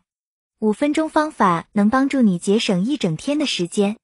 泰德同意花五分钟时间读一读克劳塞维茨关于如何做准备并形成决策的文献，毕竟五分钟不是多长的时间。当泰德从我这里以及克劳塞维茨的作品中得到大概方向后，他用五分钟原则来收集信息、研究相关法律以及向其他律师咨询。庭审过后，他一度惧怕的那个有权有势的律师一脸窘相地走出了法庭。泰德的辩论既有力又扎实，法官称赞他准备非常充分。泰德是五分钟计划的拥趸，他将其称为盟友。三档分类系统，制造一个三档分类系统，也可以建立电子分类系统。第一档以追赶标注，第二档以跟进标注，第三档以超越标注。追赶档包括之前被拖延了的，现在仍然紧迫又重要的任务，尽快摆脱那些完成就不会回来纠缠你的事物。跟进档包括当前的任务，比如那些你现在任务单上要完成的事。超越档包括的任务是那些通过提前完成可以增进兴趣或者减轻日后负担的事情。每天都花一点时间在你的追赶档，把里面的东西慢慢消化，直到清空。关注跟进档，不要让其中的任务流入追赶档。每天都花一些时间在超越档，这就是奔向你梦想的方向。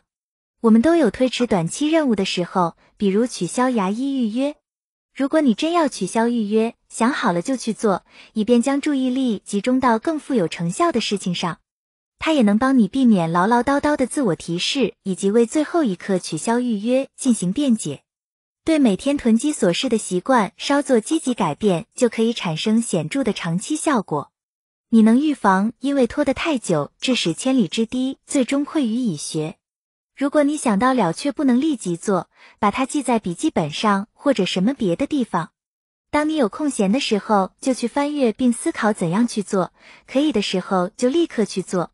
集结起来。至此，你已经看到如何独自一人组织和管理你的行为。此外，当你遭遇复杂的拖延习惯时，你可能需要尽可能多的帮助。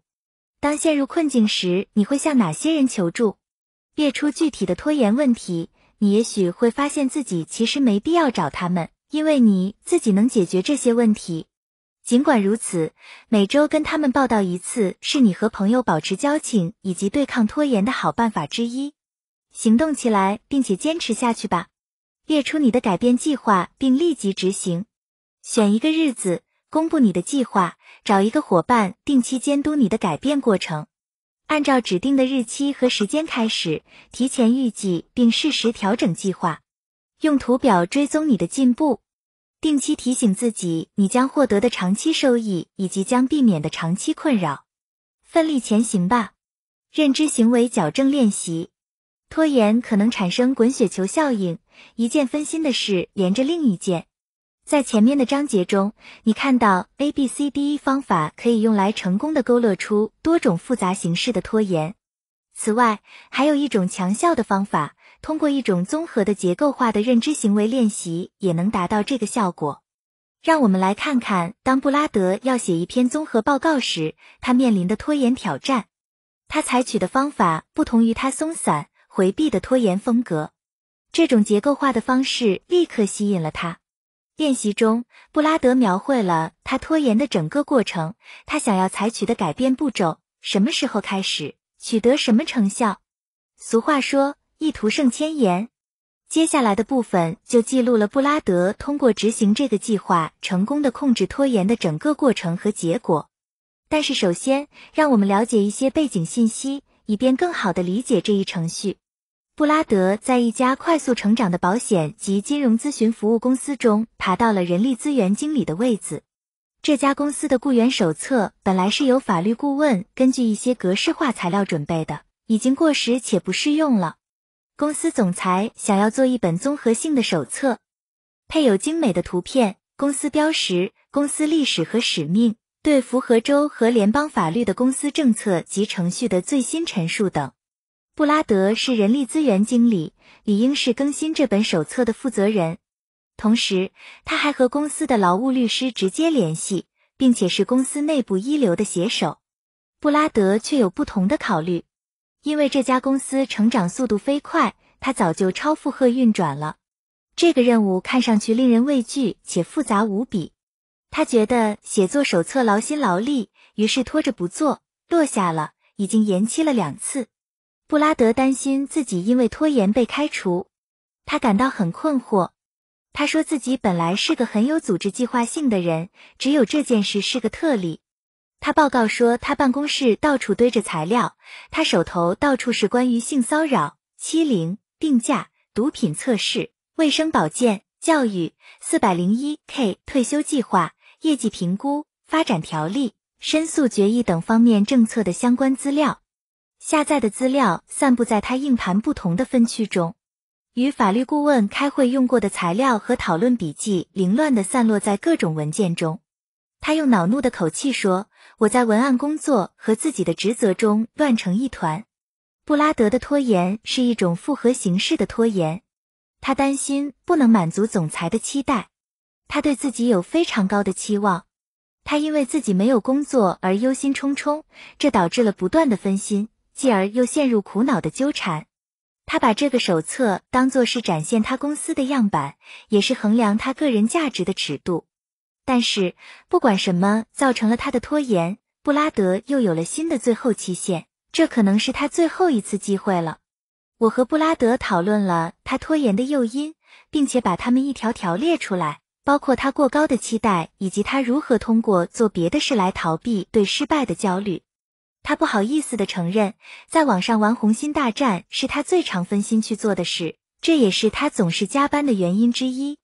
他在玩游戏上花了太多时间，只能眼睁睁看着自己永无止境的追赶。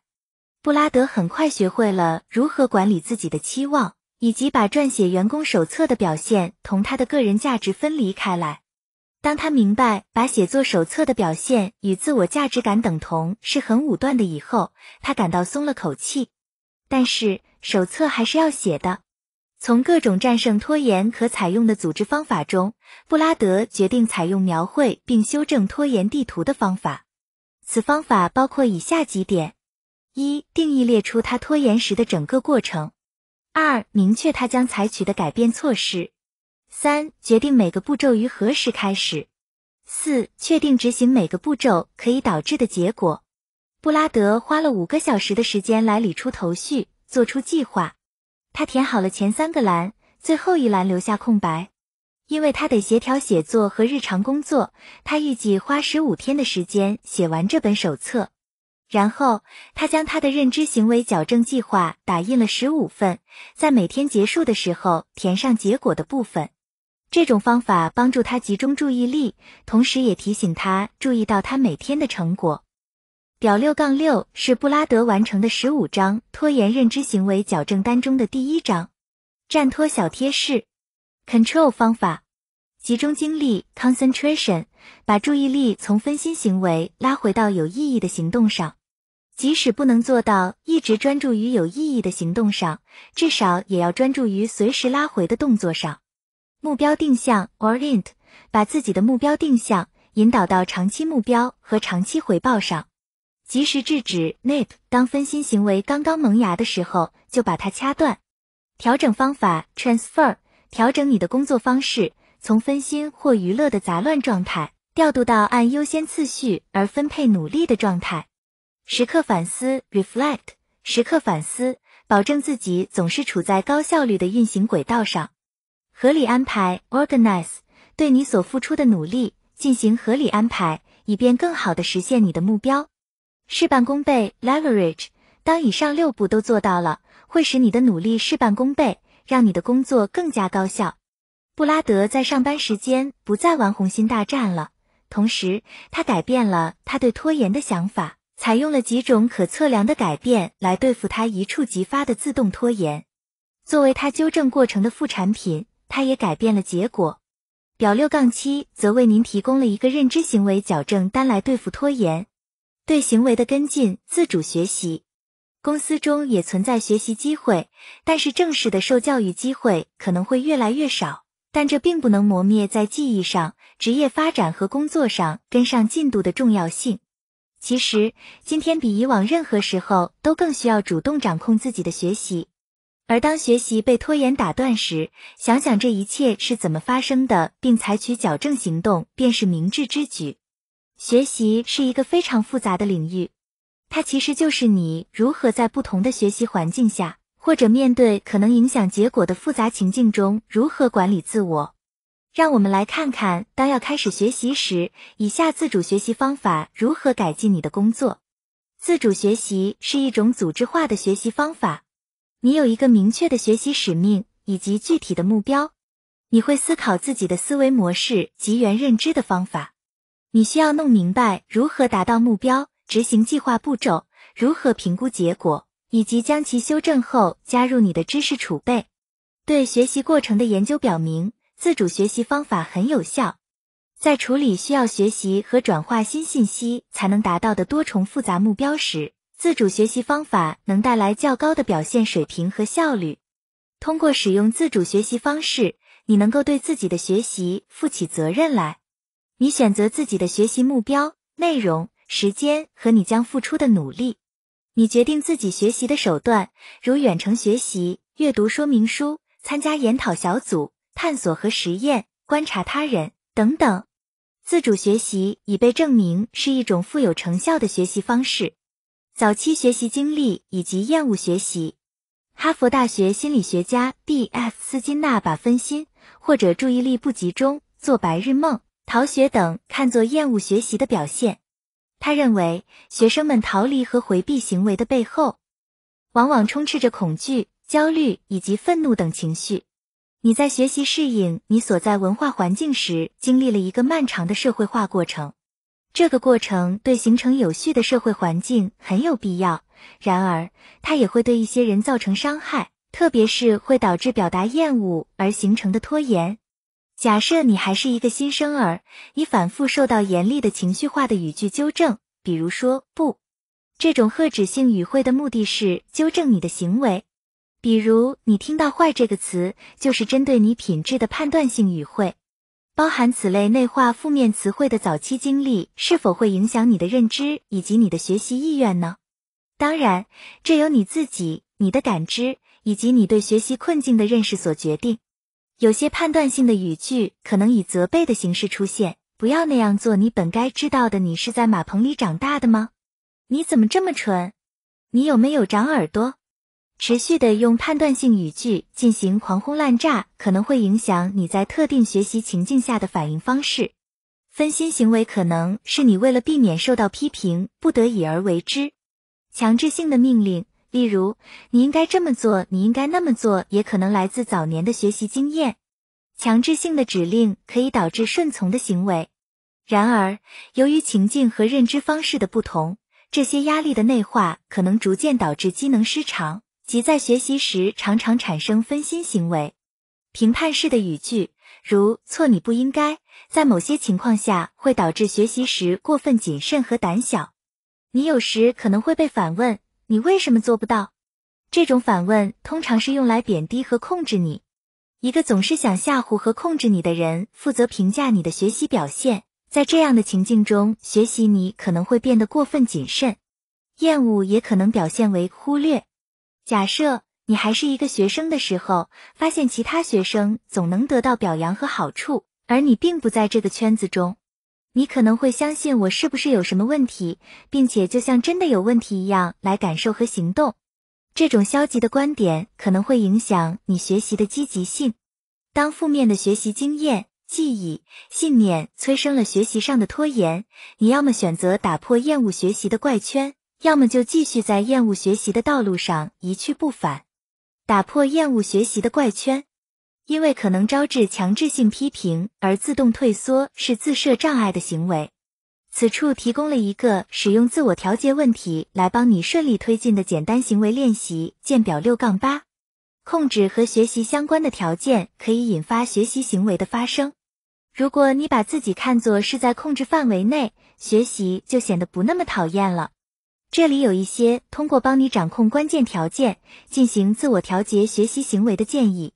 这些技巧也可以用于矫正其他形式的拖延，特别当建立架构能有效完成优先事件的时候。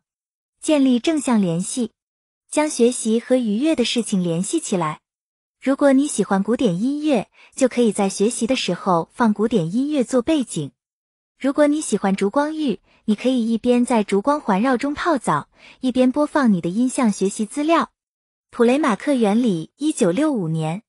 普雷马克原理是说，如果在你很好的完成了通常不喜欢的事情之后，跟着做一件你很喜欢做的事，你就是在利用你喜欢的行为去强化你不那么喜欢的行为。比如，每学习三十分钟，你就做一些你平时喜欢做的事情。用五分钟看看你最爱的运动队的最新网络视频，伸展一下，原地跑五分钟，和你的宠物玩会抛球，看看新闻，打打电话，任何事都行，只要它能对你重拾平时会拖延的重要学习过程的行为构成奖励。内在奖励，你可以给自己内在奖励。比如，当自己按时学习了或者表现进步时，对自己说“做得好”。条件性合约，你可以跟自己订立一个合同，约定一旦完成，就给自己渴望已久的奖励。譬如，若完成长期计划的部分短期目标，就在你最爱的餐厅饱餐一顿。反之，拖拉了的话，就惩罚自己，比如写一封表扬信给你最讨厌的政治家，或者罚自己周末不能去最爱的餐厅吃饭。同时，很好的完成已经开始的任务，本身就是一个不小的奖励。你也可以从成功的避免受罚中得到奖励。消极强化，你从成功的完成每个阶段的任务中得到奖励。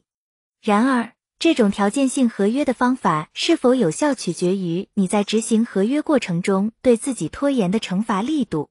拖延的暴露疗法，暴露疗法是克服恐惧的黄金标准。拖延冲动往往是与脑神经的焦虑和恐惧同步的，这一点仍有待评估。尽管如此，在拖延及焦虑和恐惧之间确实存在心理上的同步联系。拖延、焦虑和恐惧的特征都是逃避和回避行为。你的拖延的暴露疗法可以设计以下行为：一、对自己承诺，可以忍受最初的不适和闪避的冲动，行为上不开小差。二，及时着手做一件你拖延了的任务。三，带着以下信念接手学习任务：我会顶着压力工作，会得到预想的结果。四，将自己暴露于通常会拖延、不去面对的压力之中。五，向自己证明，并不需要立刻从压力之中解放出来。六，坚持以上想法，证明自己可以忍受压力。七，使用你更高级的精神资源来指导你的行动。拖延的暴露疗法并不能一次性解决所有问题，想从此疗法中受益，需要经历许多不同背景下不同形式和程度的拖延。最终，你可以训练自己将任务压力作为一种提示，引发自己投身于有意义的活动，并不断坚持下去。如果你学会容许用不着喜欢与行为相关的压力，你就已经超越了通往高效且优质生活的最大障碍了。硬膜。心理学家约翰·古迪认为，做不喜欢的事也是学习的一部分。他认为，必须认识到培养做恰当的事，不管这件事让人愉悦与否的习惯的重要性。如果你想要更大的回报，更少的长期困扰，在任务上慢慢磨吧，直到有结果。在工作上消磨时间是辛苦活儿，尽管这并不能保证你得到幸福或者成就感，但是这个过程却能使你取得很多有意义、有价值的成就，以及获得充实的生活。记住，你可以驾驭分心的冲动，只要你能坚持一个有结构的计划，建立及维持朝向积极方向的动力。方法本身很简单。过程却比较艰难，尽管如此，你很可能会减少短期或者长期的麻烦。只要你能用自我调节行为取代分心行为，并且遵循立即行动的原则，终结拖延症。你的计划。列出三条可以帮助自己有效处理拖延行为的办法，把它们写下来。一。下划线下划线下划线下划线下划线下划线下划线下划线下划线下划线下划线下划线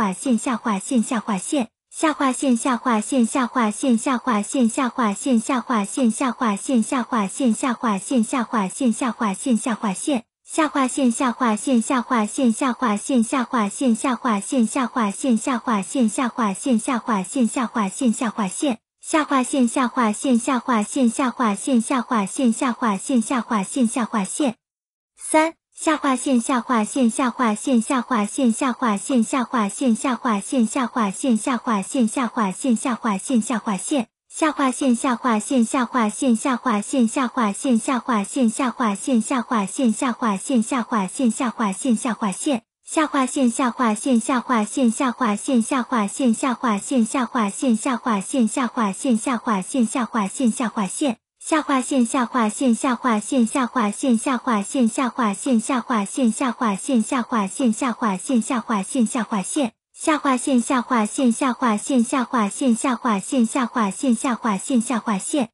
第七章，在工作场所中应用站拖技术。工作是为了完成某些特定的任务，而与工作有关的拖延 （work procrastination） 则是拖着不去做全部或者部分你赖以谋生的事情，导致最后只完成了很少一部分任务。究竟是什么人构成了这个庞大的工作拖延群体？认为自己从事的工作无趣也没有意义的人里面，有相当一部分会设法绕过工作，通过做白日梦、参与职场勾心斗角，在同一处反复消磨时间，或者干脆退出。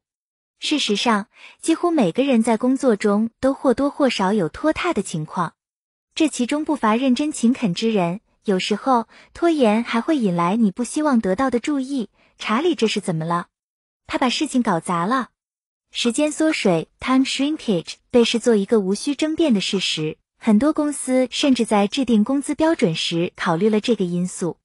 将拖延纳入工资调整的依据非常简单，因为实际上不可能避免白日梦、私人电话、迟迟不去开始、进度缓慢等情况发生。如果有企业能够在一定程度上控制这种时间缩水，那就算是很大的收获了。然而，有些因拖延造成的损失却尤为严重，延迟客户回访可能会使企业失去商机。面对一个有理有据的人事调动方案而拖着不去正式通过，事实上一定会对公司造成困扰。我曾经和很多企业主管谈过拖延，大部分人都挠着头皮向我诉说那些正困扰他们的拖延问题。副总裁电话不离手，可其实没那么多非说不可的事情。绩效考核迟迟收不上来，有天赋的销售人员天天在外奔波，业绩却和能力远远不相称。在推出新产品的时候，束手束脚，无数的功夫都花在自保和推脱责任上面。然而，总有人不相信，在他们的企业中存在拖延问题。这儿一个三万人的企业绝对没有什么拖延。如果发现有人拖延，我们一定会炒他的鱿鱼。真有人相信会有哪家企业是没有拖延的净土吗？反正我不信。一连串的拖延行为会引起相应的连锁反应。道格是摩托车事故损坏评估方面的专家，可他却总是拖着不去将所有材料和报告整理归卷，所以每天他都得花很多时间埋在零散杂乱的卷堆里，到处寻找他的评估书。米歇尔纵容那些为周一早上迟到、找各种各样不是理由的理由的员工，他总觉得我得找到充足的证据。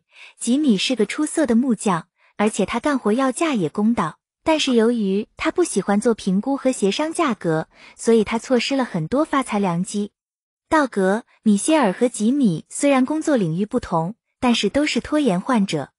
然而，由于他们拖延模式的规律性，这种类型的拖延症患者要摆脱他们那些独特的拖延纠结，并不需要一切从头开始。你可以找到现成的、已经被证明可以有效剔除拖延的认知、情绪、行为策略，就在这本书中。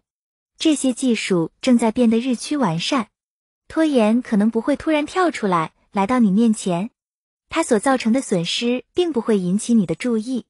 你许多同事工作中最大的快乐源泉就是和其他人聊办公室八卦，对别人的错误指指点点。一整天这样的讨论都会以不同的方式进行，甚至下班后还会继续煲电话粥。与此同时，你就是那个任人使唤的倒霉鬼。想到身挑工作重担，工资却与那些整天聊八卦的人并无二异，你的工作热情就会慢慢减退。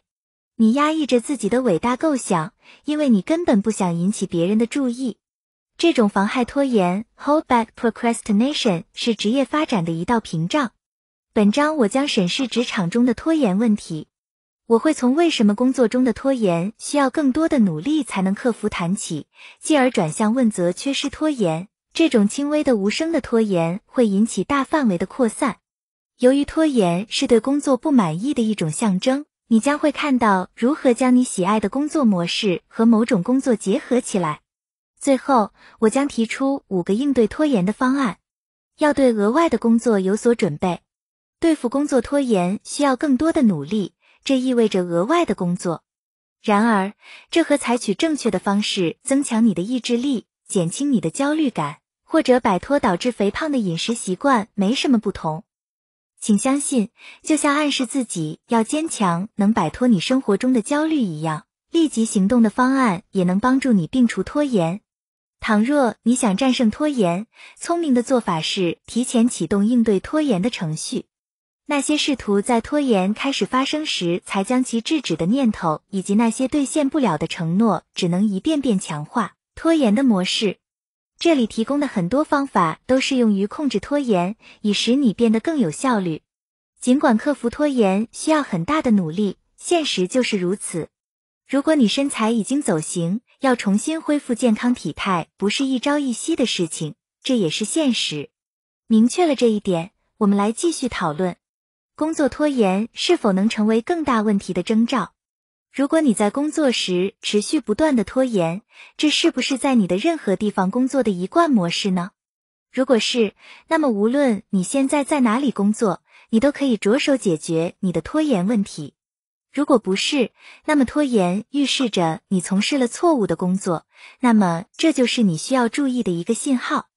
莎拉喜欢欣赏饰匾和奖品，那是她以其出色的销售业绩赢得的荣誉。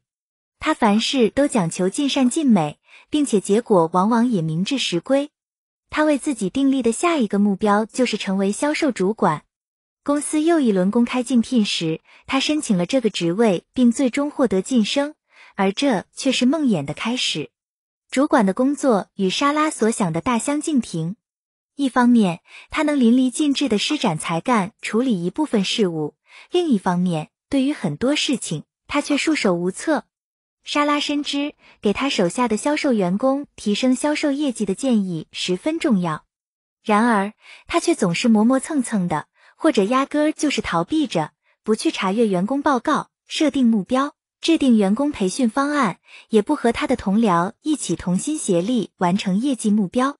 和团队成员一起制定一套行之有效的工作计划是他的软肋。同样，办公室政治又给莎拉制造了种种她意想不到的挑战。莎拉的前任销售主管在处理这些问题时游刃有余，使莎拉和其他销售人免于陷入办公室斗争的漩涡。那些生产、市场、财务等各部门的主管都是出了名的仗势欺人，而他对于他和这些人之间的斗争毫无准备。如何让他的销售人员把精力集中在具体问题上？诸如为拓展销售领域提供信息以及完成销售报告，是他面临的最大挑战。莎拉颇有野心，主管职位意味着地位的提升和更丰厚的报酬。然而，这个新角色对莎拉提出的要求与他之前的预想大不相同。他在各方面都表现出拖延，最终他没能跳出他为自己掘的大坑。拖延恰恰说明他所从事的工作并不适合他。之后，他又重新回到销售岗位。他重拾原先的行为模式，成为了无可替代的核心员工。因为他回到了他擅长的领域，以他的个人能力提升了销售业绩，所以他重新成为卓越的销售明星，创造了新的辉煌业绩。艾德是一名出色的州议员参谋长，他的职业经历昭示他选择了一个切实可行的职业方向。他也有着成为一名出色的民选公职人员的气质、兴趣和能力。最终，这名州议员放弃了竞选连任的计划。为了回报艾德出色的工作，州议员安排他管理一家流浪汉收容所。待到就职，艾德就和当地的政客建立了十分融洽的关系。他喜欢这种交流和情谊。然而，这些却不是他的首要工作。管理是这项工作的关键。而这却是他的弱点。艾德不喜欢处理工会事务。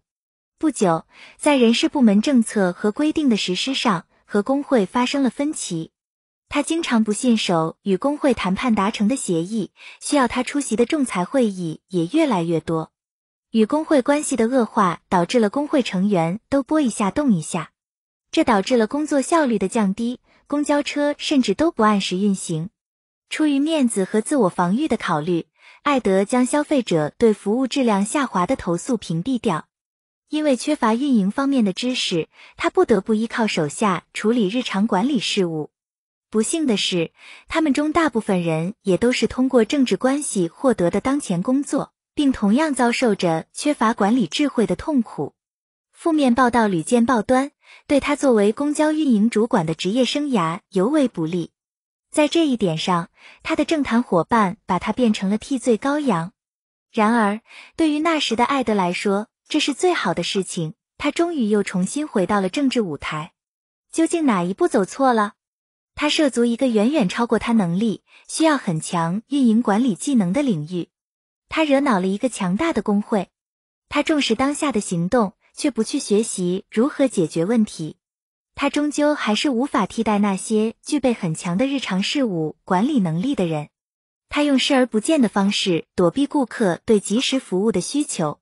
这份工作并不适合他，这也就部分的解释了他在所有的主要职责上都拖延的原因。那么，请记住，终结拖延的第一步就是自我觉察 （self-aware）。想想你工作中的拖延习惯及其成因，问问你自己：拖延是不是另一个更严重问题的表现？拖延是不是由你对工作的不满或者其他问题引发的？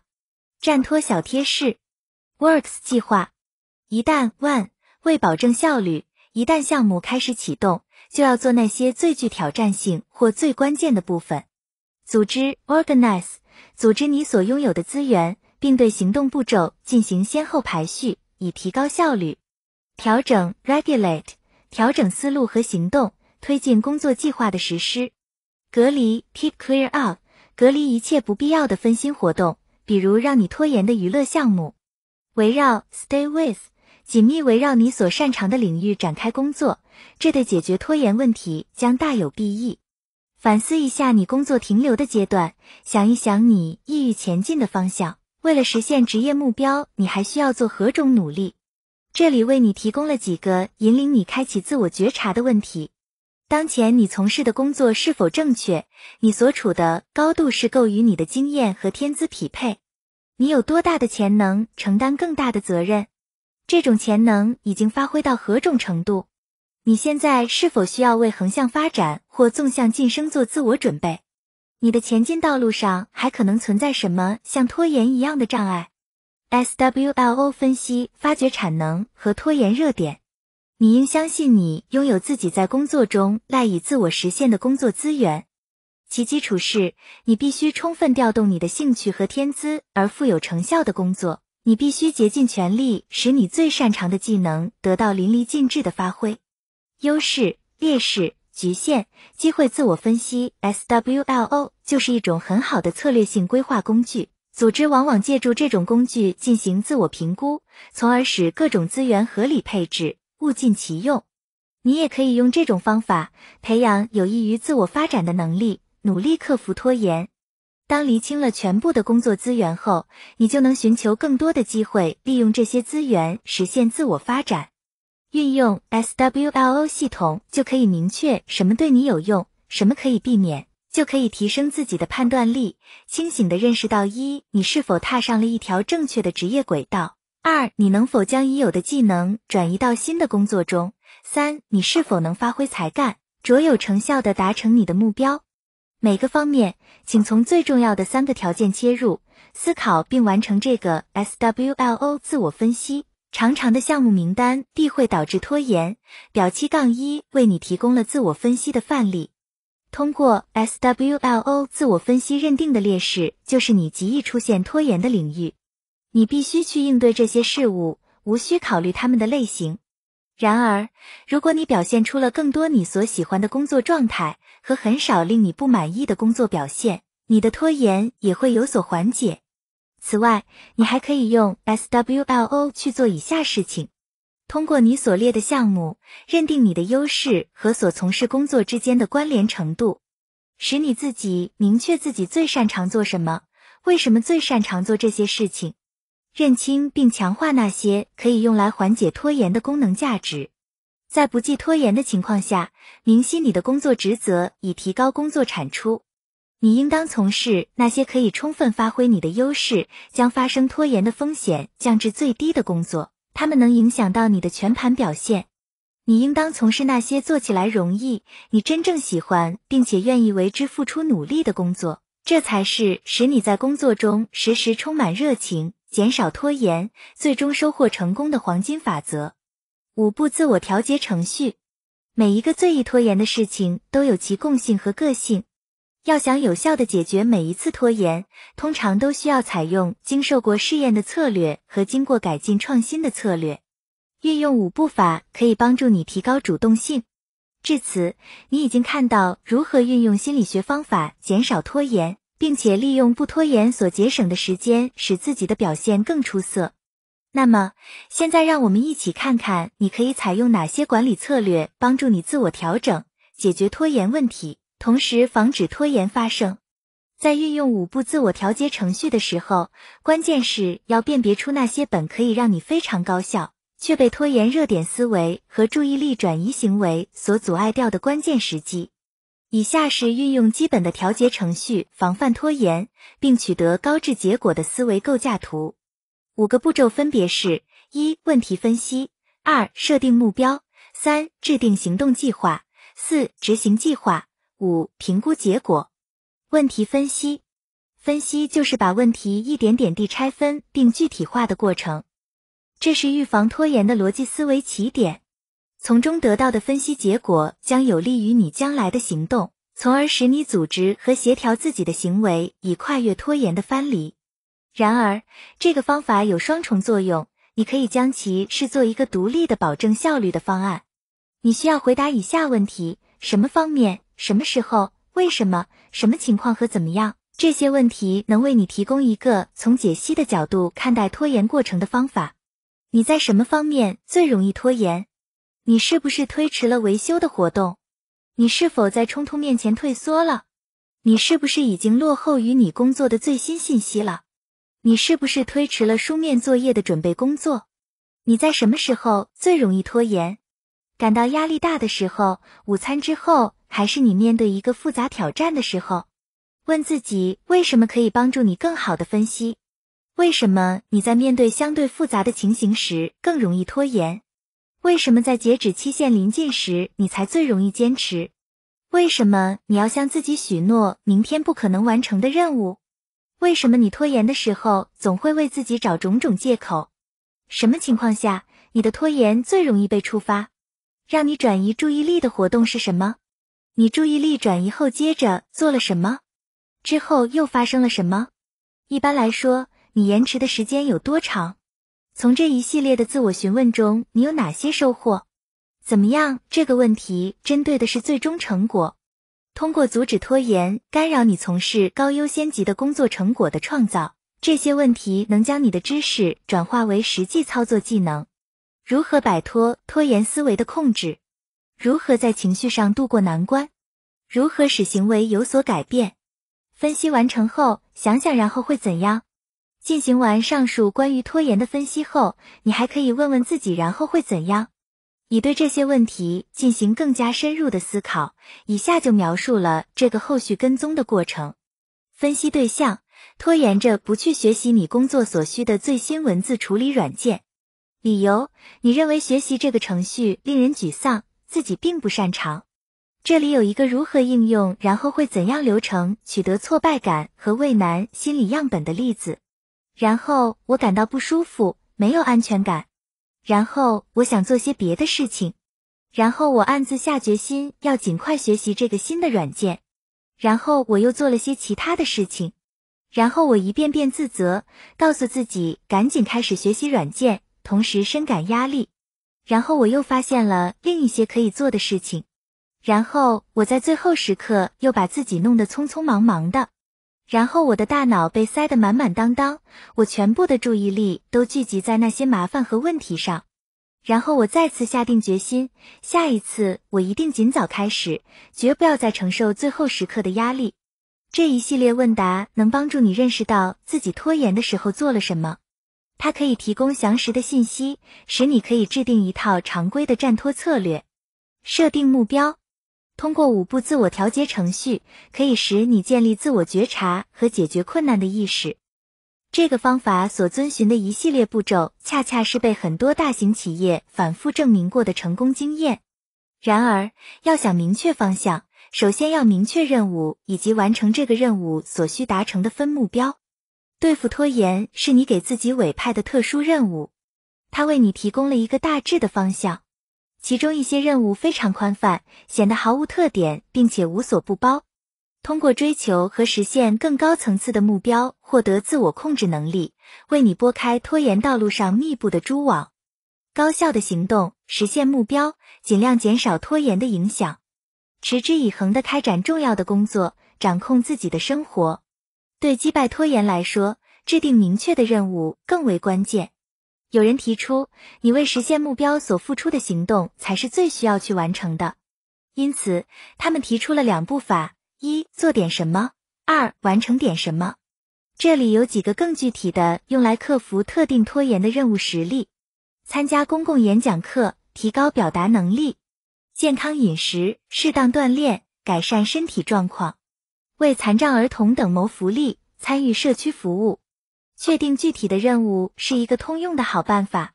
然而，一位曾经和我共事过的人采用其他方法，效果也还不错。俗话说各有所好吗？你的战托任务是什么？请写在下列表格内：一、制定具体的目标。目标和使命有什么不同呢？减肥三十磅是一个目标，平衡饮食、改进健康状况就是一个使命，通过考试是一个目标。丰富知识、增长学识是一个使命，完成一个任务是目标；高效工作、提高产出就是一个使命。一八五九年，美国参议员卡尔·舒茨就描述了一个理想化的目标。他说道：“理想犹如星辰，无法触及。如果你能像汪洋中的水手那样，把他们当做你的向导，跟随他们，你就能到达自己的目的地。目标呈现了我们想要实现的东西。”设定目标并向其进发是指引你做出有效努力的可靠方法之一。明确的目标通常比那些缥缈的目标，例如感到快乐，更有成效。而有意义的、可量化的、可实现的目标，要比抽象的东西，比如帮助全世界摆脱饥饿，要更有用。这里有四个制定目标的指导方针：设立与你的使命相符的目标。当目标要求你去经历你渴望的过程时，你会更有激情的去实现它们。制定现实的、有能力实现的，或者通过努力可以实现的目标。可实现的目标比那些你永远无法企及的目标更容易激发你的动力。掌握目标定向是指你想在自己感兴趣的领域提升自己的能力。你可以通过战胜新的挑战来提升自己的能力，同时制定绩效目标。这些目标应该是有限的、量化的，例如设计一种高效的给香水瓶加盖的制造工艺。衡量这一成果的标准就是那些可以将你的努力量化的结果。每周多拨打十个销售电话就是一个具体的绩效目标。在这一目标的指引下，你能做出更好的表现。既制定、掌握目标定向，又制定绩效目标，与缓解拖延息息相关。在任何一个动态的组织内，你都会有很多个不同的，甚至彼此相悖的目标。时间管理员总会告诉你，应当首先做那些最紧迫、最重要的事情。这个建议乍一听是很合理的，但是并不一定是最现实的，因为似乎还有一些非线性因素存在。最迫切和最重要的目标，恐怕是当初被一拖再拖的事情，直到截止时间迫近，无法再拖了，所以才急着行动。照这么说，你总是把精力调配到那些最急迫的任务上。在一个静态的世界里，你能更好的预测将来要发生的事情。你清楚的明白第一步该做什么，第二步该做什么，紧接着又该做什么。因此，你会根据所需安排你的时间和精力。但是，我们身处的世界并不是可预测的，行为也不能线性的导致目标实现。更现实的是，这个世界变幻莫测。有的时候，你不得不听从更权威人士的指令，掉头朝另外的目标行进。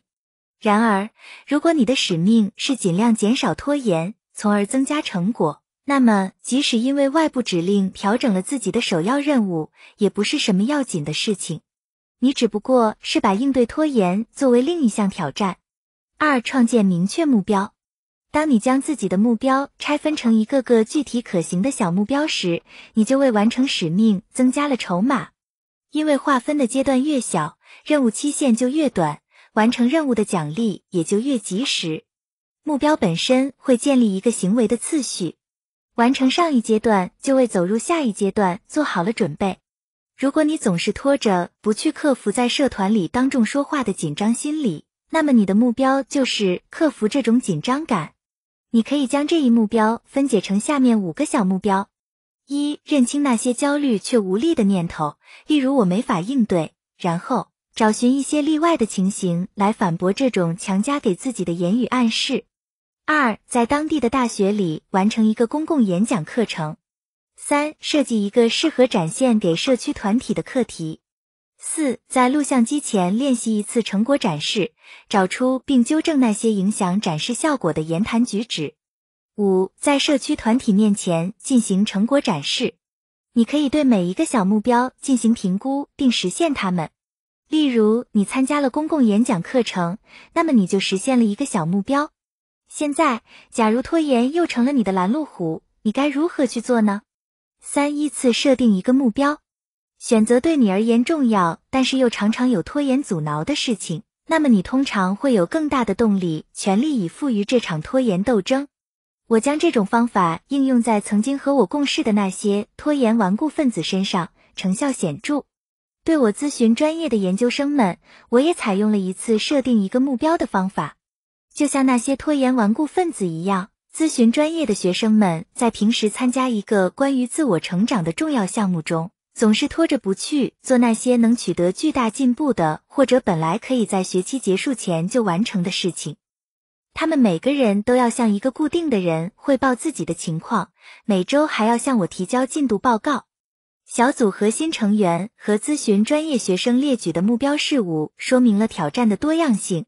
完成绩效评估，寻找新工作，克服公共讲演时的紧张情绪，改善任务规划，在截止日期前完成任务，戒酒，锻炼身体，减肥，开源节流，撰写开题报告，结束一段相互折磨的感情，迟迟不去处理拖延问题等等，可以列出一个长长的单子。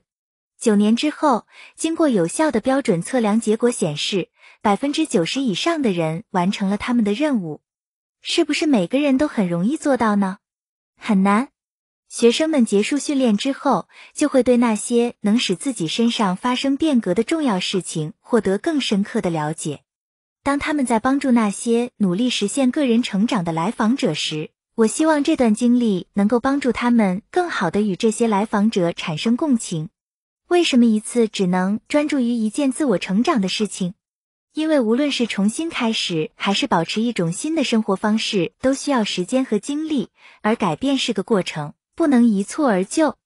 我们的生物性决定了，每当我们需要改变一个习惯，或者感觉到威胁我们生活的时候，我们总会不由自主的抗拒这种改变。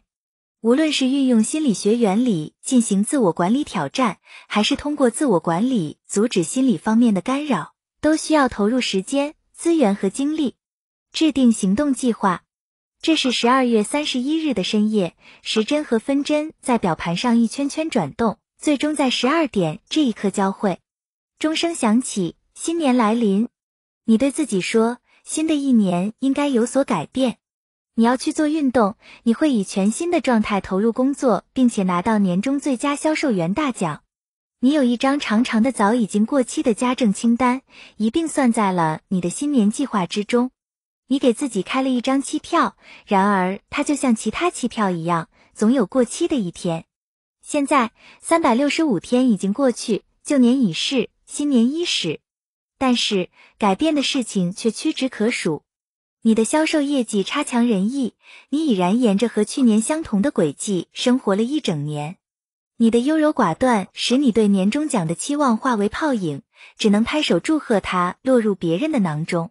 虽然。你办了健身卡并支付了费用，但是依然没有开始你的健身计划。一起草具体的计划，看看你这三年的新年计划有什么共同点。他们都是由你自己选择决定的，将这些决定付诸实践将很有意义。否则，为什么还要设定详细的自我发展目标？这些决定涉及很多目标，可能也包含一个模糊的计划。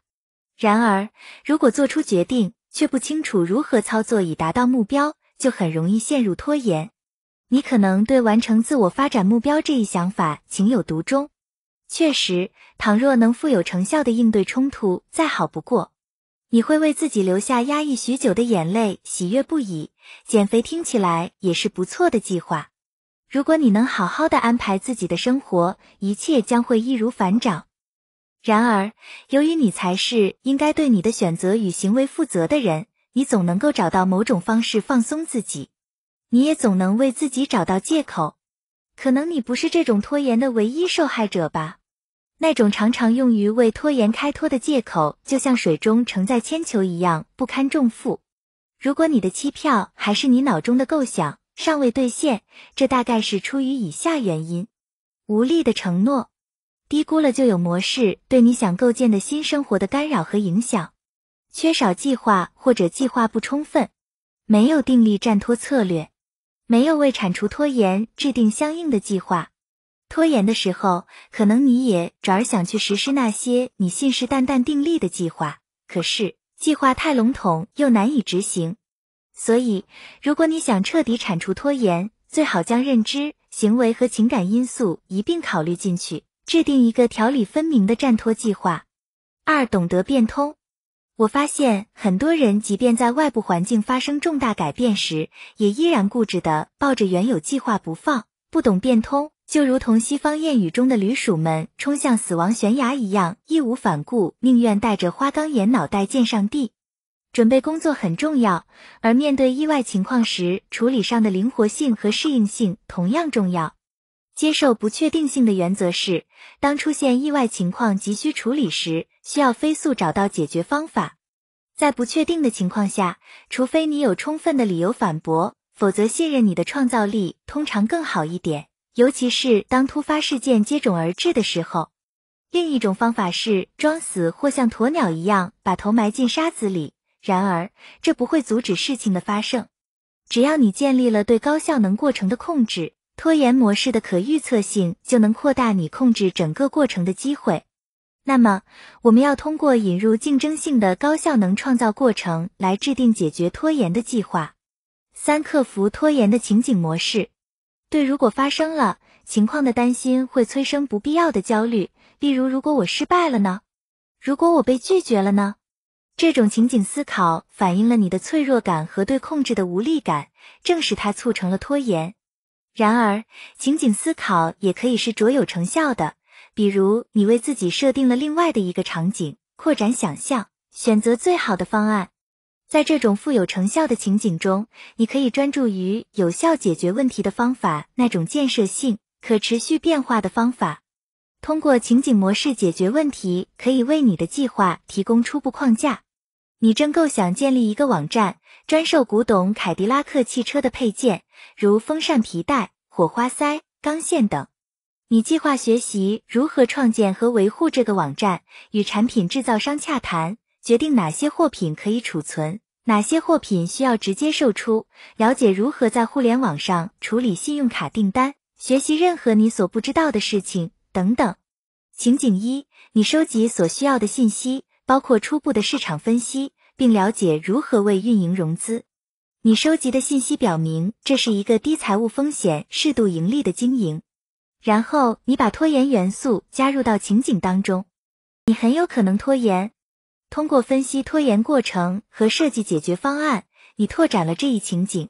行为上的拖延如果发生，事先必定会做一些的预备。你做了调查，计划很吸引人，你确定这个项目切实可行。你发现事实很有趣。然而，你对如何处理关于所售产品的互联网和电话咨询感到不安。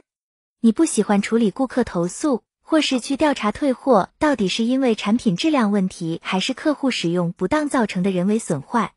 那些你把自己逼到绝境，再开始运作一个项目，却在执行阶段将其搁置的往事历历在目。当你设想执行计划时，你能感觉到那种抵触情绪。根据以往经验，你意识到拖延这个障碍很难跨越。如果你会习惯性的拖延，那么不要留恋初步分析和计划所带来的喜悦。如果你一开始就放弃这一想法，在时间和资源上的损失会相对较小。与其在启动和终止的情景中浪费能量，还不如把精力投入到你可以完成的项目当中去。情景二，你像先前那样向自己描述了初步市场分析过程。然而，你制定出了应对预期中的拖延行为的计划。要想克服这个困难，你就要当众宣布将启动这个新事业。你计划举办一个聚会来庆祝，并邀请亲戚、朋友和熟人。你深知当众宣布的意义所在，你一旦做出公开承诺，你就必须去履行。你想克服拖延并应对执行阶段遇到的不确定性。如果大家都支持你做这个事业，在第二种情景下，你就进入了公众承诺阶段。情景三，除了将第一种情景和第二种情景都考虑进去，还包括雇佣员工去处理订单和客服。假设整个计划的实施最后取得了不俗的成绩，并且这个计划在经济上可行的，这就是接下来应该做的事情。四为变化做好准备。有目标无计划，就像旅行没有地图。计划是行的第一步，而行动才能让你完成任务，完成任务才能让你达到你设立的目标。计划包括尽早确定启动时间，这样可以减少拖延，提高效率。计划就是蓝图，引导你穿越现有状态和期望状态之间的鸿沟。然而，计划的想法就像你渴求一碗燕麦粥，但是现实情况往往是早早制定一份承诺计划书，而迟迟不肯行动，然后在最后时刻气喘吁吁的赶工，这样就吸引人吗？和我一起工作的朋友中，没有人期待感受最后时刻的压力与狂躁。计划至少应回答以下四个问题：我现在的进度如何？我前进的目标是什么？为了达成目标，我应该怎么做？有哪些可选择的方法？从汽车购买到复杂的计划评审技术，这些问题都适用。这个管理方法由美国军方为研制导弹核潜艇北极星计划而创造的。你也许不想用计划评审技术来制定健身计划、赢得销售竞赛奖或完成家庭维修，但你可以用几个关键步骤来达到目标。下面就是计划评审技术的要点。一、确定具体任务和里程碑，标出每一阶段的起始日期和完成日期。二、确定活动完成的先后次序，包括哪些任务可以同时进行，哪些依赖于其他任务的完成。三、估计每项活动所需时间、预期时间、截止期限前完工的最乐观的结果及最悲观结果。四、确定总共需要的时间，把每一部分所需时间相加得出总时间。五，在项目进展时，及时更新计划评审技术，根据实际时间修改进程来取代预计时间，并根据现有资源对其进行再分配。计划评审技术对解决时间和步骤问题十分有用。应用这个模型可以使你保持一个高效的势头，避免最后时刻的慌乱。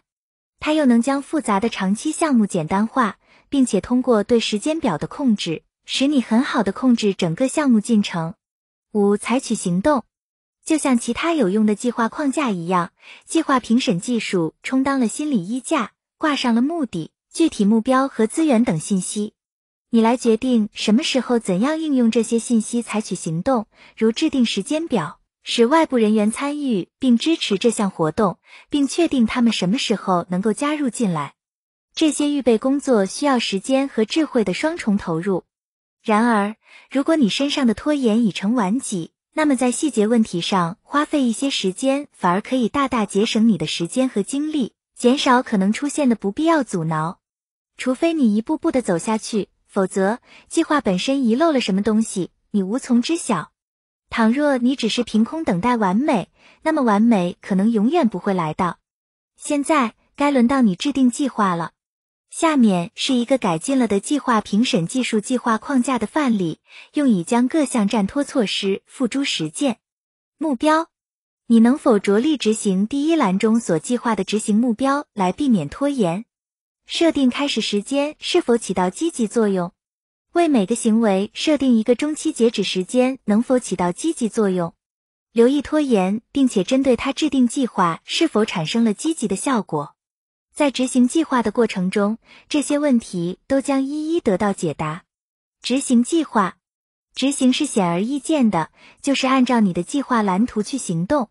在五步自我调节程序中，这个阶段是你对哪些计划奏效、哪些无效，以及哪些在视具体情况调整后存在实施的可能性做出评估的阶段。你得到的回报就是你会达成你想要完成的目标。执行计划时需要怀抱着强烈的动机，而这种动机从何而来呢？是来自你学着去设定、执行并最终实现目标的过程吗？这些成就动机与火石取火或者为了过冬储存粮食有何不同？这种动机何时开始呢？一种普遍的拖延陷阱就是要等到有了强烈渴望才开始行动，在临近截止日期时，赶任务的疯狂行为一触即发。事实上，这种行为模式就将计划开始的时间置于未来的不确定之中。当你接受挑战，完成一件对你而言极其重要的事情时，便会与你的宿敌拖延不期而遇。你可能认为自己将妥协，抗拒着不去走上立即行动这条道路，但是只要你自觉自愿地接受了最初的不适，就可以帮助你向着未来不断耕耘，对抗各种强大的阻力，直到它们消失，从而实现你的长远目标。作为启动阶段的一部分，预测并接受不适是获得更高自我效能的起点。这一步骤同样有助于训练哺乳动物，例如马的大脑，使其意识到不适不等于危险。在等待和行动之间，如何搭建一座桥梁，填补其间的鸿沟呢？当你开启一个工作的程序，阻力随之产生。这个时候，请会回头看看你的 SWLO 分析表和职业生涯规划表，想想你究竟该做什么才能抵制自己的情绪阻力，从而使行动与你的规划相匹配。他们是不是灵活多变、富有创意、随机应变的？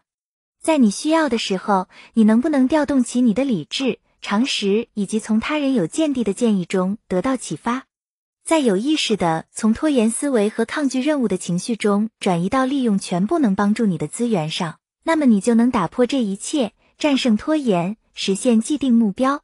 事实上，要想找到一个快捷简单的方法来帮你摆脱拖延困境。几乎是不可能的。一个人做出有意义的改变，就像趟过过溪的沼泽一样艰难。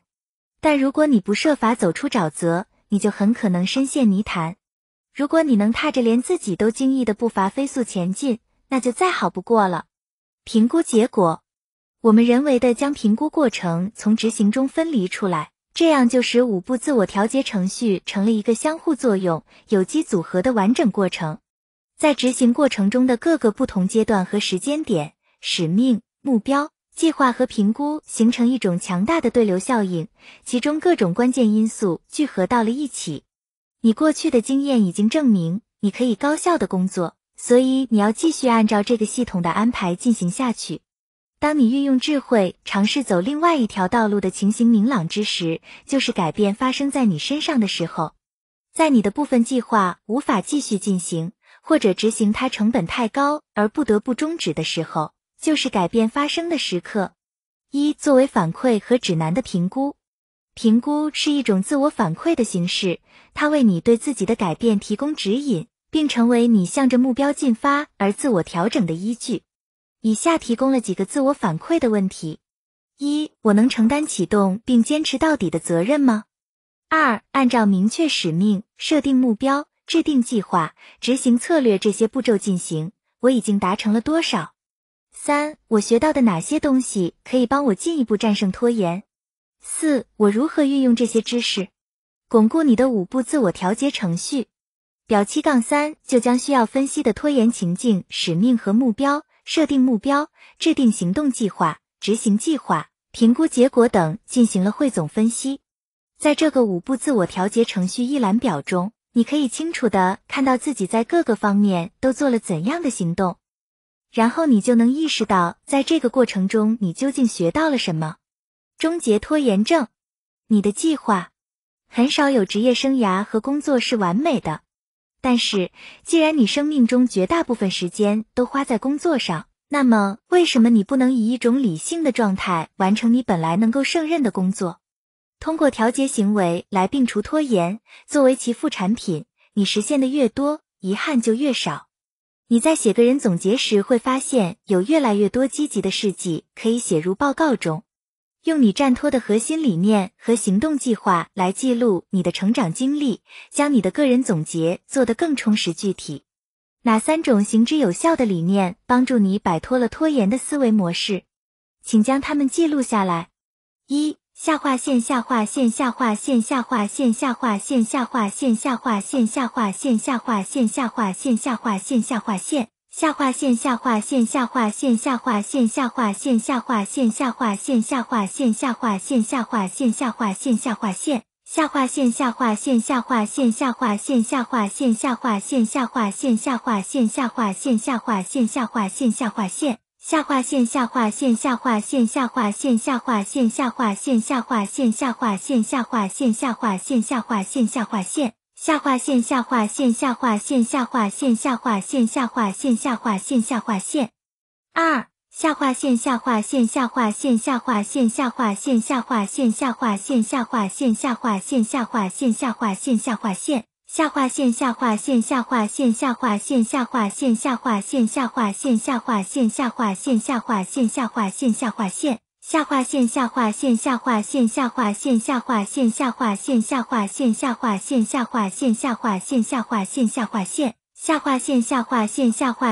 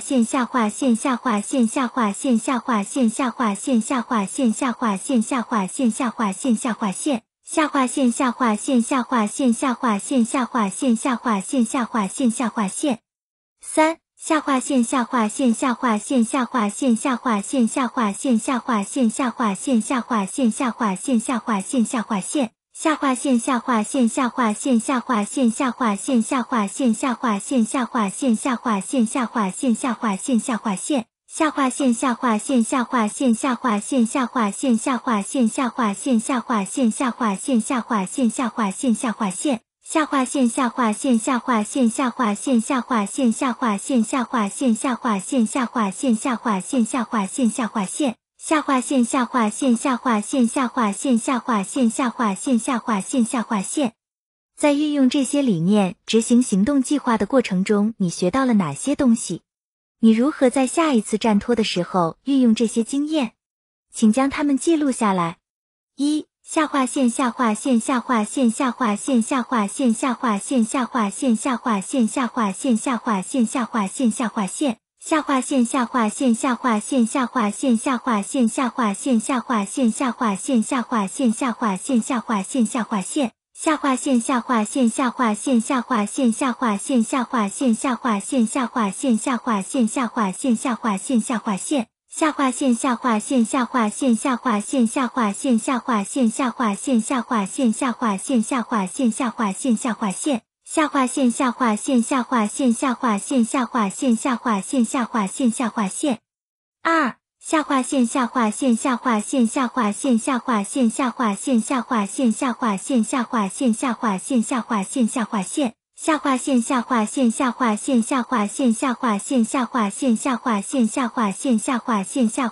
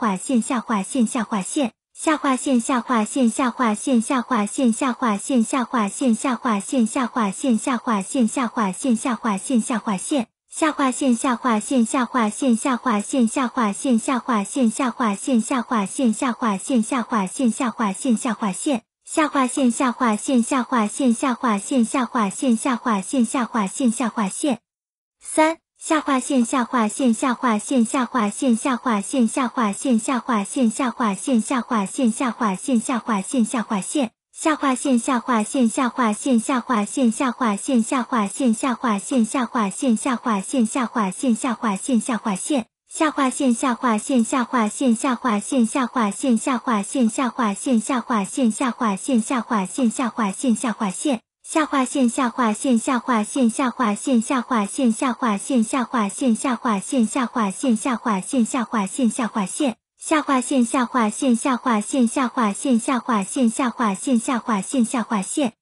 附录：治疗拖延脚本样例一则。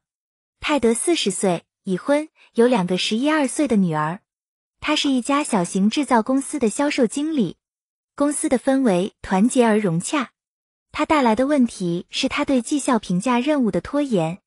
去年，泰德在绩效评价任务上落后了三个月。前两年都是他的经理替他完成了评价，并和销售部的员工逐一回顾结果。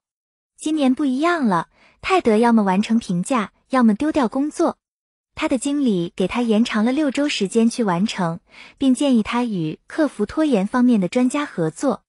泰德和他的经理都通过电话和我商讨了这个问题的严重性。除了绩效评价之外，泰德对他工作的各个方面都很满意。他的妻子和女儿们喜欢他们现在的家和邻居，他们更希望泰德能够继续现有的工作，对搬到别的地方住并不是很感兴趣。然而，尽管泰德已经多次向自己和他人保证要着手进行评价，但他还是没有开始。当他想到要开始时，他感觉面前困难重重。泰德急切的希望在绩效评价的拖延问题上得到帮助。以下的交流内容经编辑隐去了患者的个人信息和诊断记录，改变了个人身份信息，并提高了可读性。它分为两个部分：一、治疗过程中的交流；二、对认知行为治疗 （CBT） 过程的解释。之后是泰德采取的额外措施及其结果的一个概括、跟进及总体评述。当你面对有拖延问题的来访者时，你会发现，以上的治疗过程为你提供了一些具体有用的素材。这一案例独具一格地展示了如何区分并处理拖延及与其并存的状况。但正如你所猜想，要越过拖延的障碍，泰德还有大量的工作要做。拖延的构成因素：泰德完成了绩效评价之后会怎样？对一些人来说，完成一项被推迟的任务意味着事情少了一件。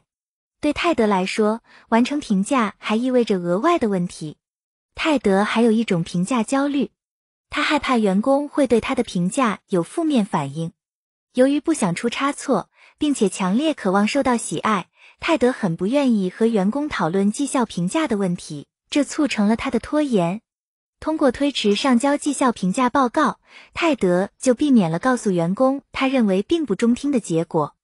他也害怕无法完成自己幻想的目标，把他的评价做得极其有意义，以至于他会受到高度的赞扬。所以，泰德的拖延有一部分和焦虑预期有关。泰德所害怕的绩效讨论是一个时间层面的问题。泰德有时间准备，但是他的准备是为了逃避，而不是克服。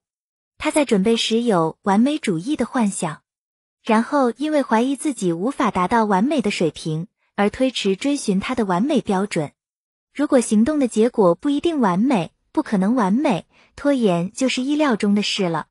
根据简约原则，对复杂问题而言，更简单的答案往往是更可取的。一个简单的解释是，泰德在预想做绩效评价时感到不安，为避免这一不安，他转而去处理一些不那么急迫的事情。无论如何，在现实中，你总会找到很多构成问题过程的复杂因素，将它们集合起来并着手解决，可能是走出混乱的心理丛林的最直接途径。继续治疗的过程，泰德对绩效评价的认识是缺乏安全感、完美主义和拖延的结合体，其中各个因素会加剧彼此。泰德的目标是不再因为拖延而陷入麻烦，并保住他的工作。他的立即行动解决方案是从认知、情绪和行为三个方面对付拖延和完美主义。作为副产品，他期望自己能够更好的容忍对绩效评价的不安。泰德将他复杂的拖延习惯分解成了三个挑战：一、设法对付完美主义倾向以及将自己的价值建立在他人认可上的倾向；二、克服当遇到令他焦虑的任务时分心的倾向。三，从行为上拒绝分心，以达成业绩目标。一，应对第一个挑战。泰德似乎很喜欢解决自相矛盾。一，虽然约翰没有得到百分百的认可，他仍然觉得约翰很不错。那么他又为什么对自己区别对待呢？二，他探讨了为什么他可以接受无法将所有的销售努力百分之百地转化成销售额。却认为他应该用完美的绩效评价来取悦所有的销售员工。对这两个潜在矛盾的检视，展现了从浑然不觉的完美主义视角到一个自我观察的更加清晰的视角转变。泰德非常清楚为什么无法在销售中做到百分之百的完美。他的潜在顾客可能已经和另一个销售代表建立了关系，并希望能够保持下去。他的竞争对手也许能够给顾客提供一个他无法给予的优惠价格。他可能因为和购买商之间存在着个性差异而没能建立起很好的人际关系。有时候，他也许永不知道是什么原因。建立这种关联，使泰德能够将生活中的一部分经验类推到其他相似的领域。二、应对第二个挑战。泰德开始检视绩效评价的材料，并允许他自己去感受那种通常导致他拖延的紧张感。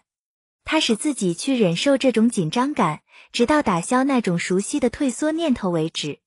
这是攻克拖延障碍的情绪方法。泰德使用了两种锻炼情感耐性的技巧：一、寻找思考和感觉之间的联系。他告诉自己，他做不到和他的销售人员讨论评价结果。他听到自己说：“我会显得像一个傻瓜。”他注意到他的焦虑程度随着这些想法的出现而猛增，使他强烈的希望能够逃离这种紧张感。二、选择在焦虑中坚持下去，而非退缩。他同时也重新认识了他默认的关于拖延的自我判定。他发现，仅因为他们是无意识的，并且与情感相联系，并不就能证明他们是真实的。在他默认的消极思维和他的不安之间建立联系，证明是很有好处的。他报告说，他的紧张耐受能力练习是三个部分中最重要的。通过接受紧张情绪，他变得不再那么紧张了。三、应对第三个挑战。泰德明白，想要永久的克服对绩效评价的拖延，越过思维和情绪的障碍很重要。但第三个挑战要求他开始亲自动手撰写评价。这个机械的去做的阶段，不需要等到应对完前两个挑战之后，他可以同时做这三件事。通过实用的新信息，泰德解决了他害怕和销售部员工回顾绩效评价的问题。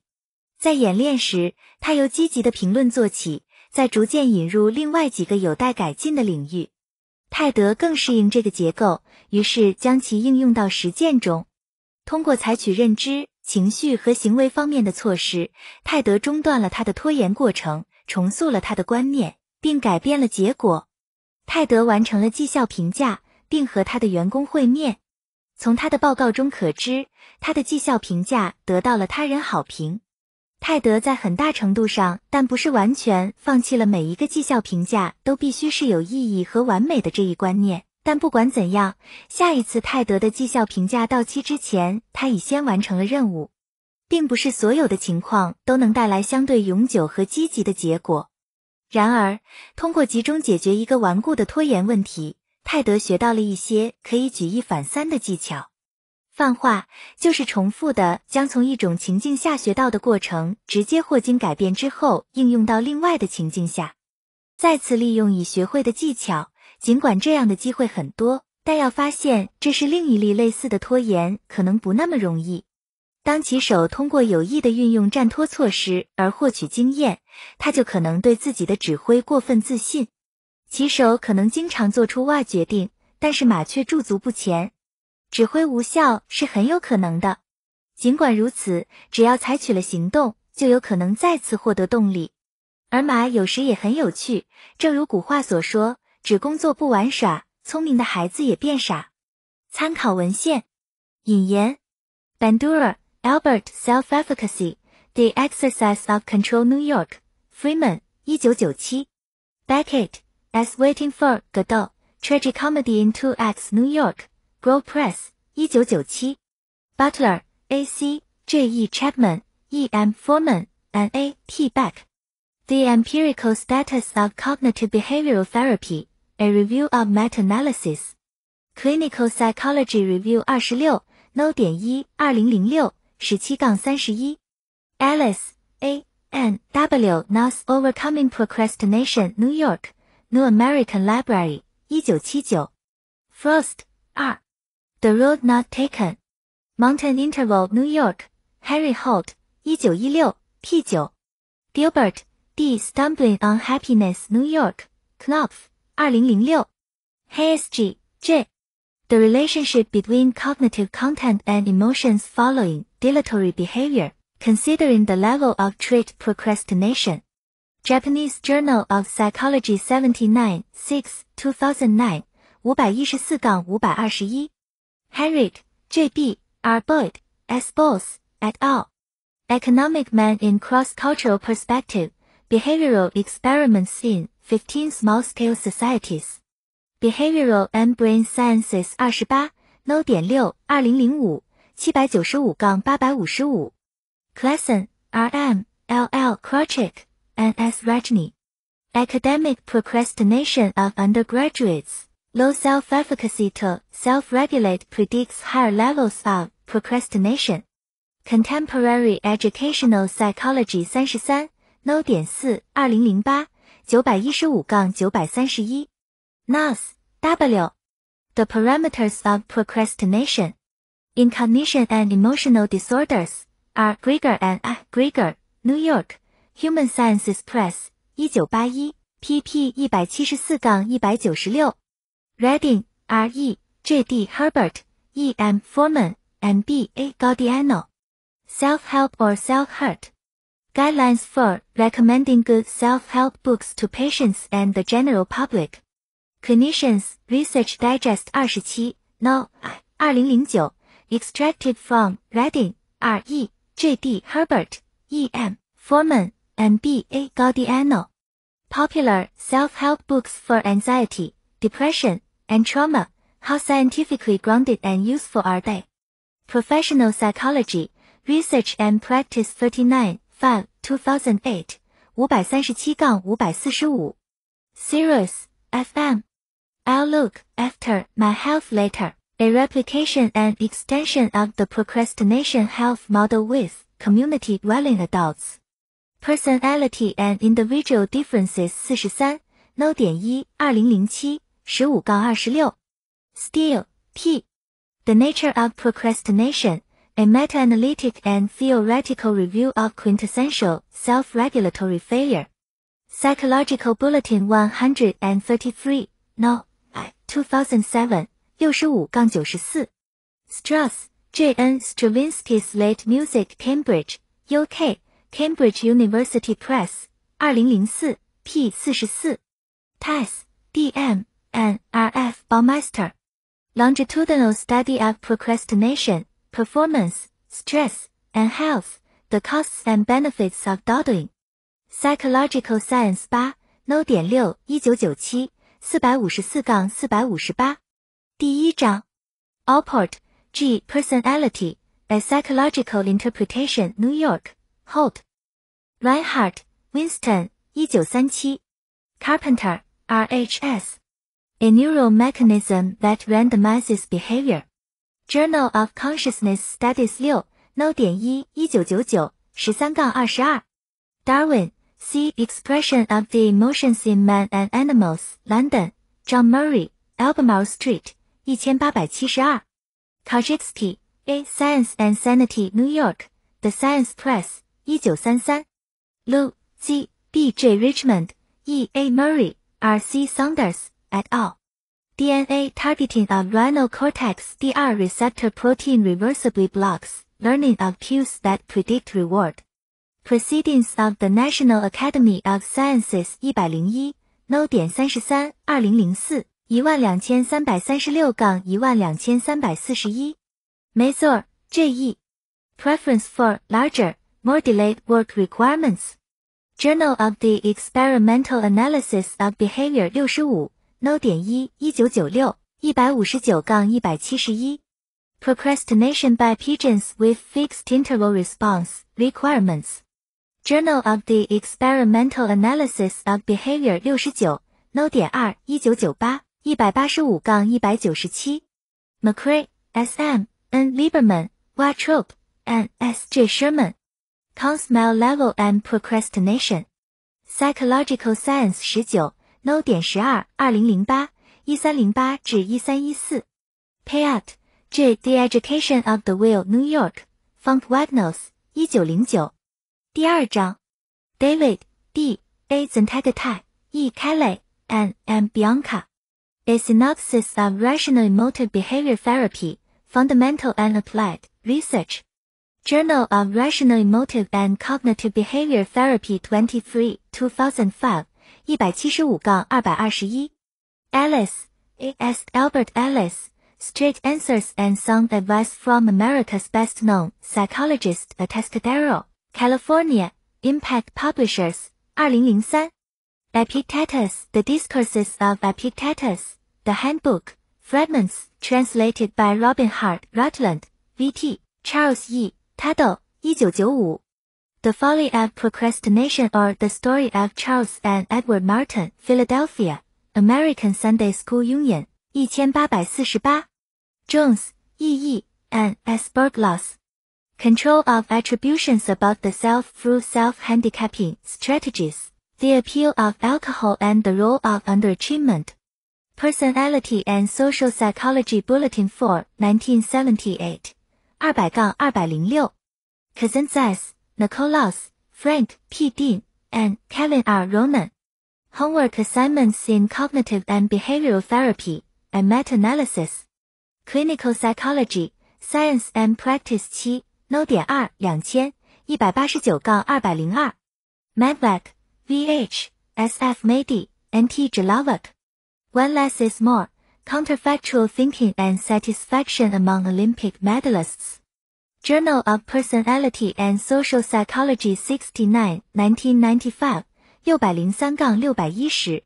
Sherman, S.J., and A.R. McConnell. Dysfunctional Implications of Counterfactual Thinking, When Alternatives to Reality Fail Us.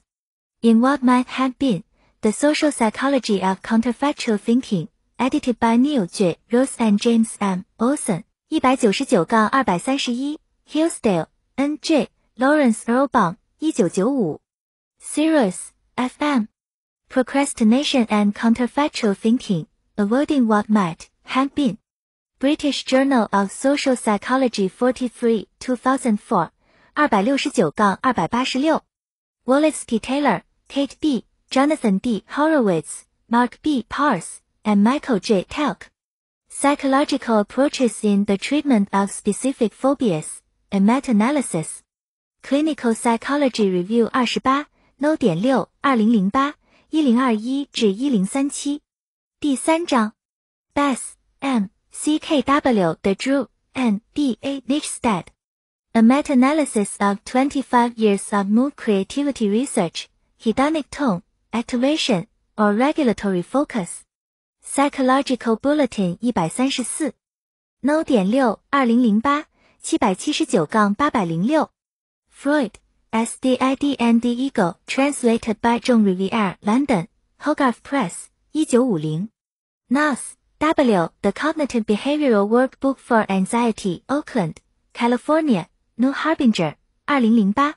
How to Get Out of a Rut, Englewood Cliffs, N. J. Prentice Hall, 1982. Von Clausewitz, C. on War, edited by Anatole Rappaport, New York, Penguin, 1968. 第四章 Espinwall, L. and S. Taylor. A Stitch in Time, Self-Regulation and Proactive Coping. Psychological Bulletin 一百二十一，一九九八，四百一十七杠四百三十六。Beswick, G. E. D. Rothblum, and L. Mann. Psychological Antecedents of Student Procrastination. Australian Psychologist 二十三，No 点二，一九八八，二百零七杠二百一十七。 Benowitz, C. S. Senentag, and E. J. Mojesa. Feeling recovered and thinking about the good sides of one's work. Journal of Occupational Health Psychology 十四，No 点三，二零零九，二百四十三杠二百五十六。Blaskovich, J. Challenge and Threat. In Handbook of Approach and Avoidance Motivation, edited by Andrew J. Elliott, 四百三十一杠四百四十五，New York. Psychology Press，二零零八，Chen, Grant H. L. and Darius K. S. Chen. Who suffers more from job insecurity? A meta-analytic review. Applied Psychology, an International Review 57, 2008. 二百七十二杠三百零三。Chida, Y. and A. Steptoe. Cortisol Awakening, Response and Psychosocial Factors. A Systematic Review and Meta-Analysis. Biological Psychology 八十 No 点三二零零九二百六十五杠二百七十八 Flat G L K R Blankstein and T R Martin Procrastination Negative Self-Evaluation and Stress in Depression and Anxiety A Review and Preliminary Model In Procrastination and Task Avoidance Theory Research and Treatment Edited by J R Ferrari J L Johnson and W. G. McCon, Plenum Series in Social Clinical Psychology，一百三十七杠一百六十七，New York, Plenum Press，一九九五。Franco, V. Man's Search for Meaning Boston, Beacon, 两千。Glee, D. A. N. Goldman, Y. Chaung, and M. Vinitine. Do chronic stressors lead to physiological dysregulation? Testing the theory of allostatic load. Psychosomatic Medicine 六十九，二零零七，七百六十九杠七百七十六。Greenglass E 二 N L Fix and Bond Proactive Coping Positive Effect and Well-being Testing for Mediation Using Path Analysis European Psychologist 十四 No 点一，二零零九，二十九杠三十九。Helbisleben Jonathan R B and W M Matthew Bowler Emotional Exhaustion and Job Performance The Mediating Role of Motivation Journal of Applied Psychology 九十二 No 点一，二零零七，九十三杠一百零六。N M Ronald Buckley Burnout in Organizational Life Journal of Management 三十 No 点六，二零零四，八百五十九杠八百七十九。Hammerfold K C Eberly M Graw et al. Persistent effects of cognitive behavioral stress management on cortisol responses to acute stress in healthy subjects say randomized, controlled trial. Psychoneuroendocrinology 三十一 No 点三二零零六三百三十三杠三百三十九。Joker Spiri Iblo M C D Zubrigo T Bear et al. Nerve growth factor serum concentrations rise after successful cognitive behavioral therapy of generalized anxiety disorder. Progress in neuropsychopharmacology biological psychiatry 三十一 No 点一二零零七二百杠二百零四 Nas W Change Your Life Now New York John Wiley Sons 一九九四 Maslash C Burnout A Multidimensional Perspective In Professional Burnout Recent Developments in Research and Practice, edited by W. B. Shofili. C. Maslash, N. T. Merrick, Washington, D.C. Taylor Francis, 1993, 19-32. McEwen, B. E. N. Leslie. Allostatic Load, When Protection Gives Way to Damage. In Monat, Allen, Richard S. Lazarus, and Gretchen Reilly, eds The Prager Handbook on Stress and Coping. Volume 一九十九杠一百零九 Westport Com Trigger Publishers 二零零七 McEwen D S N T Simon Stress and Effect Applicability of the Concepts of Allostasis and Allostatic Load in Handbook of Effective Sciences edited by R J Davidson K R Shearer and H H Goldsmith 一一七至一三七 New York Oxford University Press 二零零三，Miller G E E Chen N E S Zhou。If it goes up, must it come down? Chronic stress and the hypothalamic pituitary adrenal cortical axis in humans. Psychological Bulletin 一百三十三，No 点一，二零零七，二十五杠四十五。Mertek M. Type A behavior and hostility as independent risk factors for coronary heart disease. In Contributions Toward Evidence-Based Psychocardiology, a systematic review of the literature, edited by Johan Jordan, Benjamin Bard, and Andreas Michael Zacher, 159-183, Washington, D.C., American Psychological Association, 2007. Niche. Stress at Work. U.S. National Institute for Occupational Safety and Health. DHHS Publication 九十九杠一百零一，一九九九，Phillips K M M H Anthony S C Lechner et al. Stress management intervention reduces serum cortisol and increases relaxation during treatment for non-metastatic breast cancer. Psychosomatic Medicine 七十 No 点九二零零八一零四四至一零四九，Range F L Horn Z Virney and L. Huber. The absence of reward induces inequity aversion in dogs. Proceedings of the National Academy of Sciences 106, No. 1, 2009, 340-345. Roberts, A.D.L., A.S. Papadopoulos, S. Wesley, et al. Salivary cortisol, output before and after, cognitive behavioral, therapy for, chronic, fatigue syndrome.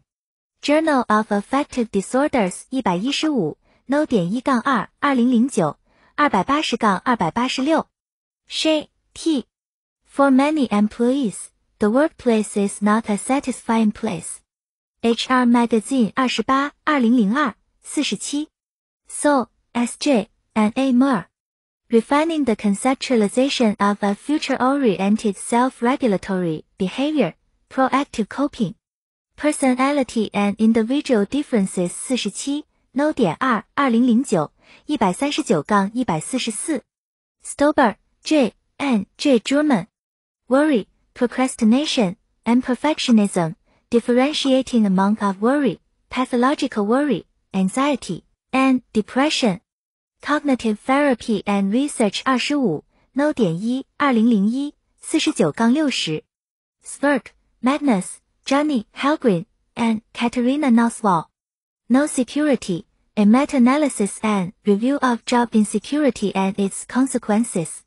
Journal of Occupational Health Psychology 7, 2002, 242-264. Van Wolkenton, M, S. F. Brosnan, and F. B. M. Daval. Inequity Responses of Monkeys Modified by Effort. Proceedings of the National Academy of Sciences 104, No 点47, 2007. 一万八千八百五十四杠一万八千八百五十九，Yerkes R M N J D Dawson。The relation of strength of stimulus to rapidity of habit formation. Journal of Comparative Neurology and Psychology 18, 1908, 四百五十九杠四百八十二。第五章，Cherry L R and C Sika. Psychological physiological and psychopathological aspects of the construct of worry. Giacomo Italiano di Psicologia 34, Number 3, 2007, 531-552. Gilbert, D.T., and P.S. Malone. The Correspondence Bias. Psychological Bulletin 117, No. 点一 1995, 21-38.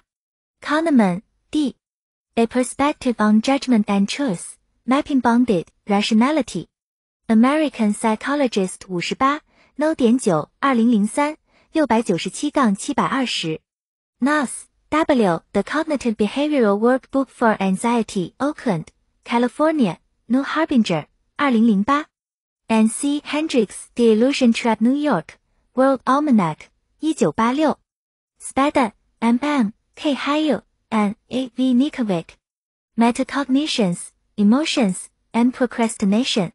Journal of Cognitive Psychotherapy 二十 No 点三二零零六三百一十九杠三百二十六。Sun Tzu The Art of War Lionel Giles Trans New York Barnes Noble Classics 二零零三。Tversky A and D Kahneman The Framing of Decisions and the Psychology of Choice Science 二幺幺 No 点四千四百八十一一九八一。四百五十三杠四百五十八，Von Clausewitz C on War New York Penguin 一九六八，第六章，Aesop Aesop's Fables translated by V S Vernon Jones New York Avenel Books 一九一二，Birdie K C Clegg M Patterson et al. The impact of human resource and operational management practices on company productivity, a longitudinal study.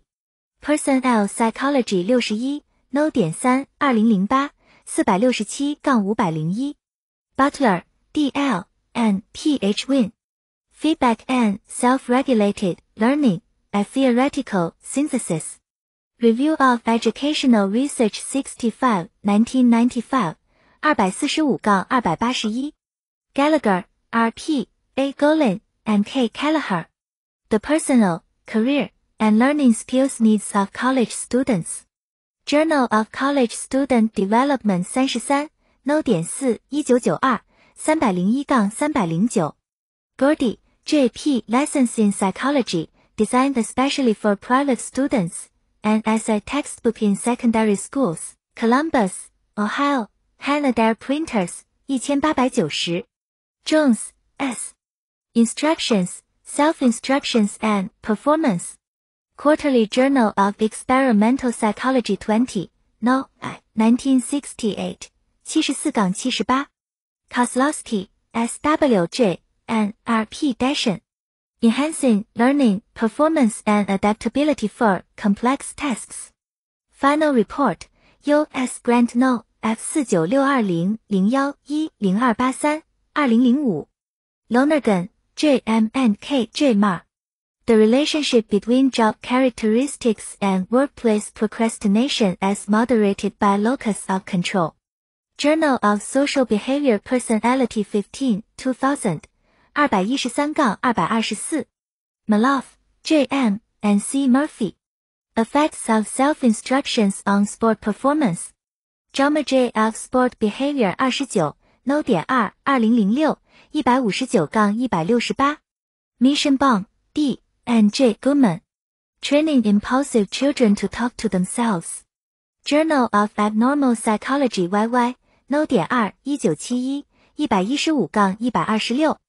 Pintridge, P. R. and E. V. The Groot. Motivational and self-regulated learning components of classroom academic performance. Zero Journal of Educational Psychology 82. No. Uh, 1990. 33杠 40. Premack, D. Reinforcement Theory.